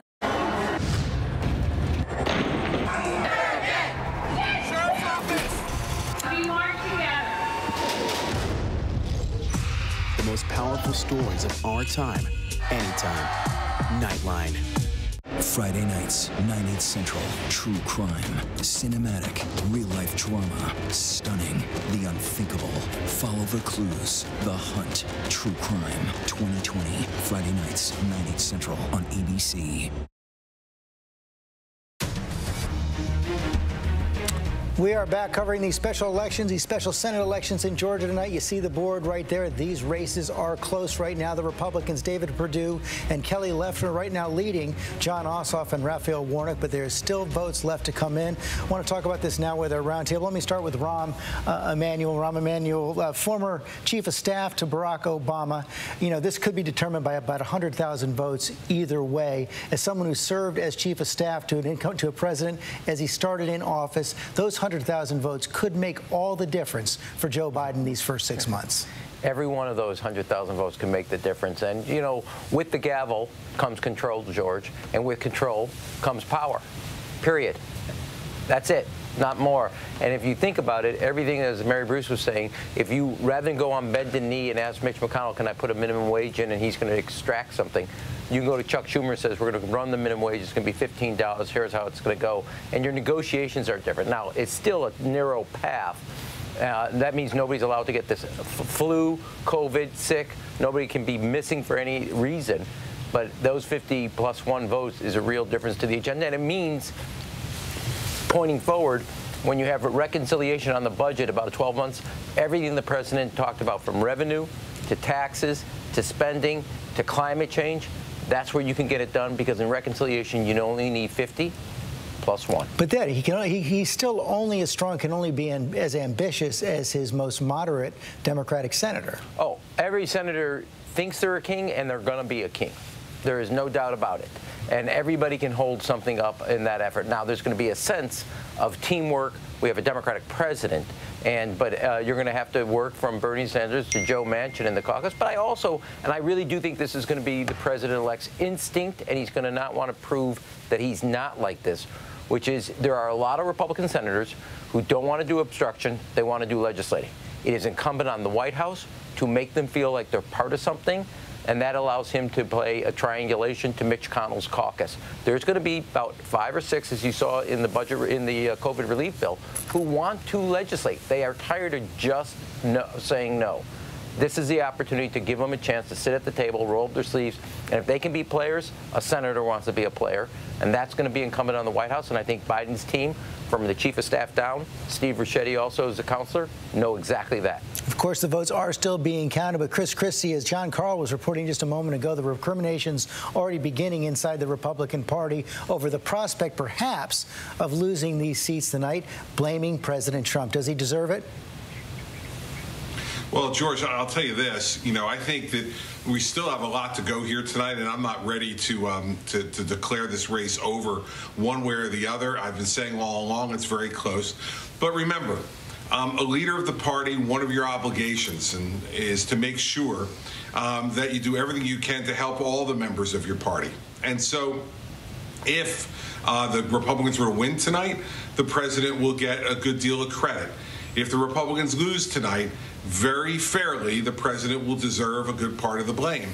Um, that's what happens in politics when you're the leader of the party of the country or the leader of the party in your individual state. Um, and building on one thing that Rahm said, if it were to be a 50-50 Senate, you know, he said every senator is king, and that's true, but the king of kings will be Joe Manchin. Uh, the only surviving standing Democrat in West Virginia left of any consequence is Joe Manchin. And both President-elect Biden and Chuck Schumer, if it's a 50-50 Senate, are going to have to be very careful not to put undue pressure on Joe Manchin because, quite frankly, his life would be a lot easier in West Virginia now as a Republican than a Democrat. Uh, thank you, Chris. Of course, Mitch McConnell is still hoping he is going to be the Republican leader. I want to bring in Sarah Fagan on this. Sarah, since November 3rd, Mitch McConnell has been laser focused on winning these Senate seats in Georgia, but he's been facing rearguard actions in his own caucus, people taking up President Trump's cause against the last election, the president not helping him all that much. No, I don't think he is, particularly in this race. Uh, you know, look, uh, in a close race, which this clearly is going to be, every vote matters. And this noise and the call the president made to the Secretary of State, these are all distractions. Think about his attacks on the governor of Georgia, a, a, a person who's done a very good job for the state, all the thousands of appointees. How many of those individuals stayed home? 100, 200? That matters. It adds up. And we've seen some reports that perhaps rural turnout is a bit depressed here. I think that's going to land squarely on the shoulders of Donald Trump. Sarah Fagan, thank you. Yvette Simpson, uh, woman who started this all when she ran uh, for governor, Stacey Abrams, continuing with the turnout drive through these special elections, hoping it's going to pay off as we all wait for DeKalb County. That could tell the whole story. I think that's right, and I actually feel really optimistic, George, when you think about the numbers that still are remaining to come in in DeKalb County and some of the other counties where we have large urban centers or suburban centers where we expect to see a huge Democratic turnout. And I think all thanks goes uh, to Stacey Abrams, who started this march uh, several years ago, all the organizers, black, brown, indigenous organizers across the state of Georgia who have been fighting through this thing. I can tell you Georgia's going to want a national day off after this uh, from all of the pressure that they've been under, and they should probably get a national holiday uh, for saving democracy, uh, both with the Trump win and also saving the future of this country uh, by giving Mitch McConnell a seat and letting him sit down so we can actually get some real work done. So I think all things goes to, to those organizers who registered new voters uh, in this second election, who got folks out who traditionally don't vote in runoff elections. They deserve all the credit and certainly all the voters in Georgia who, who came out during this very deadly pandemic. Thank you, Yvette. Matthew Dowd, boy, there is no question about it. Whatever happens tonight, the state of Georgia is changing uh, before our eyes, becoming a brand new factor in American politics. Yeah, it's George. It's one of the states that is moving in the opposite direction uh, than some of the other states that have moved more red, as we've seen over the last 10 years. Georgia, Arizona, ultimately a place like Texas, Nevada have moved towards purple. Um, and you know, this race obviously was still to be called, still to, still out. Though I think all the data points, George, in this race point in the same direction, which is it's very much like uh, election night, Georgia in 2020, when Joe Biden took an early lead. Then Donald Trump took a big lead late in the night. And then as all those count, uh, counties, blue counties ended up getting counted, like DeKalb in, in, in, November of this year, it put Joe Biden over the top. And so I'll, I'll agree with a number of things. Races are always multiple factors in these things. The African-American vote in this race is key. Well, also key in this was a continued inroads into the suburban vote. But I'll emphasize something Sarah said if the Democrats end up winning both of these races, which I think, as I said, the indicators point that way, two other factors came in. Underest, underperforming in rural areas and red turnout, GOP turnout being down, and that lay squarely at Donald Trump's feet. Matthew Dowd, thank you. Let me bring Heidi Heitkamp, former Democratic senator uh, from from North Dakota. Heidi, whatever happens tonight, uh, Chris Christie was talking about Joe Manchin. He's going to have an awful lot of power. Actually, the, the balance of power in the Senate is going to belong to people like Joe Manchin, also moderate Republicans, who will, uh, will be needed for any major piece of legislation. Yeah, I wish I had a dime for every person who speculated that Joe was going to sh shift political parties. He has way more power as a Democrat. Plus, he is a Democrat, and on economic policy, he's going to stand with people like Bernie Sanders. On fiscal policy, on things that, that matter to the country, he's going to vote like he's from West Virginia. So it's going to be an exciting time. I think it's going to be a time when we have a real shot at getting things done. And so, uh, yay to Georgia if this works out. And uh, I think that we're going to see a whole new day in Washington, D.C. What's the first thing Joe Biden should do with this new Senate? Well, I think sit down with some of his colleagues on the other side. The people who are part of the Common Sense Coalition that we started when I was there, and they, they now have the ability to drive the agenda for the people of this country. And it's going to be an exciting time, but it also is going to have to mesh with uh, Joe Biden's agenda. And so I think that Joe Manchin has an incredible opportunity to provide leadership to bring Republicans along because they trust him. They know that he is a straight shooter and he can get things done. Thank you, Heidi. The votes are still being counted across Georgia. We're going to go back there when we after this break.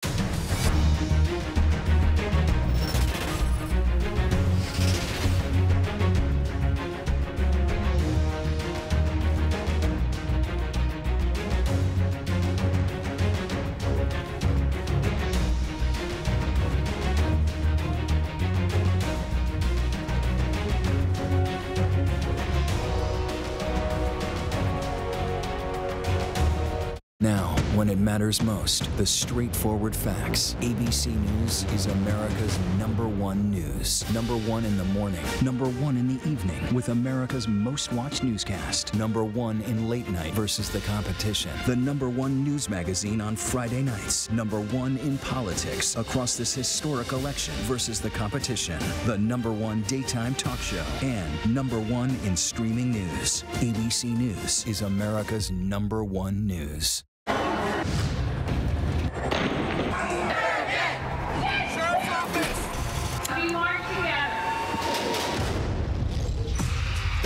Powerful stories of our time, anytime.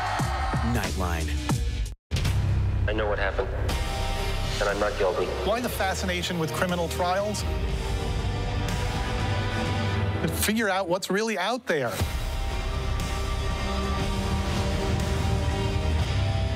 Admit it. These days, what you need to know seems to change just about every day. What is it that you really want to know, need to know? To help you not just get through your day, but to make the most of it. Feel smarter. Feel better. Feel happier. Well, how about a third hour of Good Morning America in the afternoon? GMA 3, what you need to know. Lunchtime at 1 Eastern, 12 Central and Pacific on ABC. It's all about you you're seeing right now, this is part of the eye wall. This procession of migrants goes back two miles. There is going to be catastrophic damage. This fire has made a run. You can see those flames shooting up into the sky. We are on the jam-packed red carpet. To the right, guys. So this is the fourth weekend of protests.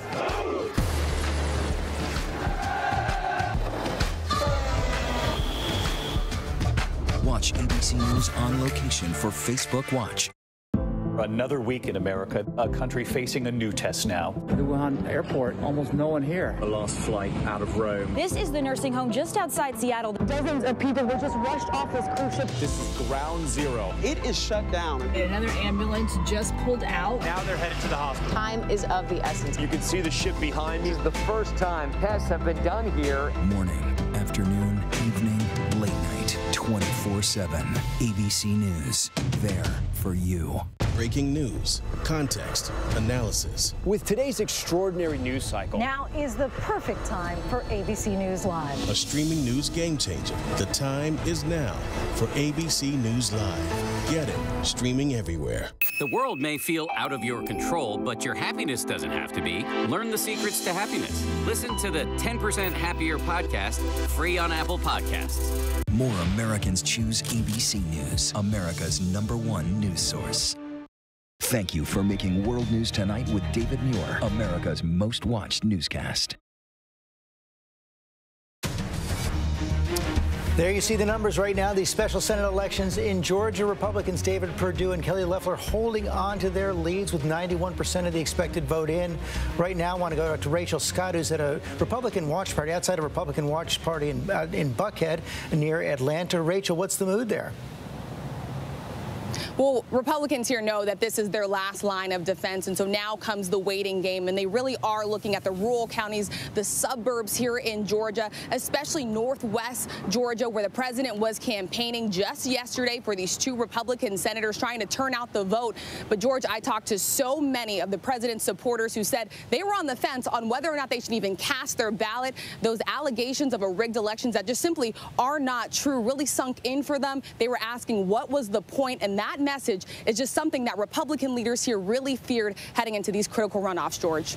Rachel Scott, thank you, Tom. Let's take another look at where the numbers are coming in right now 91% of the expected vote. Yeah, 91% of the expected vote, but a lot of the area we're still waiting on the vote is the Atlanta metro region, the area where there are the most votes, where Democrats hope that they can run away in this election, break away from the Republicans. I want to talk about two counties around Atlanta. The first is Gwinnett County. You can see Jon Ossoff right now, who's taking on the incumbent Senator Perdue, is outperforming Joe Biden by two percentage points. Now, you may not say that's not that much, but in a tight race, it's important. And it's even more important because in 2014, Perdue's first race, he won Gwinnett County, and now he's at 40%. When we look at Cobb County, again, this was the, the political home of Newt Gingrich at one point. Jon Ossoff at 57.2, running about close to where Joe Biden was, 94% of this in. But again, 2014, Joe, uh, George, this is a county that Perdue won. But the big unknown right now is still DeKalb County. We're waiting for any minute for the votes to come in, and we're talking about plus 170,000 votes. Once that dump comes in, and again, President is already tweeting about this, but once that dump comes in, these are votes that are still being tabulated. That's going to change this race, and that's what we're waiting on, George. Okay, Tom, thanks very much. The president is also tweeting about uh, tomorrow in Congress, a momentous day in Congress. They're going to count uh, the electoral votes. Normally, that is a ceremonial, uh, that is just a ceremony uh, in the Congress, but as you know, there are Republican challenges to some of the states, Pennsylvania and Arizona and Georgia, tomorrow, prodded by the president. Jon Karl, I want to go to you with that. Uh, the president is not giving up this fight, despite the fact that he has no chance the vice president in his ceremonial role as the president of the Senate will actually be presiding over that count. And Donald Trump somehow believes that because Pence will be holding the gavel when the votes are counted, that he has the power to overturn the election, to discredit uh, the electoral votes from states that Trump is contesting. Trump has made it clear to Trump that this, uh, I mean, Pence has made it clear to Trump that he does not have this power. And I am told, George, uh, that Donald Trump is prepared to go after his own vice president and go after him hard uh, if uh, he does as expected and follows the rules. Okay. John, Mary Bruce, you cover the Congress every day as well. This is a vote that Mitch McConnell does not want to have. George, he had urged his Republican colleagues not to do this, not to object to the certification of the Electoral College results, and yet you are seeing more than a dozen Republican senators, more than 100 Republican representatives who are siding with the president here. What is normally a routine ceremony has become very clearly a loyalty test for Republicans to the president. This is going to be a show for an audience of one in many ways that is going to drag on for hours, and yet you are seeing this huge divide within the Republican Party because of this, and it raises a lot of questions about where this party is headed going forward. Right, but we do know the outcome. The votes will be counted. Joe Biden will be the next president of the United States. I have to take one more break.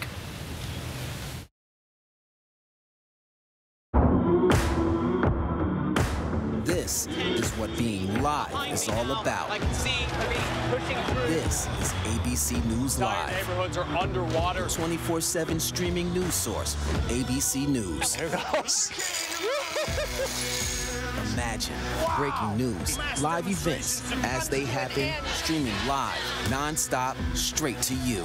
Imagine instant, incredible access to the most compelling live video. That's a grenade. Original, on the edge, breakthrough storytelling from ABC News, National Geographic, ESPN, all the most innovative storytellers, all designed differently for you to stream straight to any screen whenever you want, free.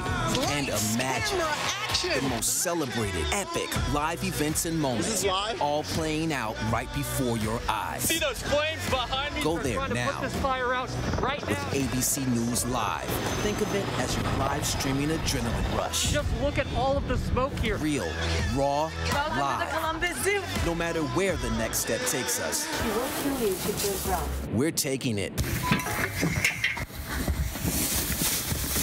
It's frightening. And go deeper inside the groundbreaking exclusives from the campaign trail only ABC News gets. Behind the scenes, exclusive access. Take you inside for an extraordinary tour here at ABC News Live. This is it.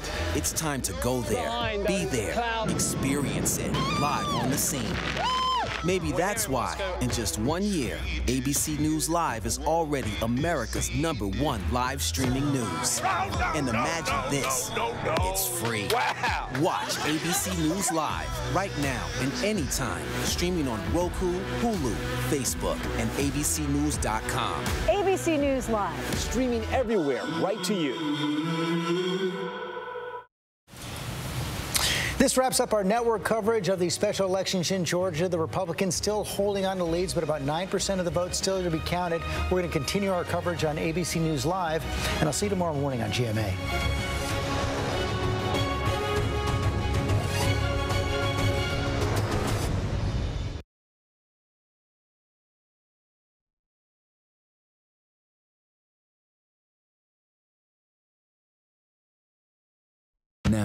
It matters most, the straightforward facts. ABC News is America's number one news. Number one in the morning. Number one in the evening with America's most watched newscast. Number one in late night versus the competition. The number one news magazine on Friday nights. Number one in politics across this historic election versus the competition. The number one daytime talk show. And number one in streaming news. ABC News is America's number one news. What's the most innovative daily news podcast out there to listen to every day? Well, the Edward R. Murrow Awards say it's Start Here, the daily news podcast from ABC News. Even the New York Times calls us a top news podcast worth listening to. So, if you like getting behind the biggest news stories of the day, inside all the details, the backstory, and what will happen next, then listen to Start Here, the daily news podcast from ABC News. It's like no other news podcast out there. Even the critics agree. Listen free on Apple Podcasts.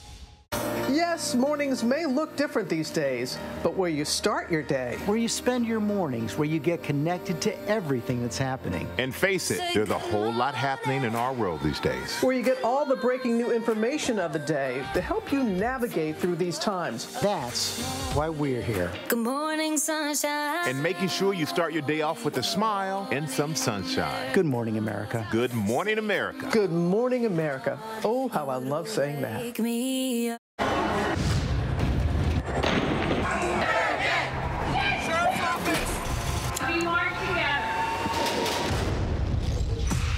Most powerful stories of our time, anytime. Nightline. Friday nights, 9, 8 central. True crime. Cinematic. Real life drama. Stunning. The unthinkable. Follow the clues. The Hunt. True crime. 2020. Friday nights, 9, 8 central on ABC. Now, when it matters most, the straightforward facts. ABC News is America's number one news. Number one in the morning. Number one in the evening with America's most watched newscast. Number one in late night versus the competition. The number one news magazine on Friday nights. Number one in politics across this historic election versus the competition. The number one daytime talk show. And number one in streaming news. ABC News is America's number one news.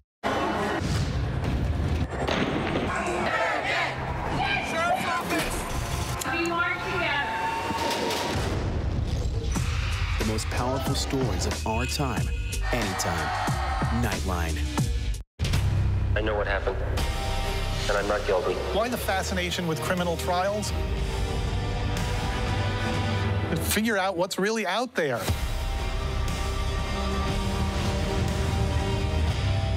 Admit it. These days, what you need to know seems to change just about every day. What is it that you really want to know, need to know? To help you not just get through your day, but to make the most of it. Feel smarter. Feel better. Feel happier. Well, how about a third hour of Good Morning America in the afternoon? GMA 3, what you need to know. Lunchtime at 1 Eastern, 12 Central and Pacific on ABC. It's all about you.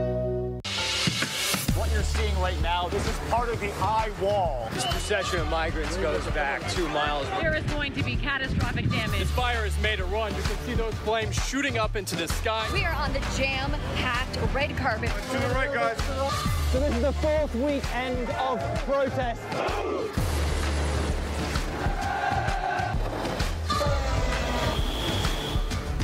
Watch ABC News on location for Facebook Watch. Breaking news, context, analysis. With today's extraordinary news cycle, Now is the perfect time for ABC News Live. A streaming news game changer. The time is now for ABC News Live. Get it streaming everywhere. The world may feel out of your control, but your happiness doesn't have to be. Learn the secrets to happiness. Listen to the 10% Happier podcast, free on Apple Podcasts. More Americans choose ABC News, America's number one news source.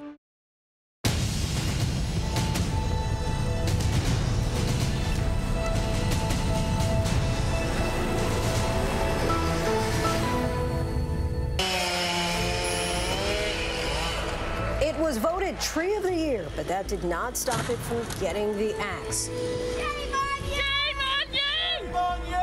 The 150 year old tree taken down in the UK to make way for a housing development that apparently did not include the tree in its plan.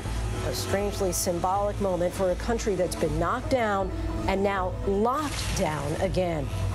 Showdown in Georgia. Voters taking to the polls today, waiting on some long lines to decide the balance of power in all of Washington, D.C. The high stakes battle between Senate candidates who've accused each other with some low blows. President Trump attacking fellow Republicans in the state, how his high pressure campaign is playing out.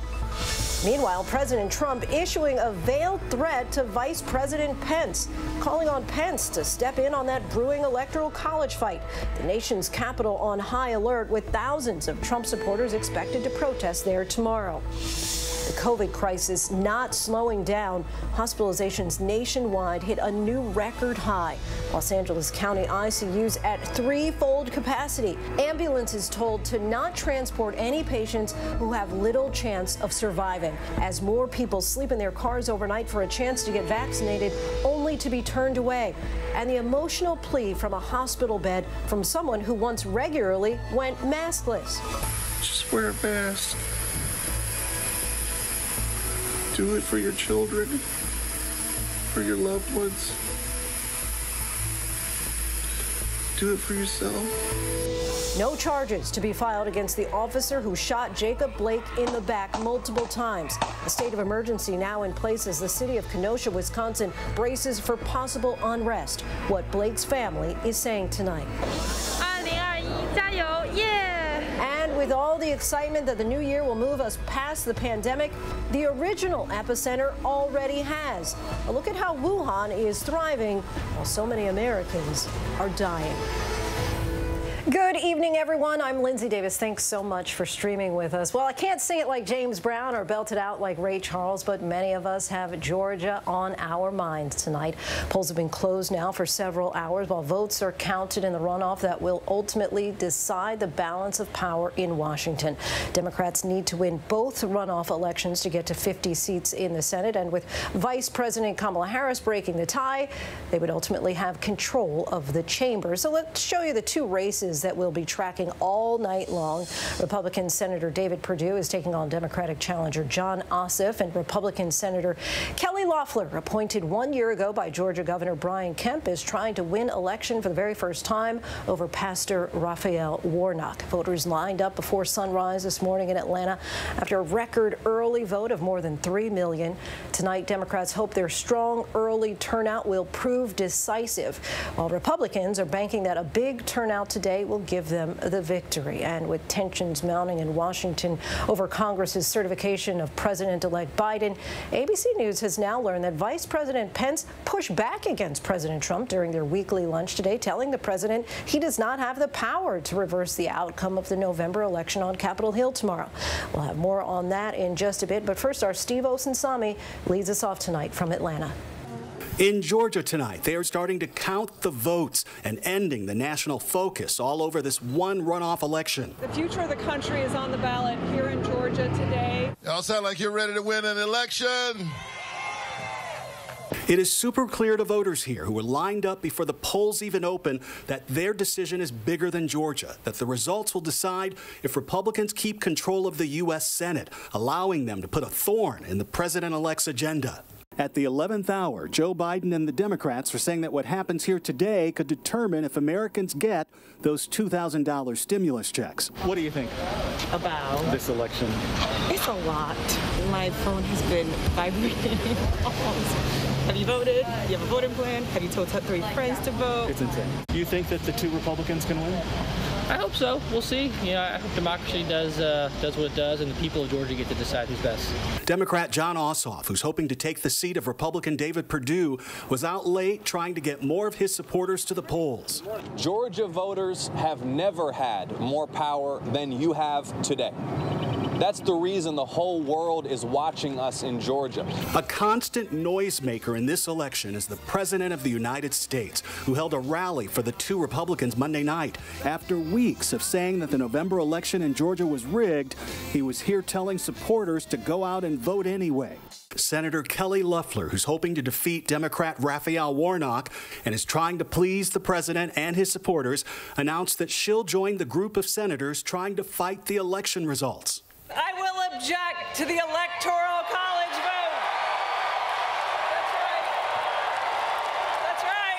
All of this has put election officials here, who are all Republicans, in a tough spot as they try to convince their voters that this election was safe and secure. The Secretary wants me to make clear that everybody's vote is going to count. Steve Osunsami joins us now from Atlanta. Steve, you've been covering Georgia politics for years. So what stands out to you tonight from what we know so far of the vote? Well, what stands out to me are a couple things. One is that you saw the same sort of split in the early vote in the blue counties that you saw in November, which was 7 to 3, 8 to 2 in favor of the Democrats. But you're also seeing this city and suburban versus rural split that's taking place between votes that are already in the bank and votes that happen tonight, which is why this race is so close. It is possible that we are looking at some of these provisional ballots starting to matter if this race continues to stay this close. Linsey? Steve Osunsami in Atlanta for us. Thanks so much, Steve. Rachel Scott joins us now from a GOP watch party in Atlanta. Rachel, what's the mood there as a result of him coming in throughout the night? It is definitely a waiting game here. Look, Republicans knew that this was going to be a very tight race. It's one of the reasons why President Trump was in the 14th congressional district just yesterday. That is an area in the northwest part of Georgia that they are particularly concerned about. It had lower voter turnout than it did in the general election. The president there trying to rally supporters, get them to head out to the polls and vote. At this point, they are liking what they are seeing in sort of the suburbs, the rural areas that are coming in that are showing a little bit of strong turnout. The Republicans in this race were betting on their voters to turn out today. They weren't really looking at those early voting numbers and seeing very strong signs for them. They know that Democrats uh, traditionally like to turn out early to vote. They're hoping that their base got out today, and they hope that last night's rally for President Trump and, and the candidates in this race did the job, Linsey. And you talked about that rally last night. It was at that rally that the president repeatedly pushed Mike Pence to, quote, come through tomorrow during the Electoral College certification. Were voters more fixated on the November election or, or the runoff? Way more concerned about overturning the results of an election that the president has already lost. And President Trump, before he even said a single word about the candidates that are running in these two critical runoffs that are going to determine control of the Senate, he went on this long riff pushing these false claims that the election is rigged. And so I talked to several of the president's supporters yesterday as they were heading into this rally, and all of them said they were on the fence, worried whether or not they should even cast their ballot because they believe the president's false claims. Take a listen. I don't have a lot of faith in it. It's frustrating. It's just very frustrating. But I still believe in the democratic process, that we have a right to vote. Just kind of like after the election for the president, it was just kind of like, wow did our vote count? You think the mixed messaging could potentially cost your party the Senate? It could. I don't know. I, I have friends that have been even, and these are people that were door knockers, like they were on the ground, boots on the ground people, all in for the GOP that actually have felt conflicted because our Secretary of State has lost our trust and we have not understood why our governor didn't call a special session like we asked. We called our state legislators, we sent them emails and phone calls. We did, and we feel ignored and we don't understand what's going on. Yeah, and that woman, Shauna Anderson, said she was personally trying to convince her friends and her family to get out and vote, but she said it was a total change from what she was seeing earlier. She had friends that were door knocking for President Trump in the general election. Now they were worried about sitting this election out because they believe the president's false claims. And we just have to say this, Linsey. We cannot say it enough. There's been no evidence of the widespread voter fraud that the president is claiming. I've already gotten text messages from his campaign tonight continuing to push that narrative. He has lost more than 50 cases in court. What the president is saying is just simply not true, Linsey. Rachel Scott, thanks so much. After today's high stakes runoffs, we'll take a preview at tomorrow. Big day on Capitol Hill with Congress set to certify the presidential election results as Vice President Mike Pence presides. But President Trump is pressuring the vice president to overturn the electoral count, something that Pence has no constitutional power to do. Meanwhile, Republican senators remain divided on whether to certify Biden's win or to object. Here's ABC's chief White House correspondent, Jonathan Karl. He lost at the polls, he lost in the courts. Now Donald Trump is demanding that his own vice president act to overturn the results of the presidential election. I hope that our great vice president our great vice president comes through for us. He's a great guy. Of course, if he doesn't come through, I won't like him quite as much.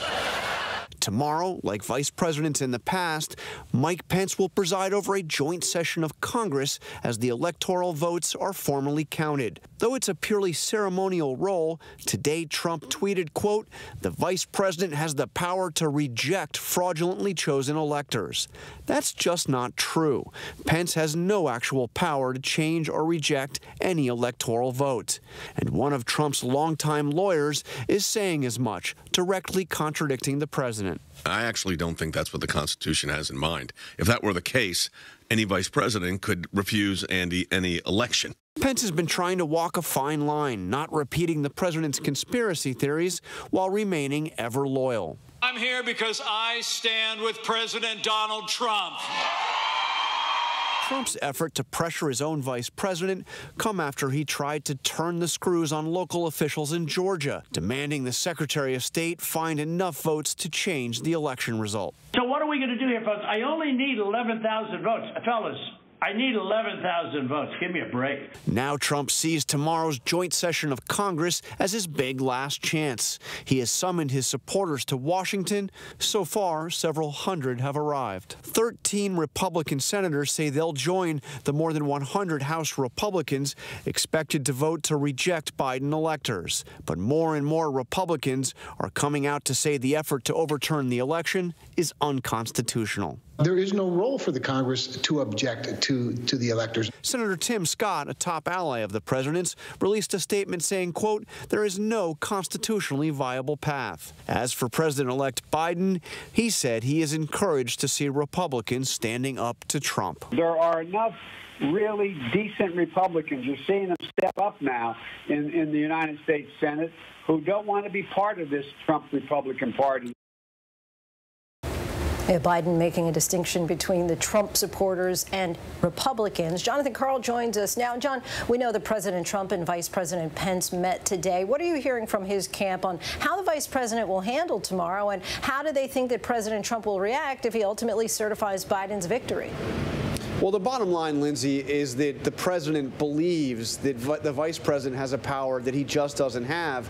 And the vice president himself is fully aware that he doesn't have this power. So Pence has said nothing publicly. We've asked uh, his spokesperson nothing uh, in response to what the president has said here. Uh, but I am told uh, by people close to the vice president that he intends to defy the president on this, that he intends to follow the rules, which means that at the end of the process, process tomorrow, it will be Vice President Pence who is the one announcing that Joe Biden officially, formally, and finally has won the Electoral uh, College and has won the presidency. And that is something that, by the way, they, uh, the, these allies of the Vice President fully expect will incur the wrath of a very angry Donald Trump. Right. We heard him say at that rally last night that he'll like Pence a little bit less if yeah. that is to be the outcome. Now, Republicans in the House and Senate are divided on how they'll vote tomorrow. So just explain to us the process for tomorrow's joint session and how these objections will be raised.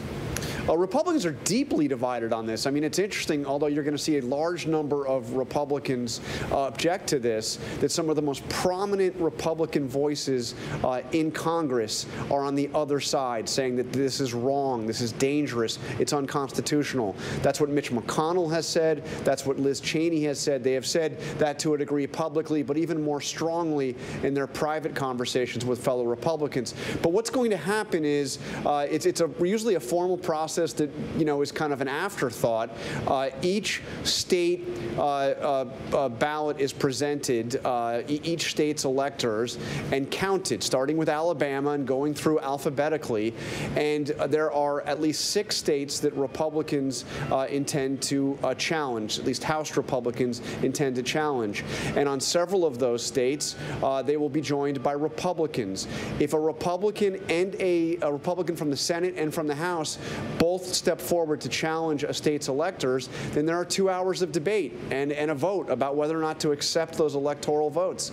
So I expect to see on several of those states, at least three, maybe more, uh, there will be senators and House members objecting and two hours of, of debate and a long voting process. Because keep in mind, this is happening in the midst of the pandemic, and only 70 or so members at a time are allowed on the House floor floor where this will all be uh, taking place. So the voting takes place in waves. It's going to take a very long time. Each vote uh, will take uh, at, least an hour, perhaps quite a bit longer. Uh, so this could go on into the night.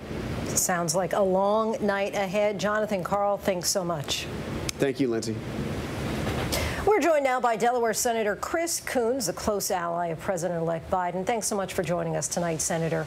Now, as of now, 13, you, 13 Republican senators plan to object to the final certification of the Electoral College vote tomorrow, instead calling for a commission to conduct an immediate audit in certain states where there have been allegations of voter fraud, which we note there's been zero evidence to support. So what's the Democratic strategy to respond to this at this point? How do you anticipate that this will all play out tomorrow?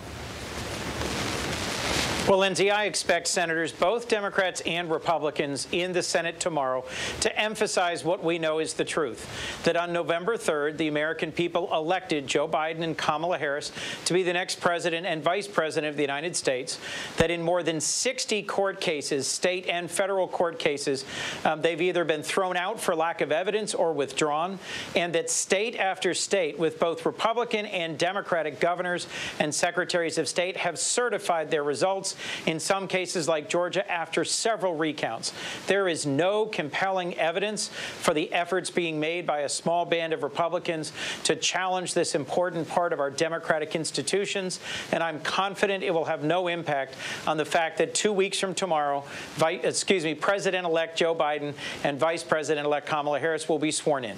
So let me ask you this. If the fraud allegations are completely baseless, would it be in Democrats' interest to agree to some kind of bipartisan commission in the new Congress to look at any and all fraud allegations and fully debunk them so that these claims don't stay alive? Linsey, that is something we might consider, um, looking at ways in which voter suppression has been a real challenge in recent elections and to consider allegations. Uh, but let's be clear, we should not be considering that in any way that would slow down the swearing in of the next president. We have a raging pandemic. We have economic recovery to get to.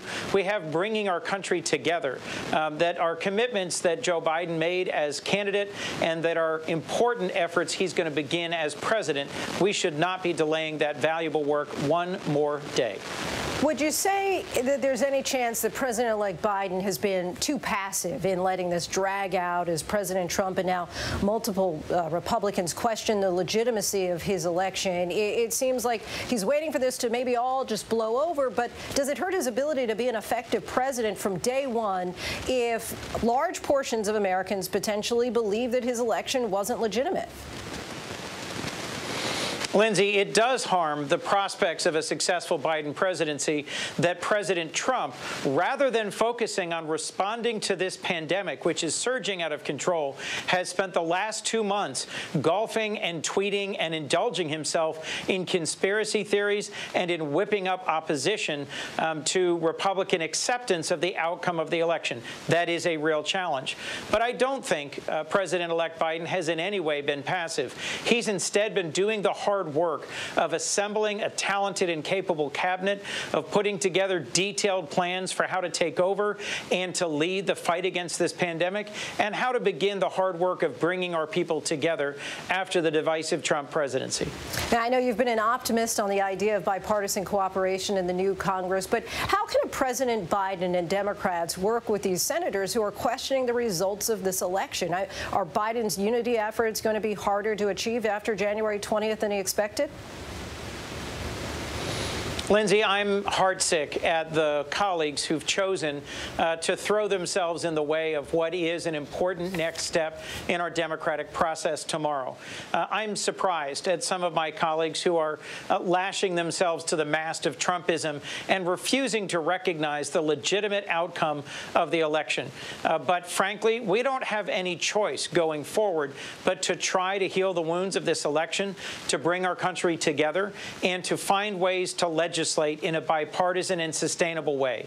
Millions of Americans, tens of millions of Americans, came out and voted for Joe Biden, even though they might be Republicans, independents, or Democrats who either didn't vote four years ago or who voted for Donald Trump because they were choosing um, a more balanced, rational, predictable, and effective government going forward. I think Joe Biden's done just the right thing to lay the groundwork for a successful administration.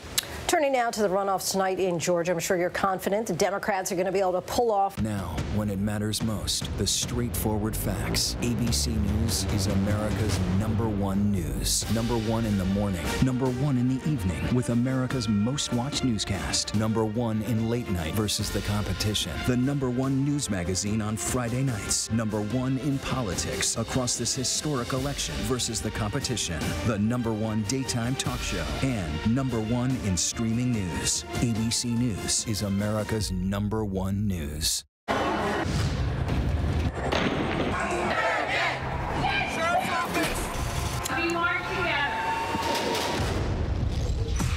most powerful stories of our time, anytime. Nightline. The world may feel out of your control, but your happiness doesn't have to be. Learn the secrets to happiness. Listen to the 10% Happier podcast, free on Apple Podcasts. More Americans choose ABC News, America's number one news source. Ossoff versus Perdue, Warnock versus Loeffler. Election night, the Georgia Senate runoffs. Here now, Tom Llamas and Linsey Davis. Welcome back, everybody. We are interrupting ABC News Live Prime because we have some new reporting in a large number of votes coming into DeKalb County, the fourth largest county in Georgia. Tom, what do we know? Yeah, let's look at the big board right now to see where the vote stands at this hour. We have about 96,000, uh, excuse me, 96% of the expected vote in at this hour. Right now, when we look at the numbers, Senator Perdue is up about plus 15,000 votes over Jon Ossoff. Ralph Warnock up plus 20,000 votes over Senator Senator Loeffler, uh, Raphael Warnock, I should say. Uh, so this race has gotten really interesting. What's the big change here? So let's look at DeKalb County, as Linsey just mentioned. We now have 93% of the vote in. When we came off the air, we had about 40%, so 50% more of the vote has come in in DeKalb County, the quote-unquote voting dumps that have come in now. We have Jon Ossoff at 82%. Let's see how he compares to Joe Biden. Let me pause our, our telestrator here. He's he's basically matching up to Joe Biden right there, but he's taken such a big jump in the raw vote, and that's why these numbers have changed. His uh, shrinking Perdue's lead. When we go to Raphael Warnock, he's up 83%, matching Joe Biden as well. But again, a huge lead over Senator Loeffler there with 93% of the vote in. Now, you may be asking, why is Warnock doing much better than Ossoff? If you essentially come out and you look at all the counties that surround Atlanta, Warnock is overperforming Ossoff by about 2,000 votes so far in each of those counties. I want to make one more point about places where Democrats are running strong. Savannah, Chatham County. So you have Raphael Warnock with 58% of the vote. He's about where Joe Biden was two months ago, but there's only 82% of the expected vote and so there's still a chunk of the vote in a very blue county. The race is very close. Senator Perdue looks like he's in good shape at this point, Linsey. But again, some of those blue counties, we're still counting votes there. There's still about uh, 5 to 4% of the vote still in. We're talking about more than 100,000 votes still out there. So this race could change, Linsey. All right. Thanks, Tom. Let's take it back to Nate Silver. And Nate, we were talking earlier about the outstanding vote. So as Tom just said, still about 4 to 5% uh, that we're still waiting on. What are you seeing in those numbers uh, that have yet to come in? They are all very blue votes. They're mostly early votes in very blue counties, so Democrats might win those votes by three to one or four to one. That's why you'd much rather be. I mean, frankly, I think Loeffler is in very, very deep trouble. Perdue in slightly better shape. Um, but if you have 100K outstanding votes and they're going to go three to one to Democrats, you can do the math and you probably expect Democrats to overtake um, the GOP in the end, maybe close enough, though, for a recount potentially. And, and, Mary wanted to get Mary Alice wanted to get to your point as far as the the 140 years that you have to go back where you had to wait, right? I mean, we're talking about uh, right now 50-50 still in uh, both races, really a, a nail biter. And and what is it? Half of a percentage point. One candidate would have to win by more than half of a percentage point in order for this not to get tied up in a lot of litigation. Exactly. We saw that in November. We saw the race was so close that the votes in Georgia were not counted once or twice, but three times, and then a fourth special audit to work on signature matching. So the Georgia officials know how to do this. They know how to go back and check by hand, by machine. So if this gets really close again, if neither one of these, uh, if none of these candidates is able to win by more than that half a percentage point, we very likely will be in a recount scenario. Um, and then the, the, larger question you're getting at, that point of, of does that mean we could still be waiting even longer to know which party is controlling the Senate? That would just be remarkable because you're right. I was doing a lot of my, uh, spending a lot of time on Senate.gov today, and turns out you'd have to go back 140 years to the great Senate deadlock of 1881 before you saw America Americans have to wait just this long to know who is going to have the gavel, who's going to be able to have committee assignments, decide the floor schedule. It's really unusual for us to not know what that's going to look like next year. And talk about unusual. Linsey. I mean, this was the same ballot that, that everyone in Georgia got to vote on. And the fact that you'd have this 20,000 vote margin, you know, one candidate being up by about you know, 10,000 or so, the other down by a, a similar margin, it's remarkable. I mean, rem reminder that you know, Senator Perdue is the only one of the four candidates to have won a race at all uh, among any of the people running tonight. But but but it is it is a testament to how tightly divided things are. Keep in mind, Joe Biden won this state by only 12,000 votes. So seeing that 20,000 vote margin, that looms huge tonight. That's control of the Senate potentially if you take that snapshot, and that's how things end. And and what's your speculation as to why somebody would say I'm going to vote for Warnock and I'm going to vote for Perdue? Yeah. So David Perdue, keep in mind, he, he won an election uh, six years ago, and his his his cousin Sonny Perdue is a former governor uh, and a former agriculture secretary that polled very well among black voters. So that's a name that actually means something among black voters. And of course, his can his opponent was white. Jon Ossoff uh, is the as we've been talking about the pastor at Ebenezer Baptist Church. Uh, Raphael Warnock has a constituency and has established himself a lot more. Jon Ossoff, only 33 years old, he would become the youngest Democratic senator since Joe Biden, of all people. Uh, and he just doesn't have the same kind of name recognition, connection to voters, or natural constituency. So it's possible that a lot of people split their tickets. A lot of people did do that in November. We know they did, and that's why we're in this runoff situation. But the fact that it seems to have continued during this runoff, despite the, both, the fact that both tickets basically ran as teams, is a remarkable thing. Tom. Yeah, I want, I want to show you guys a point since we're talking about this, to, just to show you where Jon Ossoff and Senator Perdue are. So at the end of, of November, after the November election, this is how they ended up. So this is this is two months ago. Senator Perdue was on top. This is what led to the runoff. Jon Ossoff, uh, two, about 2.4 million to Jon Ossoff's 2.3 million. The separation here was about plus 88,000 for Senator Perdue. When we look at the big wall right now, Henry, follow me up here. Senator Perdue's lead is now plus 3,000. Again, less people voting in this runoff election. But Rick Klein, I want to go back to you when we talk about this. That's actually pretty good numbers for Ossoff, considering where he was at the end of, of the general election and where he is tonight, because we still have those outstanding votes in those blue counties. Yeah, he lost to David Perdue. Uh, he lost pretty pretty substantially. Uh, David Perdue uh, did better than Joe Biden and was able to was able to, to, to outperform in a whole lot of parts of the state, and that only because of the the fact that Georgia has this this runoff rule where you have to crack 50 percent uh, that that we even have tonight as an evening at all. Otherwise, David Perdue would have been reelected already. So coming into the night uh, and coming into a runoff, a, a lot of strategists thought you, you got to pencil in the Republicans. They tend to do better in the runoffs, and you had Perdue at the top of the ticket, who came pretty close to, to winning the election in the first round. So the fact that they were able to make it competitive is a testament to their turnout efforts and I think to the messaging. Mary Alice, I want to talk about the Republicans now in places like Cherokee County, where most of the Republican votes, the, the county with the most Republican votes, uh, are going to happen. In Cherokee County, Senator Loeffler, I mean, she performed well. She overperformed from President Trump with 99% of the vote in. But what we're seeing in these red counties across the state, you were talking to me about this, they can be a little deceiving because even though the percentage numbers are overperforming President Trump, the raw votes are not, correct? Yeah, exactly. And we don't know what the final raw vote will be. Those percentages are, are, are guesses, all right? What we assume, what we're thinking the expected vote will be. But Democrats have been saying all along that they don't believe they've hit their ceiling yet in Georgia. They are trying to register new voters. And frankly, the newer voters in Georgia are, are in Democrats' favor. They're younger voters, they're diverse ethnically and, and racially. And so one or two percentage points in those really big urban centers can just represent a lot more raw vote than in the smaller rural counties. Yeah, and I want to talk about one more county we really haven't talked about a lot tonight, which is Clarke. It's a Democratic stronghold. It's Athens. Uh, and you can see even a place like this, when we talk about one or two percentage points, you can see Warnock's on top from Joe Biden, just a percentage point. But those little increments, and advantage of Democrats are going to help in a very tight race, Linsey. What we're seeing throughout the state is the Democrats in a lot of these blue counties, some of the Democratic senator, senatorial candidates did better than Joe Biden, and that's going to help. But again, as we're ticking down the clock, 4% left to be counted. This race is so close. We're seeing Senator Perdue's lead shrink, and we've seen the Reverend Raphael Warnock, his lead increase now over Senator Loeffler.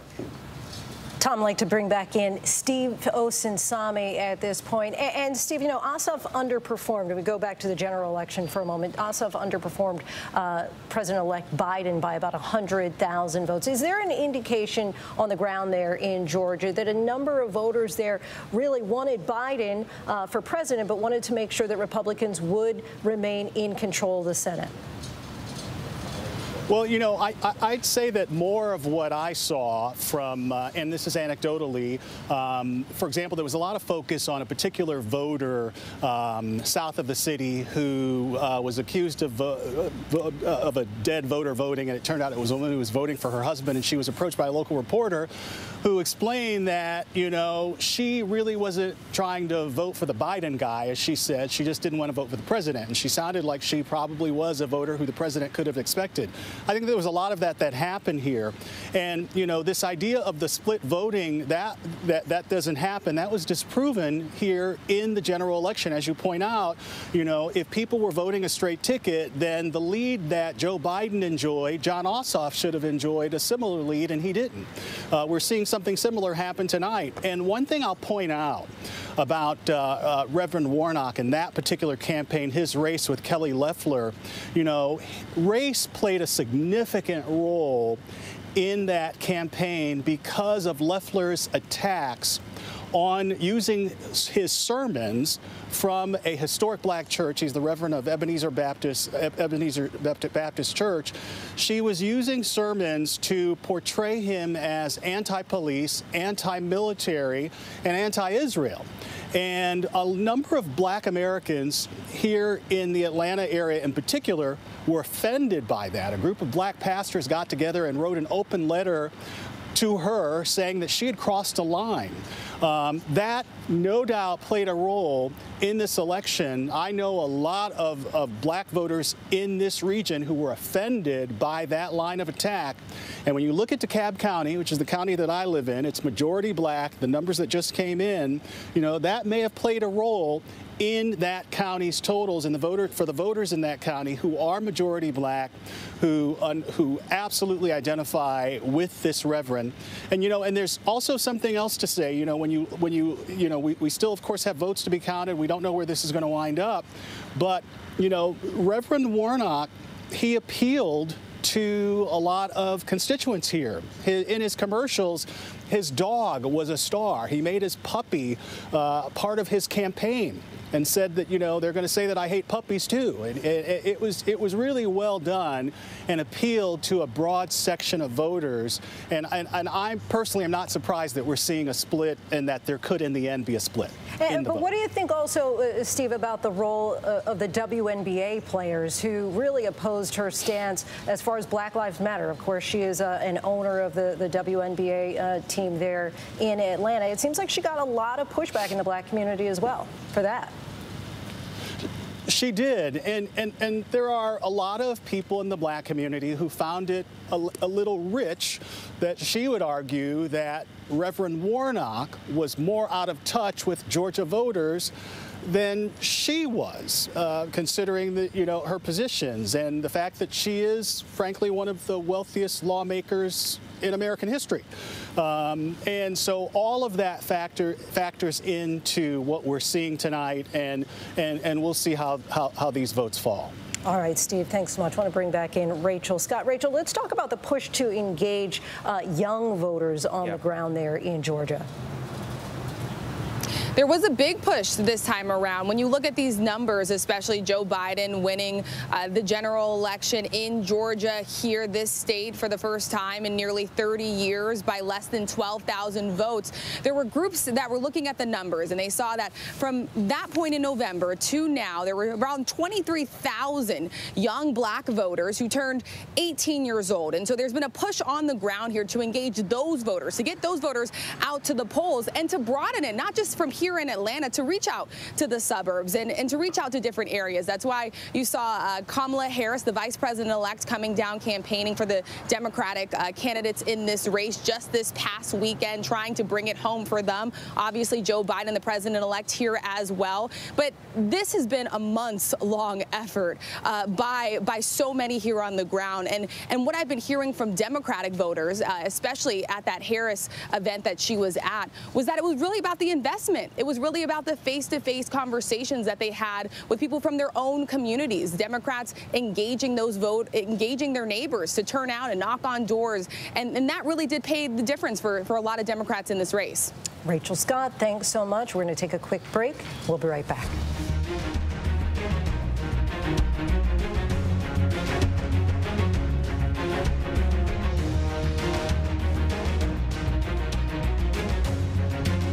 Admit it. These days, what you need to know seems to change, well, like every day. So, what is it that you really need to know, want to know, to help you not just get through your day, but make the most of it? Feel smarter, feel better, feel happier. Well, how about a third hour of Good Morning America in the afternoon? GMA 3, what you need to know. It's all about you. Lunchtime at 1 Eastern, 12 Central, and Pacific on ABC. This is going to be so good. Do you the reality is our country can collapse from within. You see the white power movement on the march.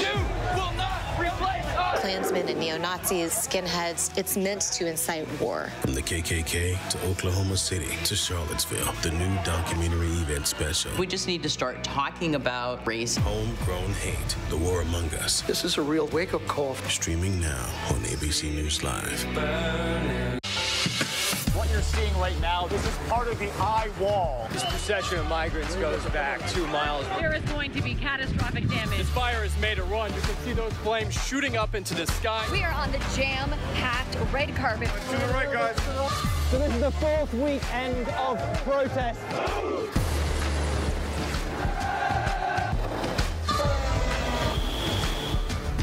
Watch ABC News on location for Facebook Watch. Your mom said, comb your hair. Your dad told you, smarten up. Your dog is judging you right now. And your best friend just called you crazy. We all need someone who'll pull no punches and give it to us straight. Now imagine getting your news like that. No bull, no spin, just give it to me straight. Straightforward news, straight to the heart of the story. ABC News, straightforward. We move up to the vehicle. He detonates the bomb.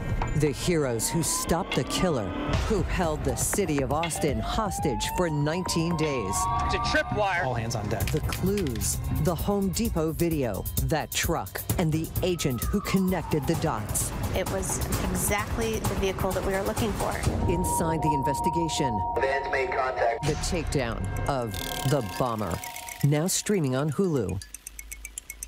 What's the most innovative daily news podcast out there to listen to every day? Well, the Edward R. Murrow Awards say it's Start Here, the daily news podcast from ABC News. Even the New York Times calls us a top news podcast worth listening to. So if you like getting behind the biggest news stories of the day, inside all the details, the backstory, and what will happen next, then listen to Start Here, the daily news podcast from ABC News. It's like no other news podcast out there. Even the critics agree. Listen free on Apple Podcasts. And welcome back to our continuing coverage of the Georgia Senate runoff races right now. And, and this story and this race is changing almost every minute. We have 97% of the expected vote in right now. And with that, Senator Perdue, the incumbent, going up against Jon Ossoff. Right now, we are seeing his lead almost evaporate in real time. At one point, he was up by tens of thousands of votes, now up by only 456. And then in the next race, the other Georgia race, the Reverend Raphael Warnock up 34,000 votes. He actually has the most votes so far of the four candidates in this race.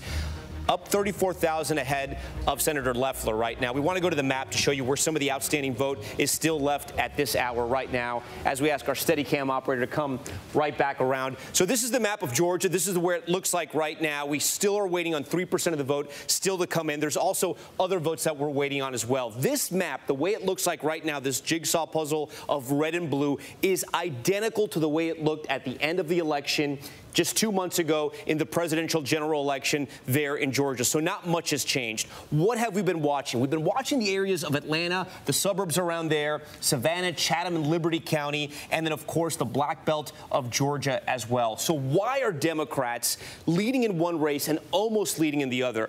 The, the, what we've seen so far is that in those blue counties, they're overperforming the percentages of Joe Biden, which has helped them tremendously, while Republicans, on the other hand, have been holding the same percentages as President Trump, but the raw votes just aren't there, so they're not overperforming technically to President Trump. We're going to have to wait and see what happens. There are still outstanding votes, including some provisional ballots and early votes that came in today. I want to go to Rick Klein, our political director, to talk to us right now about what exactly is happening and the votes that are still outstanding at this hour, Rick. Well, yeah, I mean, making the point that, you know, th th this election night is about whether we're going to have a 50-50 Senate. We've got two 50-50 races. I mean, look at those numbers, all 50s. That's as evenly divided as you can possibly imagine things to be. And in that universe, small batches of votes that might take a little while to come in or to get counted matter quite a bit. Uh, this matters less in the Warnock race if that lead holds, but looking at the numbers in, in the Perdue Ossoff race, uh, there's a universe of as many as 17,000 overseas and military ballots. Those could take as long as uh, until Friday to arrive. Now, not all of them are going to be sent in in time or sent in at all,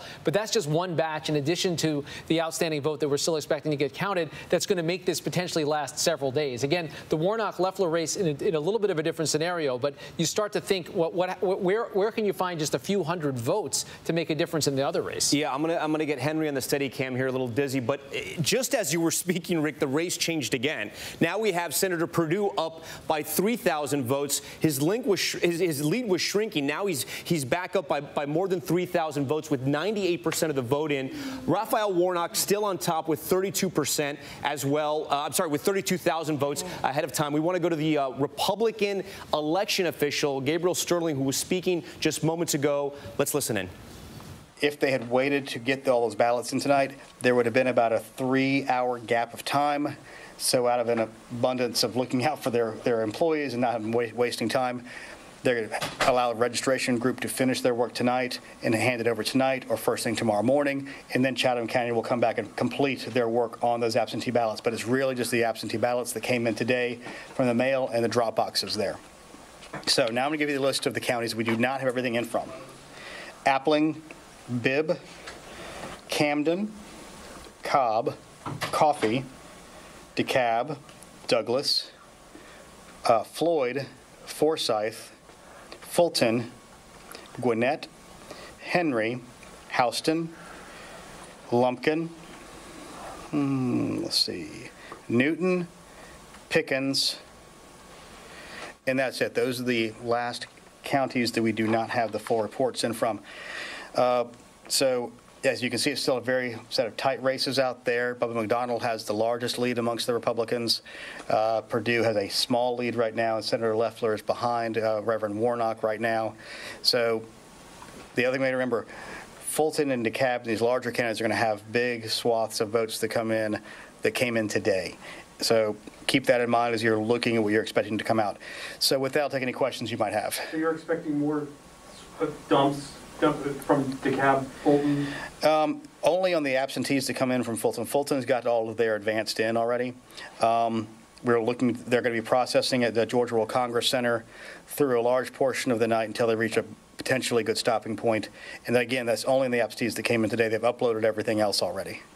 Gabe, is it fair to say that the counties that you went through, and I can't speak to each of them specifically, but they appear to be predominantly Democratic counties, at least in, in, terms of past voting patterns? In terms of the amount of votes that are potentially out there coming from largely Democrat counties, there are some Republican counties, Floyd, Forsyth, Appling, but they are smaller in comparison to the DeKalbs, Gwinnett's, Cobbs, and Fultons. So what does that tell you when you look at the vote total? That tells you what you have outstanding will likely be leaning Democrat at best. What else? What are you going to be doing the rest of the night? Um, looking at spreadsheets, trying to figure out what's going to be happening and trying to prepare for what's going to be happening tomorrow because we do have these close elections. And there's a potential where some of these elections could be within a half a point. So the second place finisher will have the opportunity to potentially ask for a recount again. Is it possible you'll know the answer tonight? It's possible, but it's not likely, especially with the number of absentees we anticipate being counted tomorrow in the larger counties. And how many do you expect tomorrow? We have no way of knowing right now. But we've told all the counties to get their information in uh, to the ENET system, voter registration system, by 1 PM tomorrow. Any surprises in this election? I'm not talking about everything that led up to it. Any- Uh, In in the election itself, in the election itself, it was a very smooth election. You know, we had a couple of things here and there uh, with Columbia County with their issues the first thing in the morning, but in general, it was a very smooth election. We didn't have any issues. The election night reporting has gone relatively smoothly, so we feel like the counties are kind of getting in the groove despite the fact we know they are all exhausted. Any idea yet on numbers today, voters today? Um, yeah, uh, give me a second. I can look them up real quick. I hate to do it on the fly. We ended up having probably close to a million altogether right now. In fact, I'm looking at uh, so far, and this may have all of them. We're looking at 1.244 million votes, which was more than we anticipated. Actually, we were looking at a mil- that's today. That's election day votes, 1,244,374. Um, and the absentee by mail so far is at 995,410. Um, and the advanced voting that's been reported so far is 2,054,776. Are results coming in faster than expected? Uh, one of the things about having only three contests on a race and having smaller actual physical ballots this time, every ballot was 11 inches for the um, uh, absentee ballots, it, we knew it would be faster. So obviously it'd be faster than November elections because there's just fewer steps in the process and it's easier to handle smaller pieces of paper at the end of the day. Knowing what you know now, what are the uh, possibilities that there might be some contentious uh, comments made uh, as as this vote is so close, just as there was after November 3rd? Frankly, John, I'd be shocked if there weren't contentious remarks made about the outcomes with, with, them being so close. We have a, a state that is very closely divided amongst a partisan divide right now, but I want to emphasize a point again that Bubba McDonald and the you know, the race that most people didn't think about today has more votes than both the senators, which shows there's potential that there were Republican voters who chose not to vote for the two Republican senators, maybe because of all the contention, but that's speculation on our part. Anything else? So that's it for tonight? I think that's going to be it for tonight. I don't see anything else big happening. You know, the biggest thing we had hanging out there were those really, that really giant tranche of DeKalb County advanced votes. They may load the additional 20,000 tonight. It may be tomorrow, depending on how they have to work through the, the two memory cards they're dealing with. And all that was, was they sent two scanners out to two advanced voting locations. And instead of making individual cards for each one, they only made two so they could upload one or the other. So they're likely going to have to rescan some of the stuff out of those two ballot boxes. And just for our- our morning folks, do you anticipate uh, any brief? Okay, we've just been listening to Georgia election official Gabriel Sterling right there, who was talking about the outstanding vote and where it stands right now. I want to show you where some of these counties are, and then we're going to get reaction to some of this. So there are Republican outstanding votes as well. We want to show you where, where some of the bigger counties for the Republicans are. Forsyth, this is where a lot of the Republican votes come so far. You can see Senator Perdue has a very comfortable lead here, but I wanted to focus on this number as we control, con, compare them to the blue counties. So you have, this is about almost 3% of the pass size of the entire total election for Georgia, okay? So that, that's one county, and then we can come over here. Let me see, make sure I can, I can find Floyd. Floyd County is another Republican county here. You can see Perdue, again, with a comfortable lead. But again, I want you to focus on this, this number. It's less than a percentage point of the entire Georgia uh, election population. So those are the Republican counties, and there's a few other ones where the vote is still outstanding.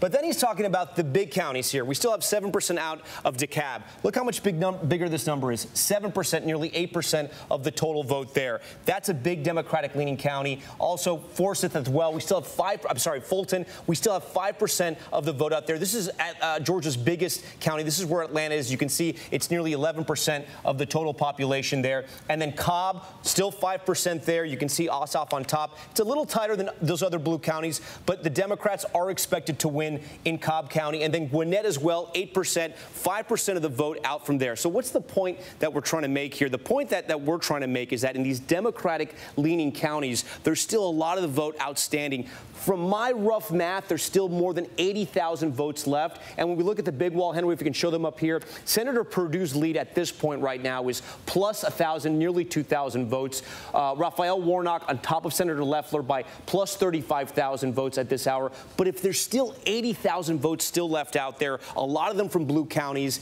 that's why Democrats think they could still have a chance in this race, at least winning both Senate seats, because it looks right now that Raphael Warnock is in a very good position. Uh, Rick, as we come to, to sort of the end of the night here, we're waiting on this last 2% of the vote in, what are you seeing, especially when we hear about some of the provisional ballots and the early voting they're still going to count that came in today that's going to be counted tomorrow? Yeah, the, the, the Republicans are going to run out of places to find additional votes. and that's why that lead by Raphael Warnock right now looms as large as it does and why that Perdue lead is as, is as tiny as, as it is at this hour. To look at all of those places that the votes can continue to come in, you just recognize that there's just th those are blue places. And if they at all match up with expectations, another big headline from what we just heard from the Secretary of State's office, uh, election day voting exceeded 1.2 million. Now they came into the day saying we're not really sure. Could, you know, there were so many early votes. They thought at the high end maybe 1 million, 1.1 million, and the conventional wisdom was that a very big number, great for Republicans because they were going to save all those votes for election day itself. It turned out that it was a more nuanced story. A lot of these election day voters turned out to be Democrats, and we saw Democrats outperform their numbers even in rural areas of the state, including in red areas of the state, uh, just to hold down some margins and really run up the score in other places. And many of them did vote today. They may have voted uh, at, in a traditional way. They may have just vote, uh, dropped off that uh, that early ballot in person. So a lot of votes that we thought might have been banked. The Republicans like to say the Democrats cannibalized their vote while they had a lot of feasting still to go on on election day itself. And Mary Alice, uh, Gabriel Sterling, the election official, was also making another point why he thought some some evidence, if you will, if you want to call it that, why he thought some Republicans may have gone to vote, but they didn't vote in the Senate races. Right. There was actually one other race on the ballot for Public Service Commissioner, uh, and Sterling was referring to that. Uh, it's a Republican on the ballot who actually is outperforming these two Republican candidates. And so Sterling was making the argument that it's possible you just have too many disillusioned Republicans who were turned off by the actions of the president, perhaps turned off by these uh, Senate candidates. They're going and voting for other Republicans, or in this case, one very specific public service commissioner seat. Uh, and but they're not voting for their current sitting senators. It will be really interesting to watch the end of the night if that's true. And, and you know, you had Gwinnett up there, and I just I think it's worth noting. You, you referred to it as a blue, uh, you know, a blue county, and obviously it is, but it is so recently blue. We're talking about less than a decade. You know, this is the kind of county that Romney won by seven percentage points, that Hillary Clinton barely won, and then in the last five years, we've just seen this explosion of new people in that area. This is a new Atlanta, and we are seeing that in full force tonight. Yeah, no, no, the state has definitely changed. It's a great point. Hillary Clinton outperformed Barack Obama. But Donald Trump underperformed from Mitt Romney, and then the trends just changed in 2020. I want to bring in Terry Moran now. Terry, th this is still such a close race. We're not making any calls yet. We still have 2% of the vote out, uh, but we are seeing some trend lines. You know, we're, we are seeing the Reverend Raphael Warnock here, a political newcomer. Yes, he, he was the senior pastor at Ebenezer Baptist Church, but he's the man who's on the board right now with the most votes out of two sitting senators, right? And then you have Jon Ossoff, a political newcomer as well, who is in a very tight race, losing right now, but in a very tight race against the incumbent Senator David Perdue. So my question to you is, Terry, how much did the president's actions matter in, in, in the weeks and months after the election up until this point? We kind of got into a heated debate with Governor Christie about this, but how much do you think the president's actions uh, had to do with what we're seeing tonight? I, I, I, think it had to do a lot with shaping the debate. Look, if you're a politician running uh, for the Senate from a state, you want to talk about the issues for the people of your state. Yeah. You want to talk about whether it's high taxes, uh, whatever it might be, energy policy, agriculture policy. You want to talk to the people of your state about their concerns. Donald Trump demanded of the Republican candidates that they go with him, storm the democracy, demand on no evidence that any court has found reliable, no evidence that any uh, Republican elected official responsible for certifying the election in Georgia found reliable, that somehow the election was stolen, just like he said the Iowa caucuses were stolen when Ted Cruz won them, et cetera, et cetera. And that took them off their game. It, it's like a sporting event when the other team forces you to play a different game than the one you wanted. And, and that, in the end, I think in such a close election that they weren't able to talk about their agenda. They had to talk about Trump's agenda. And when Joe Biden came to Georgia and he said, You have two senators who, who aren't loyal to you, they're loyal to Trump, uh, that was important. And the whole story, it seems to me, however these races turn out, begins to turn the page on the presidency of Donald Trump. We heard it tonight from uh, Lieutenant Governor Duncan in his interview with Linsey earlier, where he said this is a pivot point, and our party, he said, the Republican Party has to be bigger than one man. And I think one of the issues that Donald Trump is going to have tomorrow when he tries to get Republicans to overturn the election and going forward is if you say you win all the time and you start losing, the spell breaks. The enchantment breaks. This was a bad night for Donald Trump uh, and a good night for those who want a Republican Party beyond him. Terry Moran, we thank you for that analysis. I want to bring in Nate Silver right now, the editor and founder of 538. Nate, this is really when we start to rely on your expertise in crunching some of the numbers. You have a feeling that this, both these races are going to lean a certain way. I want you to just, as simply as you can, walk our viewers through it. Yeah, I mean, Democrats will probably win both these races. Um, Warnock's already ahead by what's now a somewhat, not comfortable margin, but like a meaningful margin. And the outstanding votes are all in very blue areas. So DeKalb County alone, about 20,000 more early votes in very black precincts, that will probably net Jon Ossoff maybe 15,000 votes on their own. That would be enough for him to pull ahead and Warnock to pull further ahead. Um, there can be tabulation errors and irregularities, things we don't know about, but there's not like a kind of conventional path back for, for Loeffler. Certainly, she is, I think, pretty much toast. Um, and you need something irregular to go on for, for Perdue to hold on, I think. So, Nate, but on that point, and, I, and, and, for our viewers, I keep looking to my right because that's where we have our, our, our, big wall, and I can see the, the, numbers up close. We have Senator David Perdue up 2,000 votes, but we still think there's about 80,000 votes outstanding, right. that, that 2%. Plus, we have the votes that are being counted today, and maybe those provisional ballots going ahead. We don't know how those will break either. But you've seen enough in the data. And, and, the numbers and the history, if you will, to, to feel that, that the Democrats are, are in the position right now to be a little a little more comfortable than Republicans at this hour? Yeah, because it's a it's a finite math problem at this point, right? We know where the votes are. Sometimes there are surprises, but they're in very blue areas, and they're the bluest type of votes, which are early votes in a lot of places. And so it's just like they're going to be close elections, right? Loeffler might lose by one or two points.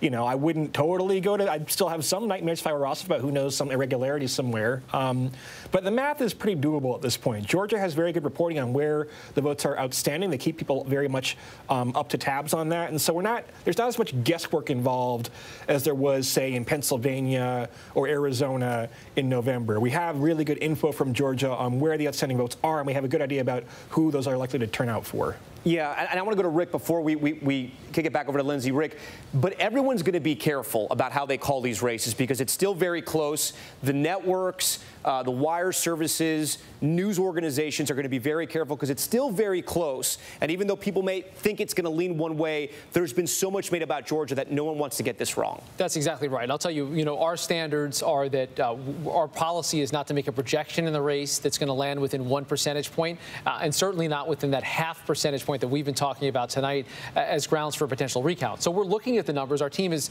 very much dialed into the vote that's outstanding. Uh, we're seeing the same things that everyone else is, and I think the analysis that Nate Nate pointed out is correct. That it looks very good for both Democratic candidates. That's not a, a secret here, but the process has to play itself out. Uh, we know that it took a couple of days to get a final picture uh, out of the presidential race. It appears that uh, the election officials in Georgia at the at the state and local level have been working overtime to try to rectify some of the delays before because this is a lot more vote than we expected coming into the night. The fact that it's midnight and we have 98% plus is something of an achievement. But these are very close races. Uh, we're still talking about uh, very narrow margins that could land in the mandatory uh, or the possible recount territory. And there's still outstanding vote that needs to be tabulated. All right, Linsey, as we wait for that final 2%, I'll kick it back over to you. All right. Thanks, Tom. I'd like to bring in Yvette Simpson back into the mix. And Yvette, you know, throughout this whole election, we've really seen the Republicans attacking the Democrats, calling them radical liberals. In fact, so much so there were some college students that started playing a drinking game every time uh, that Loeffler said uh, the word radical liberals.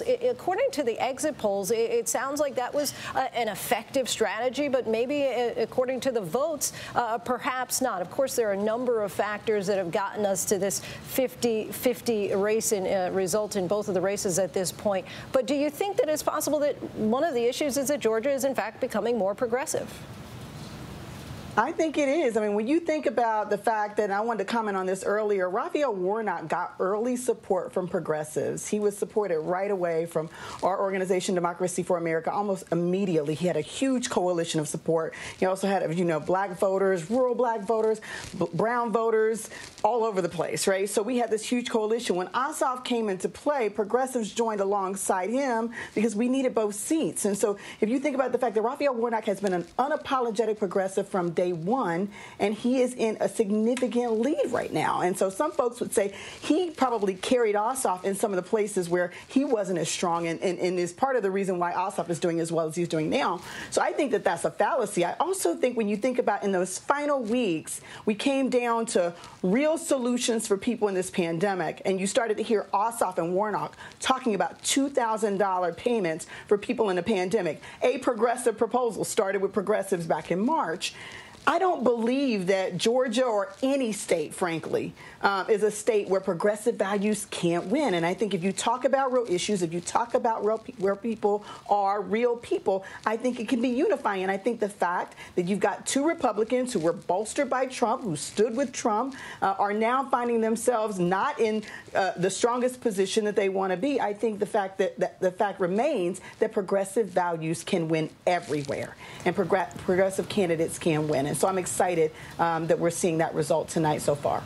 Yvette, thanks so much. Sara Fagen, I'd like to bring you back in here. Uh, when you think about the, the, the position of this moment uh, that we're in with uh, ahead of tomorrow's certification and the, the seeds of distrust that, uh, that President Trump has sown as far as uh, democracy, especially in Georgia, do you feel in some ways that, that President Trump has sabotaged his own party?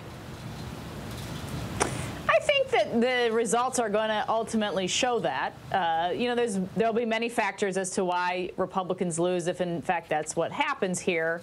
But the biggest fact, I think, will be the distraction. Rather than talking about Bernie Sanders being the budget chairman, card check coming to the Senate, um, you know, potential uh, tax increases, minimum wage, which many people agree with, but others understand is, is flawed economic policy.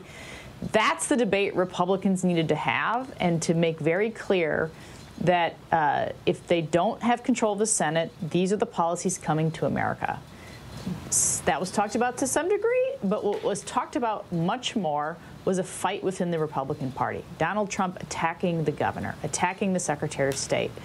Uh, uh, the senators, Kelly Loeffler was uh, somewhat vocal uh, in criticizing her own fellow Republicans in the state of Georgia that creates division. And, you know, if there are two or three or 6,000 Republicans on the fence, that could matter. And, you know, I think what's so concerning to me as I look at these numbers is that local race, that statewide uh, local race, where the individual is outperforming Senate candidates. That almost never happens.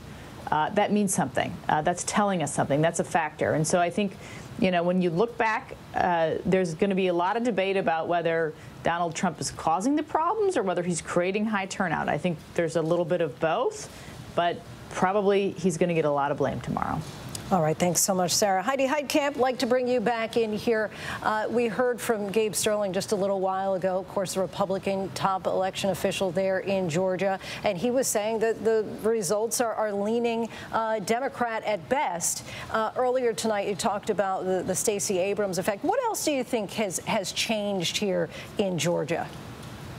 Well, the demographics clearly have changed. Um, more and more people are moving to Atlanta. More and more people are moving to Georgia. It's becoming a tech center, becoming a media center.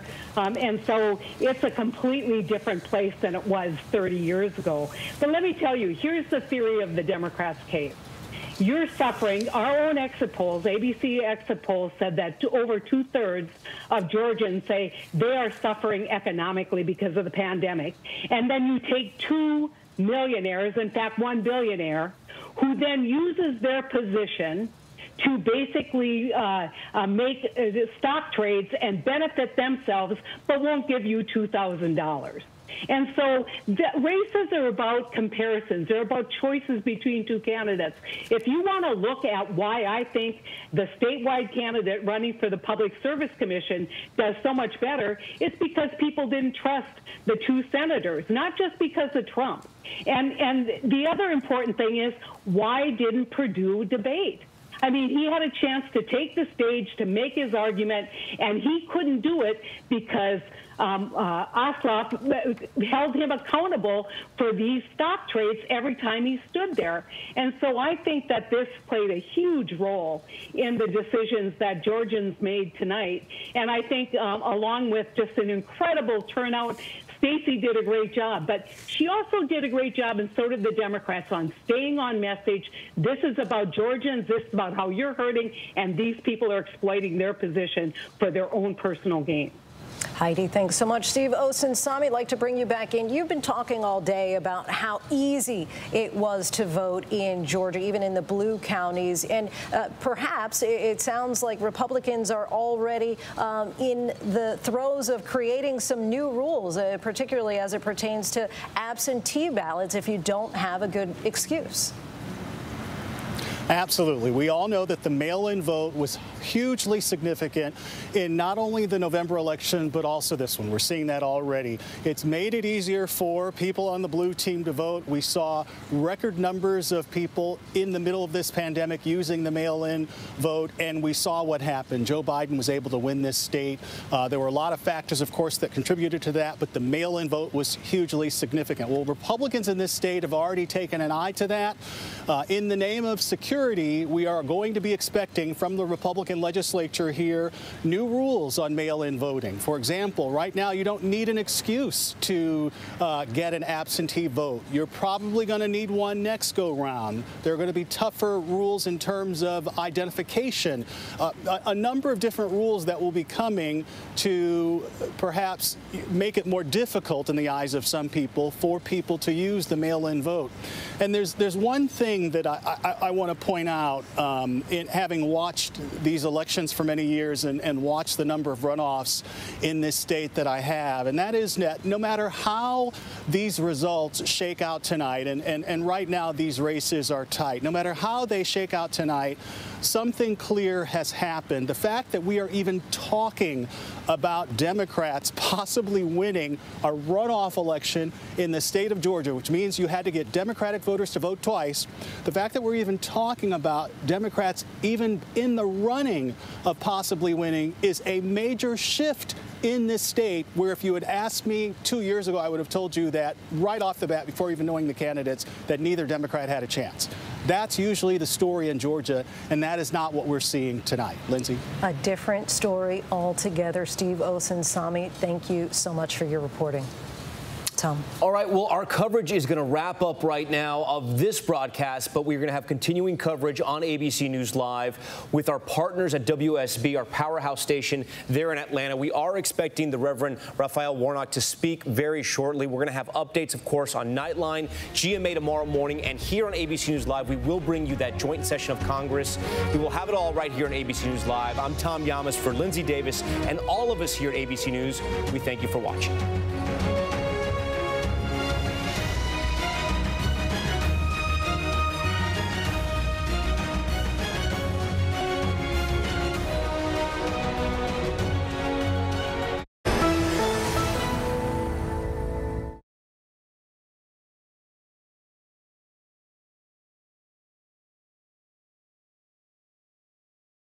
Are we? And I don't think we will. We're encouraged by the early returns, and I think we're on track to have a good evening. Hopefully, we can get it done earlier so we can truly celebrate here together as a, as a good family of people who love one another. On behalf of David and Kelly, I too want to thank each of you. When you give your hearts and your reputation to candidates, that's something special. Your time, your money, and your efforts, that will never be forgotten. I can recall the faces of people who worked for me when I was running for office, and I, every decision I made, I would see those faces that worked so hard, put their life on the line, and allowed me to borrow their reputation when Georgia really didn't know who I was. Kelly and David Something feel special. the same way. Many Your of time, you know your money, and, they and your know you, efforts. and many out That there will never they be forgotten. I can recall so the faces of people who they are worked for for me when I was running for and office, efforts and I- every decision- really you didn't have to do it. And uh, we cherish our need to borrow their reputation when Georgia really didn't know who I was. Kelly and David feel the same way. Many of you know them and they know you, and many out there that they don't know who have worked so hard for them. They are grateful for your participation and your efforts on their behalf. Really, you didn't have to do it. And uh, we cherish our state. I'm, uh, I'm rather sad, as you are, that we're in this position where the eyes of uh, the world and literally the eyes of America are on Georgia in this important runoff. But folks, this is the this is for all the marbles. We love the freedom that we've had. We've loved the, the state that we live in as Ginger Parade, and we thank the opportunity for being here in Georgia. And we want to make sure that we send David Perdue and Kelly Loeffler back so that we can continue to enjoy the freedoms that we've had in this country. Governor Kemp also spoke in support of his fellow, fellow Republicans. Here's part of what he had to say this evening. I also want to mention how much I have enjoyed fighting with David Perdue. You know, David was on the bus tour with us back in 2018, trying to, you know, save the soul of our state, as we said, at every stop. We went to 90 in the last three weeks of the campaign, and David, family, and others were on those bus, at, at many of those bus stops.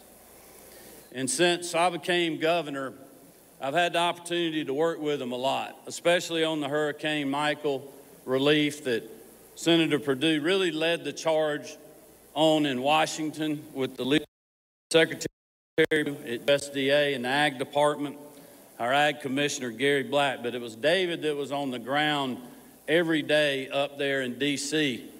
And I know a lot of people here wondered sometimes why they didn't see him that much, but it's because he was taking our priorities to the halls of Congress and to the White House to get help for our farmers. And I'll be forever grateful, and our state will as well, for the great work that he did. And as you guys know, David is a, he's an outsider. He's a business guy. He has taken that mentality to Washington, D.C., which is why he built such a powerful relationship with the president, because he's exactly the same way, an outsider, a business guy. And they all went up there and were fighting the swamp. And I want to thank David for that as well, and the president as well.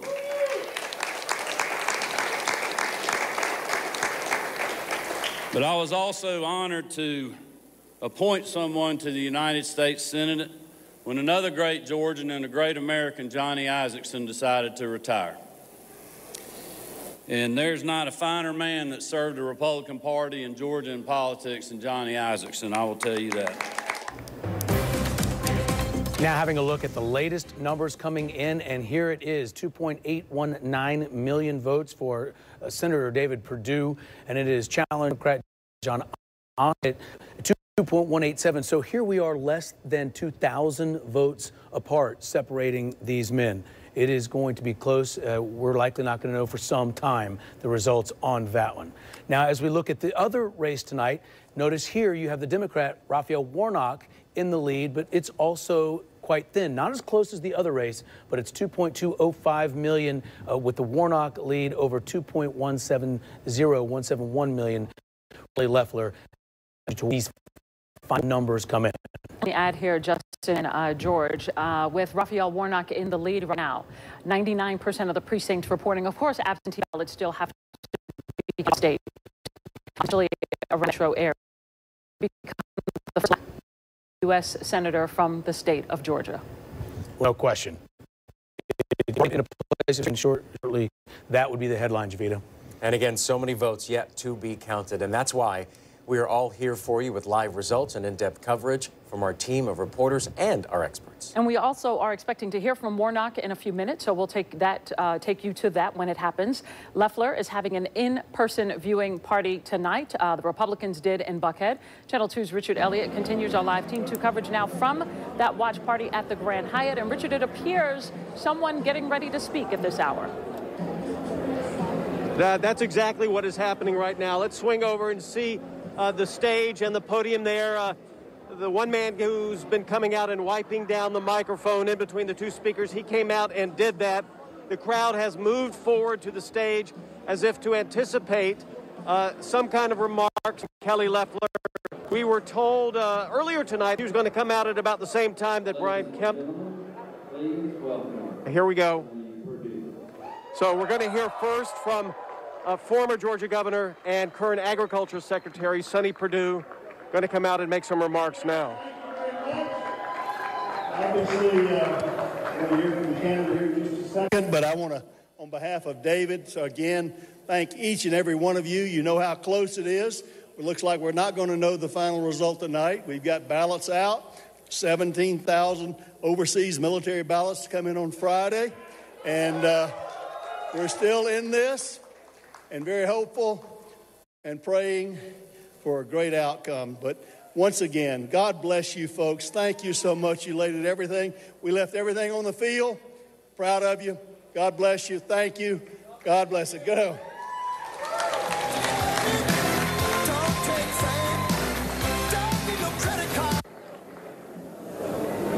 So that was uh, former Georgia governor and current ag secretary Perdue coming out saying it's a theme that they've uh, been saying most of the night tonight. They didn't leave anything out on the field, on the campaign field, trying to turn to vote. So he said that we're going to uh, Kelly Loeffler. So don't know exactly when that to be. As I said earlier, we expected to hear from her uh, earlier tonight uh, when uh, Senator Brian Kemp first made their remarks, along with the Georgia GOP chair David Shafer. Then they were told me. Uh, Ladies and gentlemen, please welcome to the stage. Here we go. Kelly and, and here's Kelly Loeffler going to address this crowd.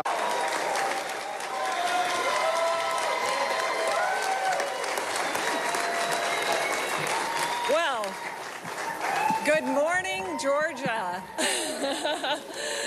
yes, it's going to be another late night. There are a lot of votes out there, as y'all know.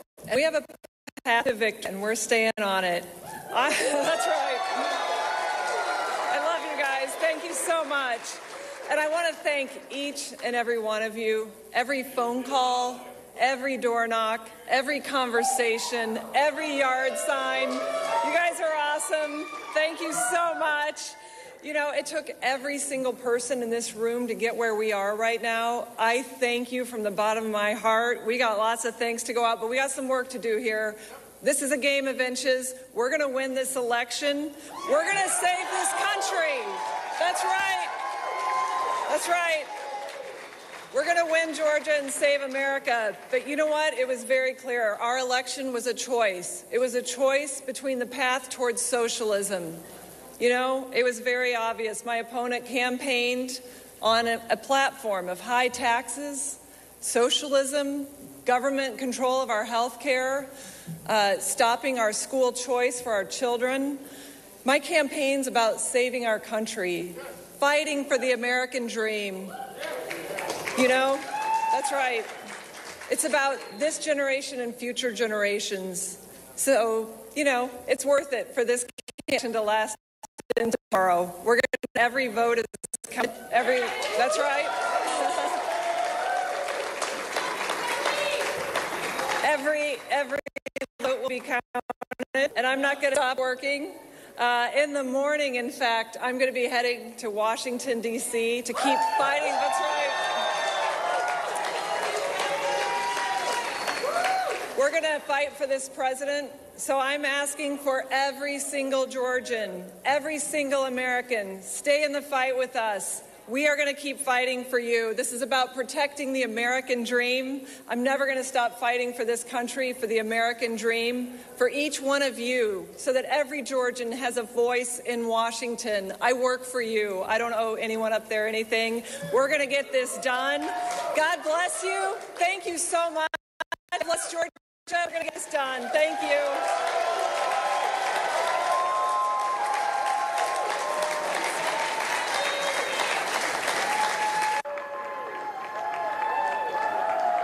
Those were remarks from Senator Kelly Loeffler. Not definitely not a concession speech. She said that they do believe they do have a path for victory. Uh, I think at the last count I saw, they were still some 30, 35,000 votes short of Raphael Warnock. She did again say there is some kind of path for victory. Uh, what will happen over the next uh, 24 hours, 48 hours, and further on during the week? That's what's happening here in Buckhead. Uh, we're live. Richard Elliott, WSB Tonight. All right, Richard, thank you. And of course, uh, she said it's going to be a long night. No one ready to call it quits just yet. The Democrat Raphael Warnock, as you know, trying to unseat Loeffler. As Richard mentioned, George, uh, he is in the lead by about some 35,000 votes. He also led Loeffler uh, back in November, which got us to this runoff. We are expecting to hear from uh, Reverend Warnock any minute now.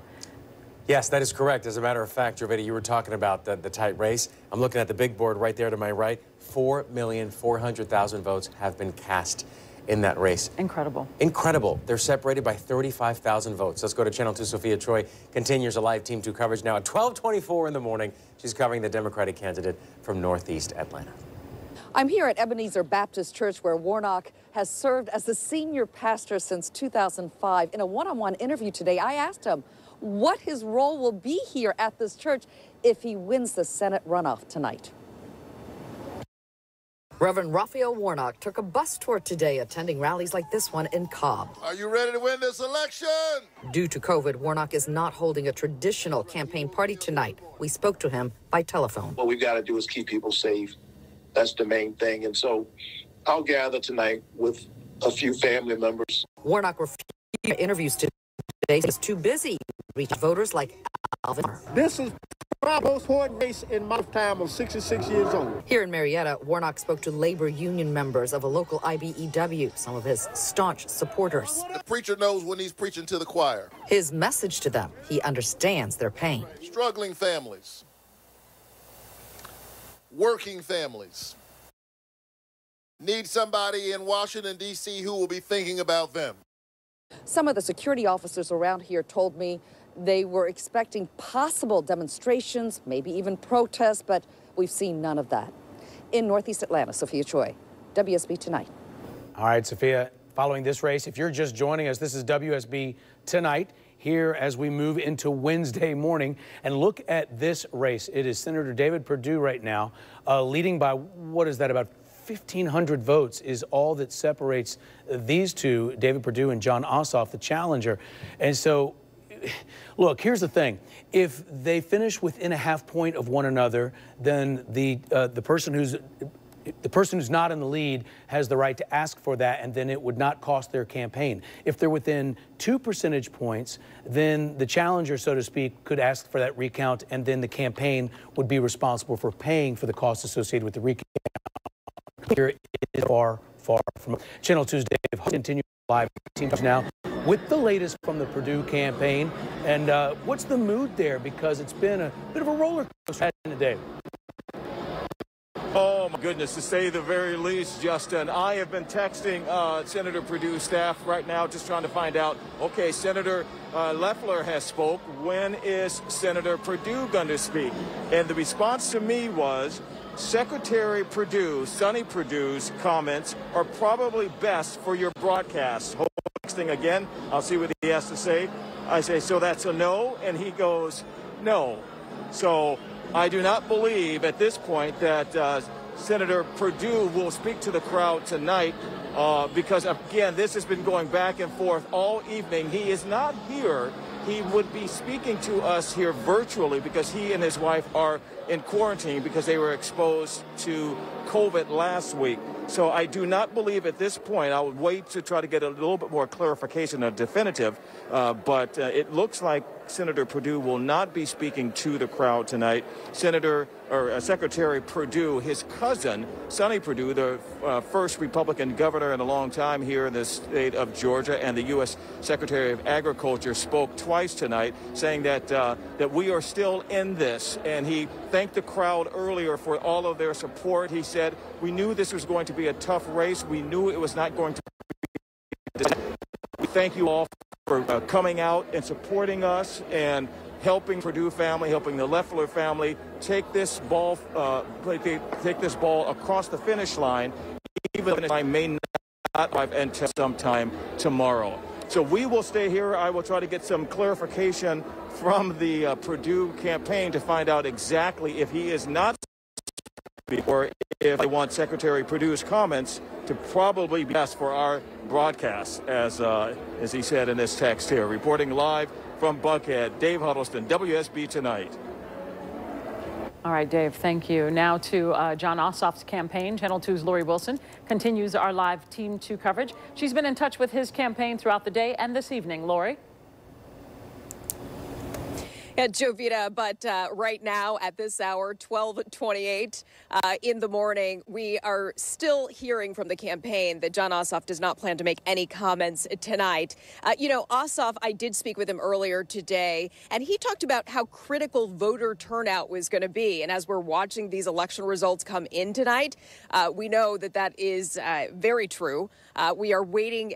some in some cases, they're so so close, especially these uh, this particular runoff race, showing just how divided um, Georgians are right now. But when I spoke with Ossoff, he talked about one of his main priorities being reuniting not just Georgians, but Americans. We can reunite this country behind the cause of defeating COVID 19. We are not one another's enemies. We're all in this together. We're just not being reminded of that sufficiently by our present political leadership. And Ossoff saying that one of his first priorities, if he were to become part of a Democrat uh, majority Senate, would be to get those $2,000 stimulus checks in the hands of Americans. Lori Wilson, live in Cobb County for WSB Tonight. All right, Lori, thank you so much. Back here at the big board, it is about 12:30 in the morning. I want to show you how close these races are. Then we're going to bring in Bill. First up, here it is, 50%, 50%. What separates them is just over a thousand votes. I'm going to click on this next 50%, 9.6%. What separates them? That's a little bit closer. It's about 30 something thousand votes. Let's go ahead and show you this one thing. Let's bring in Bill Crane while I do this. Excuse my back for everyone at home, but this is important, Bill. Watch what I'm going to do, Bill. Look at these numbers down here and everyone. I'm going to go around the metro. I'm going to hit Bartow County. These are counties that are 100 percent and they're typically red. Look at this number for Perdue 100% for Cherokee, 100% for 100% for Hall, 100% for Walton. Take a look at these numbers. Butts, 100%. Take a look at Spalding, 100%. Huge numbers. But now when you go on the inside, now look at this number for Ossoff. 100% Cobb, sure. Take a look at Fulton, almost at 100%. And then we have Douglas. But look at what happens with DeKalb, 87%. Then take a look here, Gwinnett, 100% as well. So the Metro is now reporting, but the difference, Bill, and explains this to people at home, the difference with the Metro having 10% left or 13%, that's a number. An out red county, correct? Cobb County had half the votes cast. Still out. It's going to be somewhere between 60,000. That's a bigger splash that's left in Roman County and some of those Republican counties. So as, we, as the numbers have closed up and the counties have come in, the Republicans did do what they needed to do in those Republican counties in terms of the percentages. The question is, did they get those raw votes? Because there's larger number of raw voters, particularly in DeKalb, Cobb, Gwinnett, and Fulton. And we still have absentee ballots to count in all four of those counties. Explain the raw vote and that ratio that you were talking about, because we're seeing what we saw in November. Explain that. It's very similar to where we were a little earlier on election night in November, where towards the end of the evening, when most of the counties were shutting down tabulation, the president's margin of victory had shrunk down to about 40,000 votes. And as we went into the overnight hours and those metro votes continued to come in, by the next day, Joe Biden around 3 o'clock in the afternoon surpassed the president. What we're seeing now is what's left is a smaller universe, but it's three of the large metro urban counties and about six other counties, two or three of which are Republican, two or three of which are Democratic. When you have a county like DeKalb with half a million votes, that's equivalent to about 10 of the major next tier size of counties. So Bibb County is about 100,000 in Macon and Bibb County. That's the next largest after the Metro County. That's another Democratic stronghold. So what remains to be tabulated thus far this evening has come in decidedly Democratic, which should say that except for Bubba McDonald's race, which he's the Republican incumbent on the Public Service Commission, who's been leading by a larger margin most of the evening, we'll probably see a swing overnight until they resume tabulation in the morning towards Jon Ossoff and towards Reverend Raphael Warnock based on the size of the counties that still have vote out. Now take a look at this map here. What I've done is I've done map to map. This is this live data, this race. You have Warnock and Loeffler. Look at this percentage here. People at home, 83.2% the Democrat here, 82.5% the Democrat here.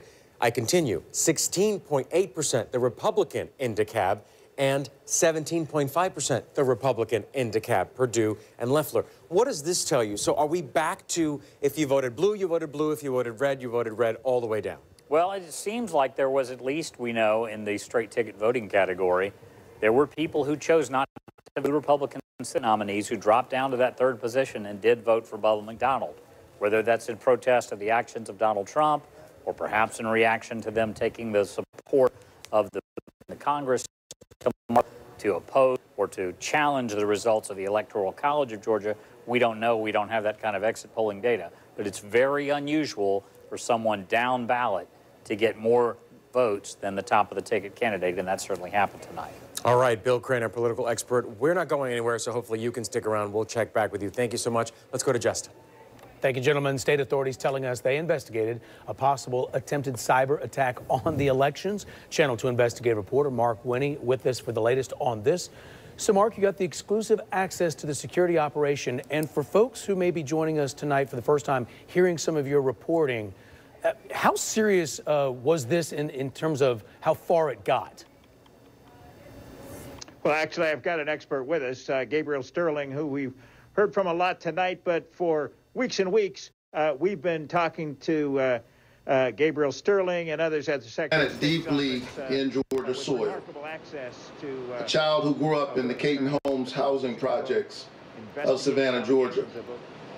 Number 11 out of 12 children. A proud graduate of Morehouse College and the pastor of Ebenezer Baptist Church, the spiritual home of Martin Luther King Jr. and Congressman John Lewis. A son of my late father, who was a pastor, a veteran, and a small businessman. And my mother, who as a teenager growing up in Waycross, Georgia, used to pick somebody else's cotton. But the other day, because this is America, the 82 year old hands that used to pick somebody else's cotton went to the polls and picked her youngest son to be a United States Senator. So I come before you tonight as a man who knows that the improbable journey that led me to this place in this historic moment in America could only happen here. We were told that we couldn't win this election. But tonight, we prove that with hope, hard work, and the people by our side, anything is possible. May my story be an inspiration to some young person who is trying to grasp and grab hold of the American dream. And so, Georgia, I am honored by the faith that you have shown in me. And I promise you this tonight. I am going to the Senate to work for all of Georgia. No matter who you cast your vote for in this election, in this moment in American history, Washington has a choice to make. In fact, all of us have a choice to make. Will we continue to divide, distract, and dishonor one another? Or will we love our neighbors as we love ourselves? Will we play political games while real people suffer? Or will we win righteous fights together, standing shoulder to shoulder, for the good of Georgia, for the good of our country? Will we seek to destroy one another as enemies or heed the call towards the common good, building together what Dr. King called the beloved community? Here's what I know. I know that we can beat this pandemic with science and good old-fashioned common sense. I know we can rebuild a fairer economy by respecting the dignity of work and the workers who do it. An economy that honors those whom we now call essential workers by paying them an essential wage and providing for them essential benefits. And so to everyone out there struggling today, whether you voted for me or not, know this. I hear you. I see you. And every day I'm in the United States Senate, I will fight for you. I will fight for your family. To our supporters, our incredible campaign team, and to my family, thank you from the bottom of my heart. And to every Georgian who marched with us, organized with us, prayed for us, fought for us, believed in us, or shared their story and their pain with us. Thank you for all of your love and support. In the words of Dr. King, who grew up just a few blocks from where I'm sitting right now, we are tied in a single garment of destiny. We are caught up in an inescapable network of mutuality. Whatever affects one directly affects all indirectly. I remember my dad in this moment. He used to wake me up every morning at dawn. It was morning, but it was still dark. It's dark right now, but morning comes. And scripture tells us that weeping may endure for the night, but joy comes in the morning. Let us rise up greet the morning, and meet the challenges of this moment. Together we can do the necessary work and win the future for all of our children. Thank you. God bless you, Georgia, and God bless these United States of America.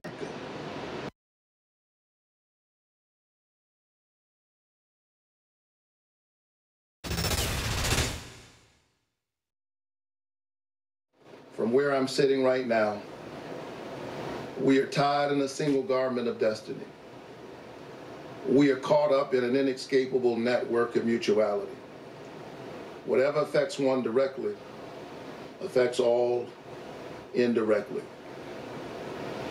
I remember my dad in this moment. He used to wake me up every morning at dawn.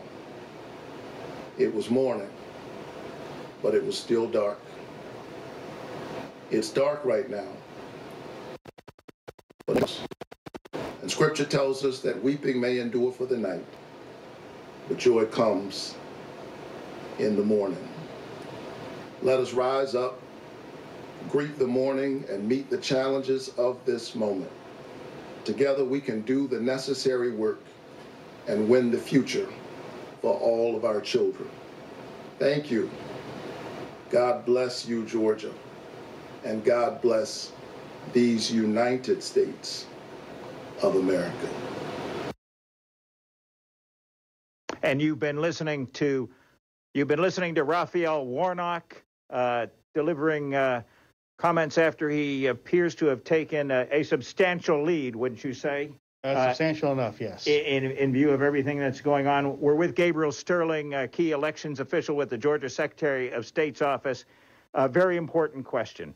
Based on what is outstanding now, based on what has yet to come in, is that are those things that are going to predominantly benefit the Democratic candidates? From what we're seeing right now, the majority, the outstanding vote, the absentees and the like, will be coming from the majority.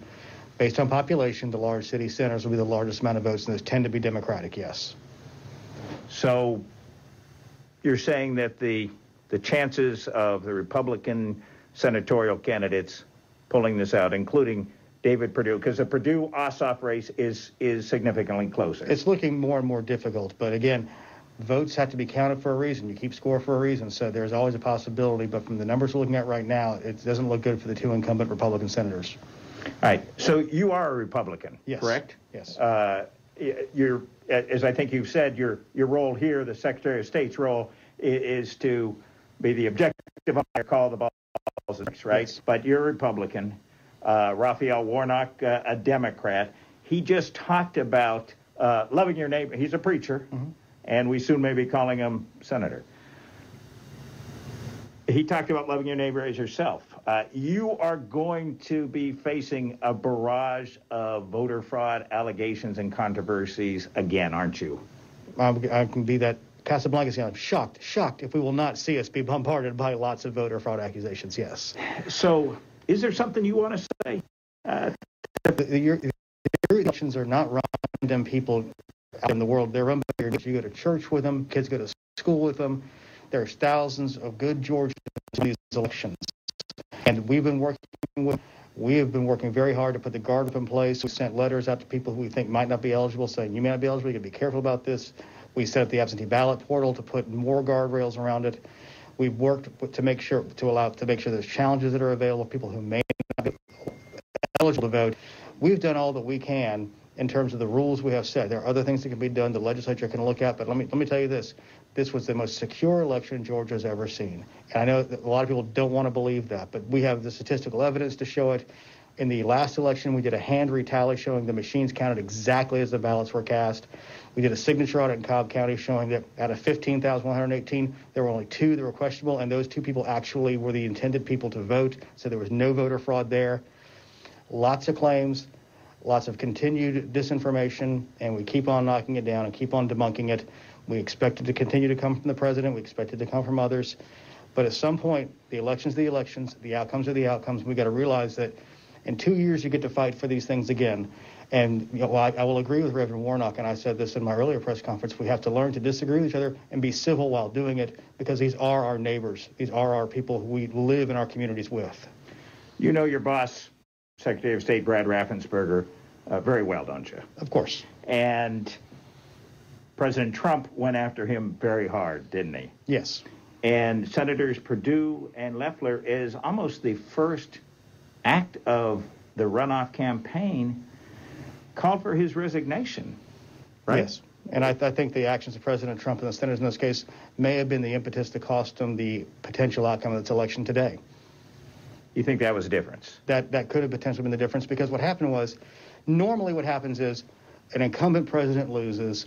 The people who won are happy. Their their votes depressed. The people who lose are angry, and they show up. And historically, in 1992 and, and 2004, that's what happened in Georgia. The Republicans won those Senate seats. This is the first time we've lost one. All right. Thank you, Gabriel Sterling.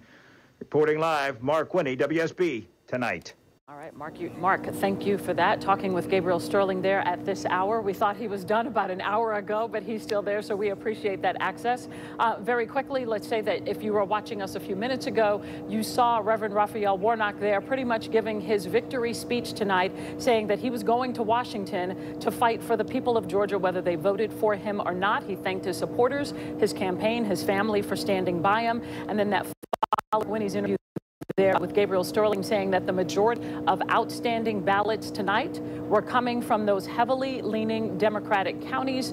And so Sterling saying that it looked as if Warnock would be the winner uh, of that Senate race and on his way to Washington. Election workers still at the Georgia World Congress Center tonight with a huge job ahead. Yes, despite everything we've heard from candidates and from officials, they're counting absentee ballots right now. So much work to do. A record number of you voted absentee during this election cycle. Channel 2 Washington. Live Team 2 coverage. It is happening late night or early counting. Uh, Audrey, officials are saying at least 70,000 people voted in Fulton County, and that's outstanding. What do we mean by uh, about 70,000 uh, voted today in Fulton County. That's according to officials. But I got to tell you guys, in about five minutes ago, in the past five minutes, I just got a new update from election workers here. They told me everything that you're seeing happening behind me, I'm going to step out just so I can show you. Uh, this is some of the activity still happening here at this hour. But election workers told me 4,000 absentee ballots are still being processed. So that's what you're seeing here. Uh, that means 4,000 absentee ballots that have not been scanned yet, haven't been uploaded. And that still has to be checked and, and gone through and everything like that. So when you think of the narrow margin between the candidates, that amount alone can make a significant difference, especially between the Ossoff and uh, Perdue race. So how long will this all go on for? I asked that specifically. They told us the cutoff time for uh, for Fulton County is 2 a.m. They said that they hope to get all of these remaining ballots, these absentee ballots. This is not day of ballots, meaning these are not the votes that were cast today. These are the votes that uh, were mailed in. They believe that they can get all of these ballots counted by 2 a.m., but if they do not get them counted by 2 a.m., they will stop everything happening at 2 a.m. on the dot and then resume um, at 9 o'clock tomorrow morning. So, again, at least 4,000 absentee mail in ballots still to be counted right here behind me in Fulton County.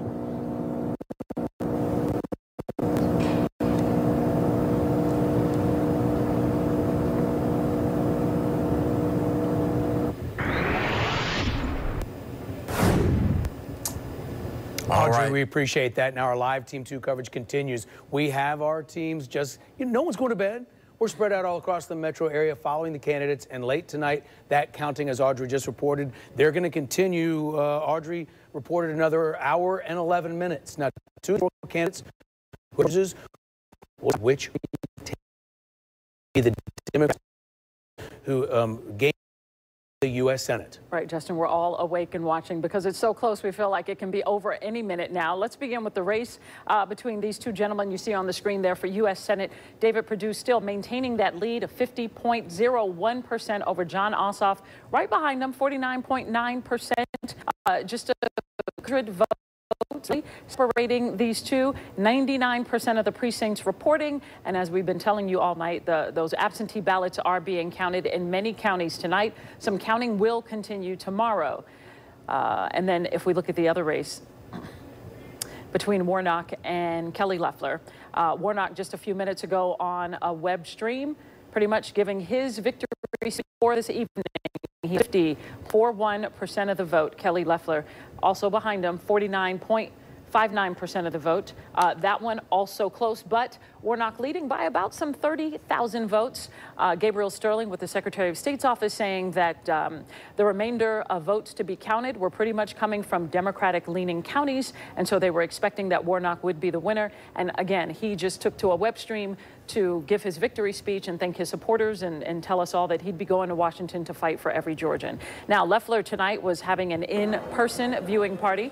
Channel 2's Richard Elliott continues our live Team 2 coverage from that party in Buckhead. We heard her talk just a few minutes ago. Richard? Yeah, what you heard was not a concession speech. It was kind of a wait until tomorrow speech. She got up there on that stage and told the uh, audience here that she believes that she has a path to victory. She did not know what that path be. She is around 35 votes down. Go on. We uh, would expect they would request a recount other things may have on the line as well. Here is supporters about an hour ago. It's worth it for this election to last. Make sure every vote, every, that's right.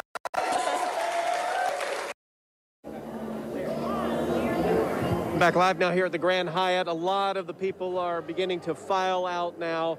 Uh, Kelly Loeffler again saying that she believed that there was some path to victory, but did not uh, give specifics as to what that path might be. Uh, we do know uh, Georgia GOP Chair David Shafer got up here earlier tonight He said, uh, uh, reiterated what the, we already knew that they had thousand volunteers, many of them from out of state, to actually serve as poll watchers in all 159 Georgia counties, 2,700 polling places. And he said they had those observers also in the places where the votes were being counted, and they were going to watch the votes uh, being counted. So uh, it's going to be very interesting to see what happens in case there are more accusations about voter fraud.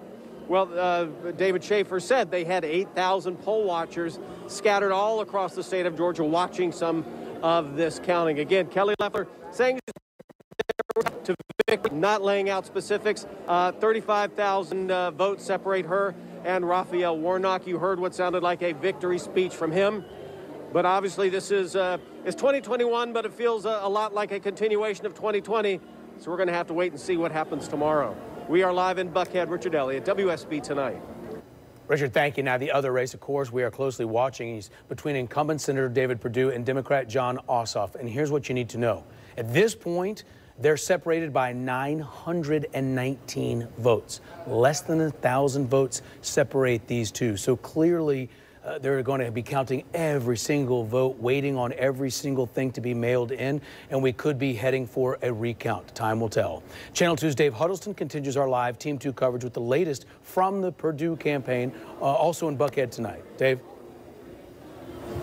Yeah, Justin, they also believe they have a path to even this tight race, they say having those military votes that are still ballots that are still out there, uh, 17,000 military ballots. They hope that will fall into Senator Perdue and help, but they realize the path to victory is a tough one with lots of twists and turns. And something that I've been hearing throughout the night, and that Gabe Sterling from the Secretary of State's office kind of, I guess, confirmed for us uh, during that interview with investigative reporter Mark Winne, is that if both Senators Kelly Loeffler and David Perdue lose these seats, that President Donald Trump owns some of that responsibility.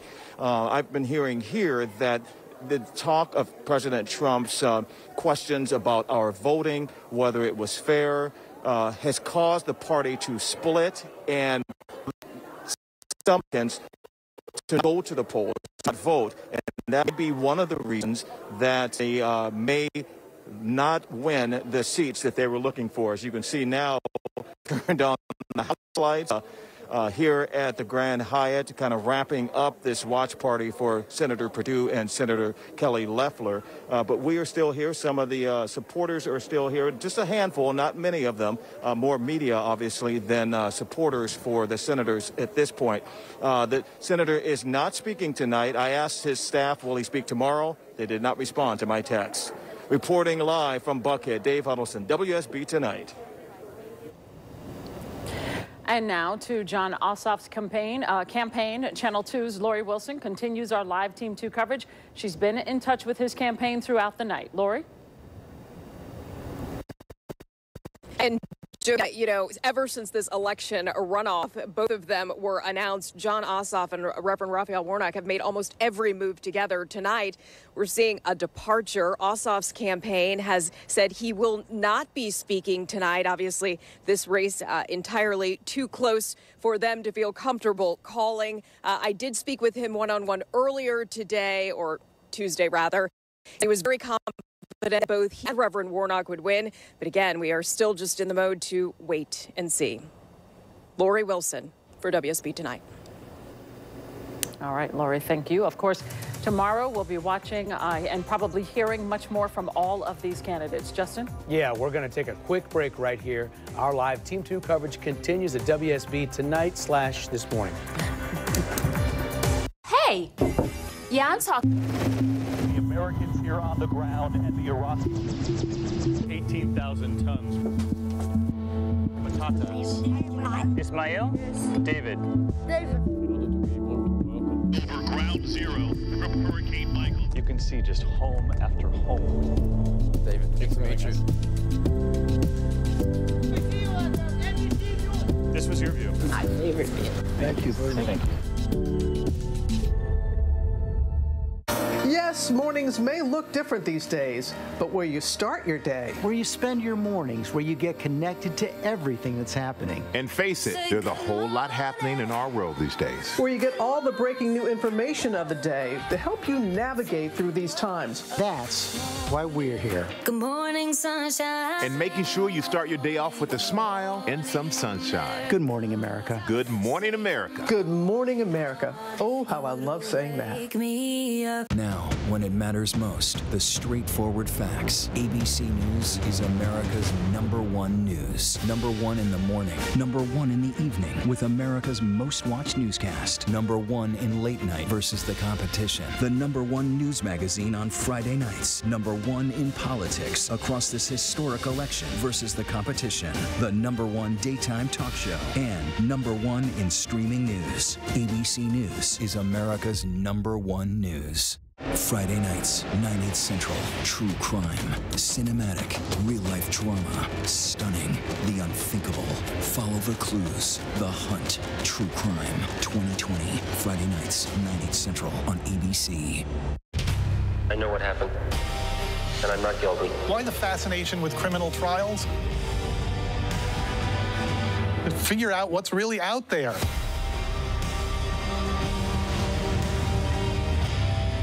This is what being live is all about. This is ABC News Live, the 24 7 streaming news source from ABC News. Breaking news, live events, streaming nonstop. Original breakthrough storytelling from ABC News, National Geographic, ESPN, and it's all designed differently for you to stream straight to any screen whenever you want. ABC News Live. Streaming everywhere, right to you. ABC News Live. It's that easy to go there.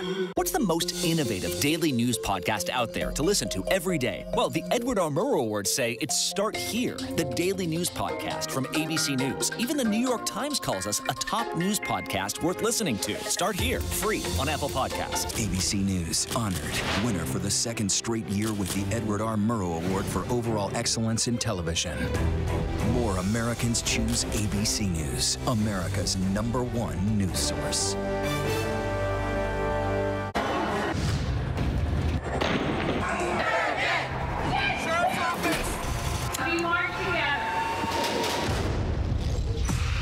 Most powerful stories of our time, anytime.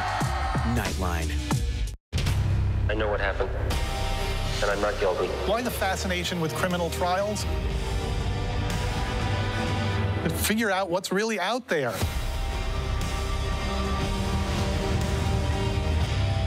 COVID 19. What can you do to help protect yourself? Where can you get your questions answered? The new daily podcast from ABC News with Dr. Jeff. Officially 1 o'clock in the morning, the day after the Senate runoff here in Georgia, and we are still going because there are decisions to be made. Thank you for sticking around. I'm George Estevez. Decisions to be made, George, but you know, most of the national pundits have called it for the night. But we are still here bringing you what's happening here in Georgia as we continue to watch numbers come in. I'm Jovita Moore. Great to see everyone. Uh, I'm Justin Farmer. Our whole team's been working throughout this day. It's really been astounding. And check this out, you guys. When we look at these races, here's how close things are. You have a 919 vote. It's an 919 vote lead right now for Senator David Perdue, the Republican, over Democrat challenger Jon Ossoff. So that's a long way from being finished. Now, the other one, Jovita, is not quite as tight. Mm-hmm. That's right. So let's take a look now. Raphael Warnock just within the hour declaring victory here tonight. 50.4% of the vote over uh, Kelly Loeffler's 49.5%. Uh, lots of votes cast there, but there was a difference of about 30, 35,000. 99% uh, of the precincts reporting by midnight. We do know that absentee ballots still outstanding in many counties across uh, the state, but those counties considered to be heavily Democratic, and most of those uh, absentee ballots are pretty much decided that they would be going to Warnock. So he has declared victory. He says he's going to Washington to fight for all of the people of Georgia. Yes, a closer race for Ossoff when talking about Ossoff v. Perdue. But again, so many votes still out there. And as that number, Jovita and Justin, next to 99% of the precincts reporting, some absentees are still outstanding in both of these races, Jovita. And we're still here watching the numbers come in because at one point everyone was thinking that they were going to be wrapped up by about 2 a.m. So we figured that's not too late. We'll stay on the air and see what happens. Channel 2's Matt Johnson continues our live Team 2 coverage now. He's at the center of it all, or the place that's the center of it all, is the Secretary of State's Command Center. Matt, what can you tell us tonight?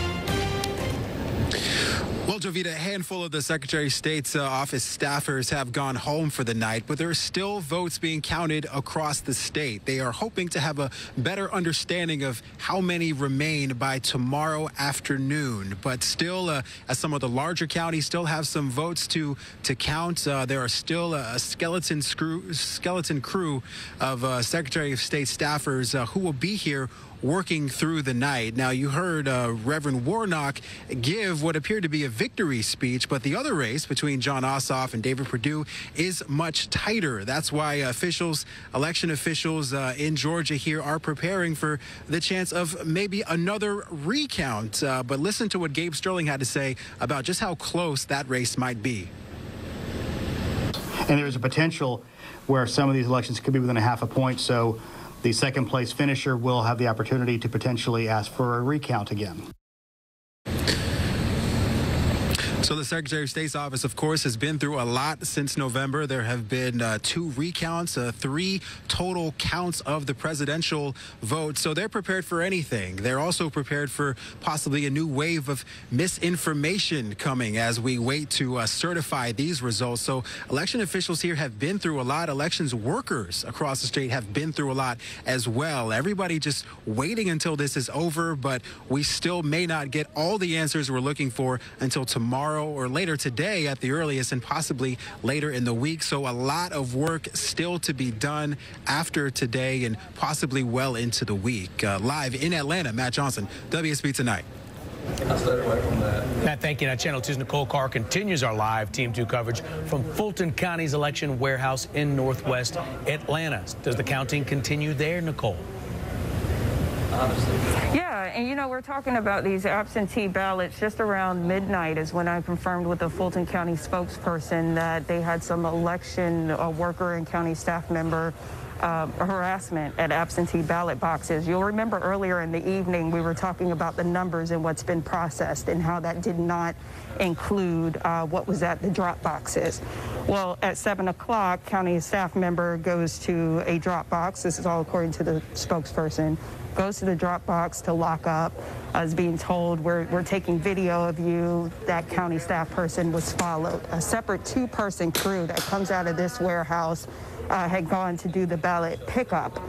And uh, that crew was also followed to the Georgia World Congress Center. We know that's where we saw Audrey Washington earlier in the day. And we know that's where the absentee ballots are processed. Uh, when they were followed into a parking deck, that's where police met the crew, and so that was broken up there. Uh, so, so two confirmed instances of election worker harassment that they've dealt with. Uh, that may have held up getting some of those ballots into the hands of the workers who are still working at the Georgia World Congress Center, and whatever leaves there, you know, comes here for the final count.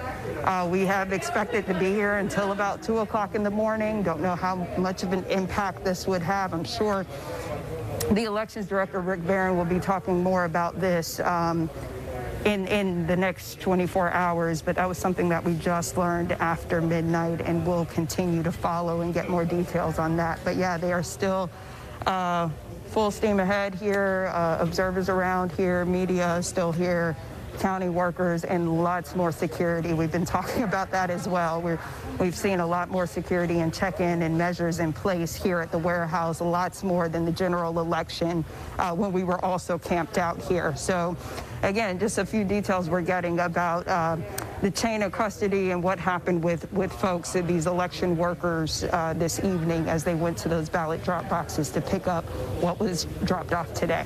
I'll send it back to you guys live in Atlanta. Nicole Carr, WSB Tonight.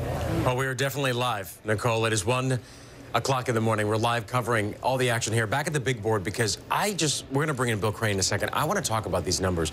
Take a look right here. We have 50% and 50%. How often do you see this on election night? Probably not often. What separates these guys? About 1,200 votes. I'm going to click on the Warnock and Loeffler race. Take a look at this 50.4, 49.6. What separates these guys? About 35, 36,000. Let's go ahead and bring in political analyst Bill Crane. Bill, uh, we're glad you stuck around because what Nicole was talking about is those drop boxes. What we were talking about earlier, Bill Crane, is the fact that there's some absentee voting out there. We're talking about earlier is the fact there's military votes out there. So, Bill, what is out there? Where is it leaning? You heard Gabe Sterling pretty much say, not looking too good for the Republicans. What do you think?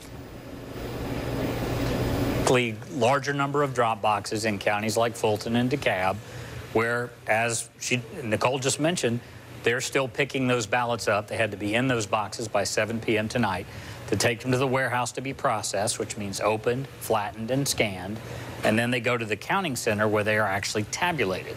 But those 4,000 ballots that dropped in earlier from Fulton County, there's more that are coming in today. There's a, probably a like number in DeKalb. Those two counties are voting in favor of the Democratic candidates in the 70 to DeKalb, 82% range. Those numbers will continue to run up the, the margin for Raphael Warnock over Kelly Loeffler and could put Jon Ossoff back in the winners column, but still within the margin of error of half a percent. So there will be a, a request for a recount. And we don't know on those 17,000 military ballots how those will be split. Those will not be available until Friday, which is also the deadline for absentee ballots that have any trouble to be cured.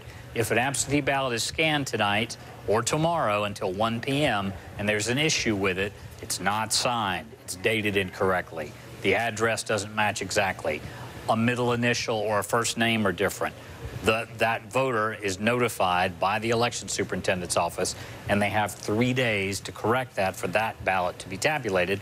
On the Democratic side, Fair Fight Georgia and Georgia Votes are working literally picking up those lists on a daily basis, and if some cases going to the voters' households. There is no comparative organization on the GOP side. All right, so right now, uh, my back's to the camera because I'm actually going ahead and taking a look at DeKalb County for both these races. 2021 live results. 88% DeKalb County results precincts reporting, and we have this number right here, 82.5 to 17.5. When I go to the other race over here with 88% reporting in DeKalb County, we have 83 to 16. The numbers are supposed to do what they're doing. Tell us, what does 12% more votes in DeKalb mean for these well, races? It does depend on where the precincts are that are outstanding. A precinct in Dunwoody doesn't necessarily vote at the same as a precinct in Lithonia or Stonecrest. But the county, overwhelmingly, with the exception of the northern suburbs up around Dunwoody and Brookhaven, is going in the Democratic column. So we don't know where those 12% precincts remaining are or the absentee ballots that haven't been pulled in yet. But the county is trending overwhelmingly it, by the largest margin in the state, more than 80% towards the Democratic candidates. So the bulk of those ballots as they come in will go in those columns. All right, so is that why, Bill, we saw what we can only describe as some sort of acceptance speech from Raphael Warnock and nothing from Jon Ossoff? Explain what we saw there. Well, I, it looked like it was probably taped earlier, and maybe he had two speeches, one for a victory speech, one for a concession. I don't know, but it did look like that had been put together earlier and wasn't live. When I'm sure they had a threshold they were looking for. 30,000 votes is more than a half a percentage point with 4 million votes cast. As long as they're on the upside of that, closer to one or two percentage points, and they're not that far ahead, with more ballots still out that'll come in their favor, there's that comfort level. I would have suggested if I was the campaign consultant, they would might have waited a little bit more, thanked all of their voters and supporters where they are right now, and says it looks really good that this time next week I'll be talking to you from Washington and then back talking with my parishioners on Sunday. I, I think you also want to give your opponent the opportunity to concede, and there are still ballots being counted. Again, and they will be counted tonight, tomorrow, and for days to come. It looks like Bill Crane put you on standby. Thank you so much for that conversation and for that analysis. Take Justin. care. Now let's take a chance to get back live to Channel 2's Mark Winne, who is with the Secretary of State's office tonight, and Gabriel Sterling, who maybe had visions of going to bed a couple of hours ago, but it's just not going to happen. we have close races. Mark Winne. Yeah, actually, Gabriel Sterling was, uh, I think he was in his car. Uh, but uh, listen, uh, so uh, Reverend Raphael Warnock gave what probably sounded to uh, many people like a victory speech. Um, Senator Kelly Loeffler, just minutes before that, uh, seemed pretty clear in sending a signal she wasn't conceding. But one of the things that Reverend Warnock said, he quoted the scripture, joy comes in the morning. When do you think definitive results will come? I think we'll have enough results in probably by lunch tomorrow, so it will be in the morning that we'll see the final amounts. That's not to say there will be ballots outstanding, but I think looking at what's out, the potential margins will mean we'll probably have a really clear idea by lunch tomorrow who won and who lost these races. Uh, in other words, a definitive view of uh, the winners and the losers for most people. Uh, definitely. But controversy, without a doubt, will continue. Anytime there's a race this close, um, people are going to have honest questions to ask when it's that close. All right. So, what kinds of ballots are, are still outstanding? The biggest chunk we've seen, we know there's a big chunk in DeKalb, about 18,000 advance votes. Then we have an unknown amount of absentee ballots that came in today. We know that there's an outward bound in each one of those. I think Fulton had 4,000 come in today that I might have been more than that. I know they're still working. They, they just knocked off a couple of minutes ago. They're going to come back in at 8 in the morning. We know there's a certain amount that came in in Chatham, but they have two split boards. We really only work one of them and directly in terms of the vote counting. So we'll have an answer on that in Savannah. So mainly it's going to be the absentees that came in today that we're going to see coming in. Now, don't forget, we also have the absentees that can be cured if there's a signature issue mm-hmm. or the, the provisionals that can be verified. And all that can be done by Friday. And of course, the one everybody asks about is the military and overseas ballots that if they are postmarked today, they are accepted through Friday close of business. And there'll also be some provisional ballots. And a handful right? of provisional ballots any of those expected to change the the character of and, and it's not over till it's over, right? But any of those, in your experience, expected to change the character of where we see the results right now? Well, in general, what you're going to see is the absentee ballots are going to fall along population lines. So the population centers, Atlanta, Augusta, uh, Macon, Columbus, Savannah, tend to be Democrat strongholds. So the absentee ballots that we expect to see will likely lean more Democratic. Now, there's lots of other counties that are around, but they had so few of them, they were able to count to finish them tonight. So we won't see the corresponding more rural counties that have the Republican votes to balance those out as they come in through, through the morning tomorrow. And refresh our viewers on how a recount can happen. If a candidate is within a half a percent of the final results, they have the right to ask for a recount that is done through rescanning the actual physical ballots, all of them. Particularly Perdue Ossoff, do you think that it's foreseeable that may be within a half a percent? Of the three races, that is the most likely to be within a half a percent, yes. And, and, we anticipate whoever comes in second right now, it looks like it might be Senator Perdue. We can't tell for certain. Either way, Ossoff or Perdue, whoever's in second, if they're within a half a percent, they will have that right under Georgia law to ask for that recount. What can you say? And, and we've asked you these kind of questions a lot in recent weeks. What can you say to assure Republicans, Democrats, Libertarians, Independents that this election runoff was handled fairly and securely? Why should people believe in this system with all the shots that it's taken lately? Well, for the first time in 20 years, we have a paper ballot, which gives us the ability to have can, to have voters look at that ballot, hold it in their hand, say, yes, I have a record of my vote. Before, the most things we were told it was was a beep, and then you said, hey, there's your vote. There was no record. Now we have a trail, and you can't hack paper. That's one of the biggest things. And when we did the review in the audit, um, we hand tallied all 5 million plus ballots, it showed that without a single doubt, the machinery scanned those ballots properly and correctly. The secondary thing that's opened up on that is a signature matching, which we reminded the counties is a public process. So we had counties literally pulling their stuff out into the lobbies to allow people to watch them. Tonight we had some counties that weren't being as transparent as we might like. So the, the, we worked with them. They also went to had to go to a court. The Republicans had to do that in Fulton County, and it set up some extra parameters. But they, we've tried to assure there's enough transparency and enough of a public process. And I know the Republicans, Democrats both really loaded up on observers for this time. So I anticipate. I mean, they, people should have faith in this because we've been transparent. We have a paper trail. We did audits that show that the machines tally exactly as the votes were cast. And have you had any reports that any of the counties were given the observers a hard time this time around? Um, there's a couple of reports of that. I mean, Ful- Fulton, there was an argument about the distance at which they could stand to watch some of those things and some opaque barriers. They went to court this afternoon. The Republicans, they got a consent order to basically allow for closer inspection, take down the opaque barriers, which they shouldn't have had those opaque barriers to begin with. But there's a few things here and there. But at 159 counties, you're always going to have some people who are going to be siding hev- more heavily on the security side than on the transparency side.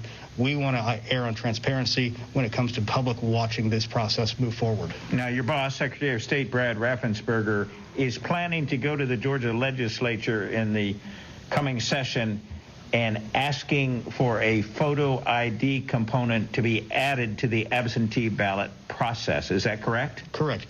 And we de facto have done that through the request process in the portal, which he already established. But what we want to move to is something essentially that you can put your driver's license or social security number, like some states already have, to use that as your unique identifier because the issue with the signature match is it is subjective. When you have a, a unique PIN ID, that is not subjective. It is objective. It is binary. Either the number matches or the number doesn't match, so we know you are who you say you are. Does that suggest that there's a gap there, or is, is this redundancy? Which is it? This is more of a redundancy thing, A, and B, it's a confidence thing because people, these signature matches have been attacked so much. And we've always thought it was subjective. We've been talking about this for over two years, but you know, you can't get everything at once you want in a bill. We our, our big thing we had to get in HB 316 from 2019 was changing over to this particular type of ballot system, which we haven't had in 20 years in the state. Now, there there is uh, an online means uh, of uh, supplanting the signature match. Mm-hmm. As a, as, uh, tell us about that, that portal. Uh, the, the secretary had us build out a, a an absentee portal for online requests, and using that you can use driver's license, first name, last name, county, and year of birth, and those are five identifying points that shows you are who you say you are. The way we would then take that same kind of data, you could do that on a paper form. You could put that in in a, in a way to co- to protect the p- personal private identity. And then you have to do it also for the ballot return. Right now, the ballot return is only being done with signature match. If we can find a way to keep that inside a security fold, so people can look at that and then say, yes, this is the right person, separate the ballot from that, and you have a unique identifying pin the same way you do for the request. Realistically, uh, when do you expect for this runoff election to be officially done with? Well, the law calls for the counties to be able to do their certifications by the second Tuesday after the, or second Friday after this election, which is 10 days. And the state has seven days after that. Our hope is that all the counties will get their stuff done faster than that so that we can certify the election faster than that. We would hope to have it by done by the beginning of the week after the counties are done certifying everything. You have dozens and dozens, you meaning the Secretary of State's office investigations division has dozens and dozens of investigations underway, some of them in concert with uh, the GBI uh, into allegations involving election fraud or or other allegations, correct? Correct. And you may come up with more out of this. Do you anticipate that there will be, based on what you know of where some of those investigations are going, do you anticipate that there will be recommendations made to the Georgia Attorney General's office uh, for any charges out of those? I can't know for certain, but it's, at the end of the day, that is a state election board decision. Our investigators work in conjunction will bring these cases to the state election board, and they will do make the decision as to what they should do. Oftentimes, it's a, it's a letter of instruction, but if it looks like actual criminality, they can refer it to a local DA, the Attorney General's office, and in some unique cases, to the U.S. Attorney if there's potentially a federal issue that has been broken. If somebody had told you in October, you know, that your Republican boss, who is uh, was a Trump contributor, right, uh, would have this relationship with President Trump, uh, that you'd be standing here tonight uh, dealing with this kind of outcome, what would you have said? I would have said something really bizarre must have happened. But in fact, something really bizarre didn't happen. We had a, an election in this state in a very you know competitive state. Let's remember, two years ago, Stacey Abrams came within 50,000 votes of beating Brian Kemp for governor. This isn't a shock. Cobb County and Gwinnett County flipped. And one of the things we saw with the outcomes tonight, and this was noted by uh, somebody on Twitter earlier, over the last two months, we've seen the President of the United States attack Governor Kemp and Secretary Raffensperger more than he ever did Reverend Warnock or Jon Ossoff. You have formerly been in the campaign business, is that right? In the past, in the past. What was going on inside you when you're watching what's unfolding? What's been unfolding? well, it's, it's been, as, as you've seen from most of my press conferences, it's frustrating because if the president hadn't taken the actions and steps that he had, starting with calling on having the senators have to ask my boss, Secretary Raffensperger, to step down, that started this whole cascade of events that led us to tonight. And I'm watching it going, this is just a circular firing squad, and y'all have the president. This made no tactical sense for me from that part of my brain. And I didn't understand it then. I, I, heard some justifications of they wanted to keep some of the Trump base really ginned up. And I was like, well, you don't do that by attacking your own team. And it never made sense.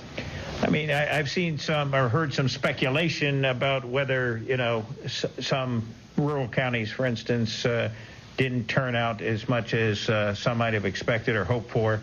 But have you seen any hard data uh, that backs up whether there was or was not uh, lower turnout in some Republican strongholds? I haven't been able to look at the data directly because I've been so focused on getting all the data in and making sure it's right and proper for me to really sit back and do an analysis of it. Now, I've seen other people whose judgment I trust to say that we saw some of the Republican areas sort of turned their turnout was not as high as it should have been going into this compared to the Democrat turnout. The Democrats kept their their energy level up. The Republicans kind of kicked it back up in the last week, but they lost a lot of ability in the front end. And the Democrats did a very good job of banking their votes early.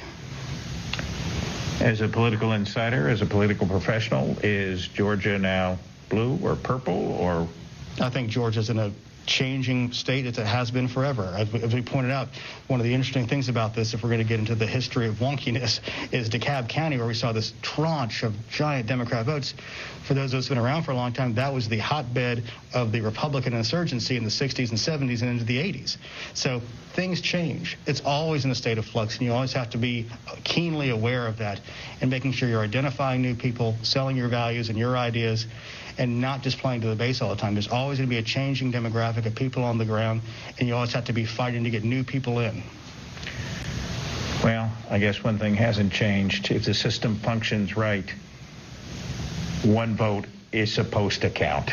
And every vote has counted in every one of these elections. So I think we've proven that through the series of elections this year. And the, the elections workers who had to fight through a new election system, paper ballots, new rules, COVID, recounts, retallies, audits. They should be commended and thanked by every Georgian as, as, they see them out there doing that work. These are their friends and neighbors who have run really great elections under really dire, stressful circumstances. All right, so I have a suspicion that uh, we have not done our last interview this week about election security. Uh, but I appreciate uh, you being so patient and transparent uh, with Channel 2's viewers uh, and with us and uh, sticking around at this hour uh, to continue to give us information. Well, thanks, thank Mark. you very it's much. a pleasure. it's Gabriel Sterling from the Georgia Secretary of State's office.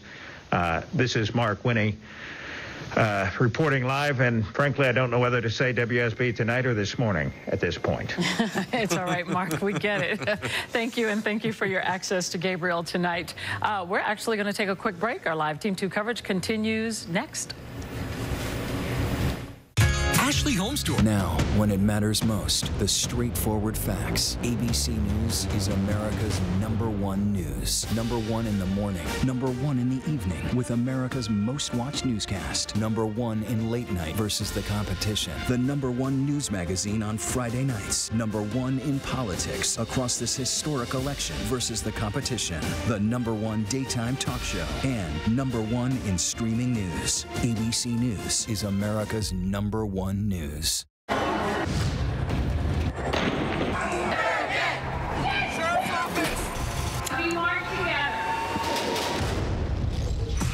The most powerful stories of our time, anytime.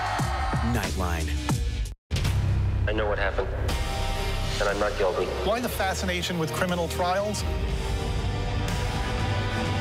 Figure out what's really out there.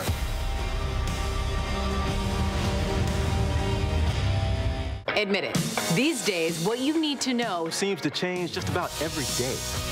What is it that you really want to know, need to know? To help you not just get through your day, but to make the most of it. Feel smarter. Feel better. Feel happier. Well, how about a third hour of Good Morning America in the afternoon? GMA 3, what you need to know. Lunchtime at 1 Eastern, 12 Central and Pacific on ABC. It's all about you. What you're seeing right now, this is part of the eye wall. This procession of migrants goes back two miles. There is going to be catastrophic damage. This fire has made a run. You can see those flames shooting up into the sky. We are on the jam-packed red carpet. To the right, guys. So this is the fourth weekend of protest.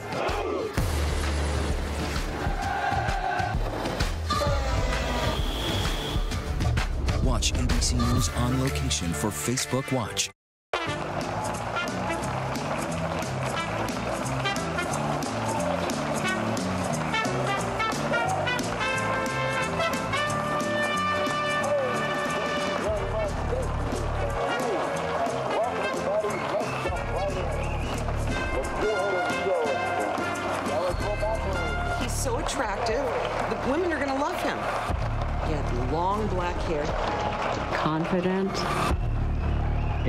Just about to make his primetime debut.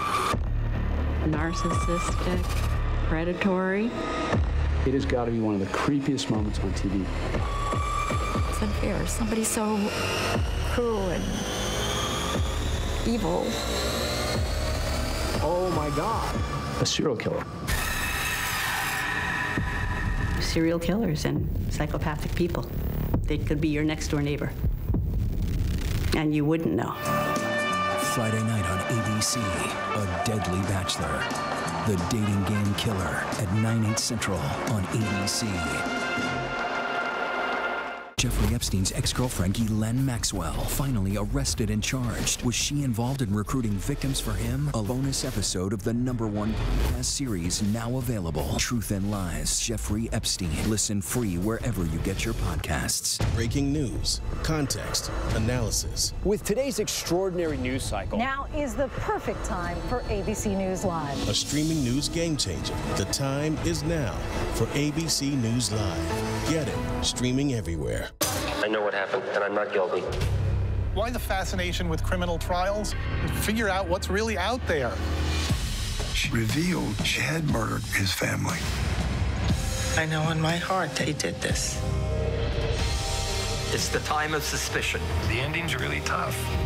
You don't know whether truth is going to be difficult to find unless you try to find it.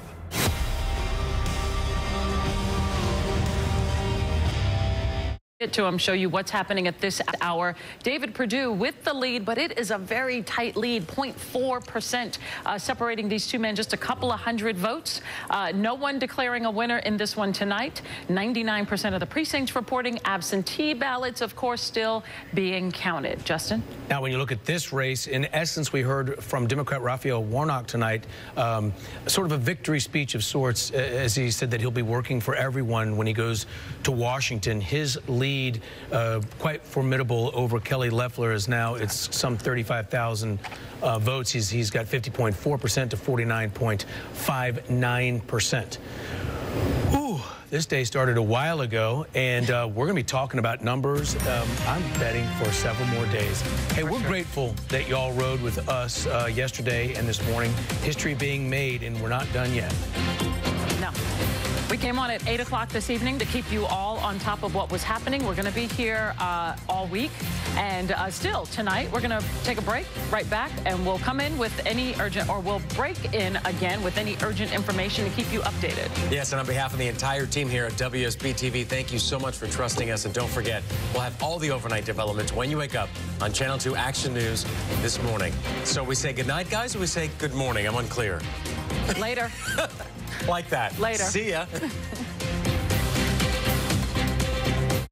Yes, mornings may look different these days, but where you start your day, where you spend your mornings, where you get connected to everything that's happening. And face it, there's a whole lot happening in our world these days. Where you get all the breaking new information of the day to help you navigate through these times. That's why we're here. Good morning, sunshine. And making sure you start your day off with a smile and some sunshine. Good morning, America. Good morning, America. Good morning, America. Oh, how I love saying that. What's the most innovative daily news podcast out there to listen to every day? Well, the Edward R. Murrow Awards say it's Start Here, the daily news podcast from ABC News. Even the New York Times calls us a top news podcast worth listening to. So if you like getting behind the biggest news stories of the day, inside all the details, the backstory, and what will happen next, then listen to Start Here, the daily news podcast from ABC News. It's like no other news podcast out there. Even the critics agree. Listen free on Apple Podcasts. Another week in America, a country facing a new test now. The Wuhan airport, almost no one here. The last flight out of Rome. This is the nursing home just outside Seattle. Dozens of people were just rushed off this cruise ship. This is ground zero. It is shut down. Another ambulance just pulled out. Now they're headed to the hospital. Time is of the essence. You can see the ship behind me. This is the first time tests have been done here. Morning, afternoon, evening,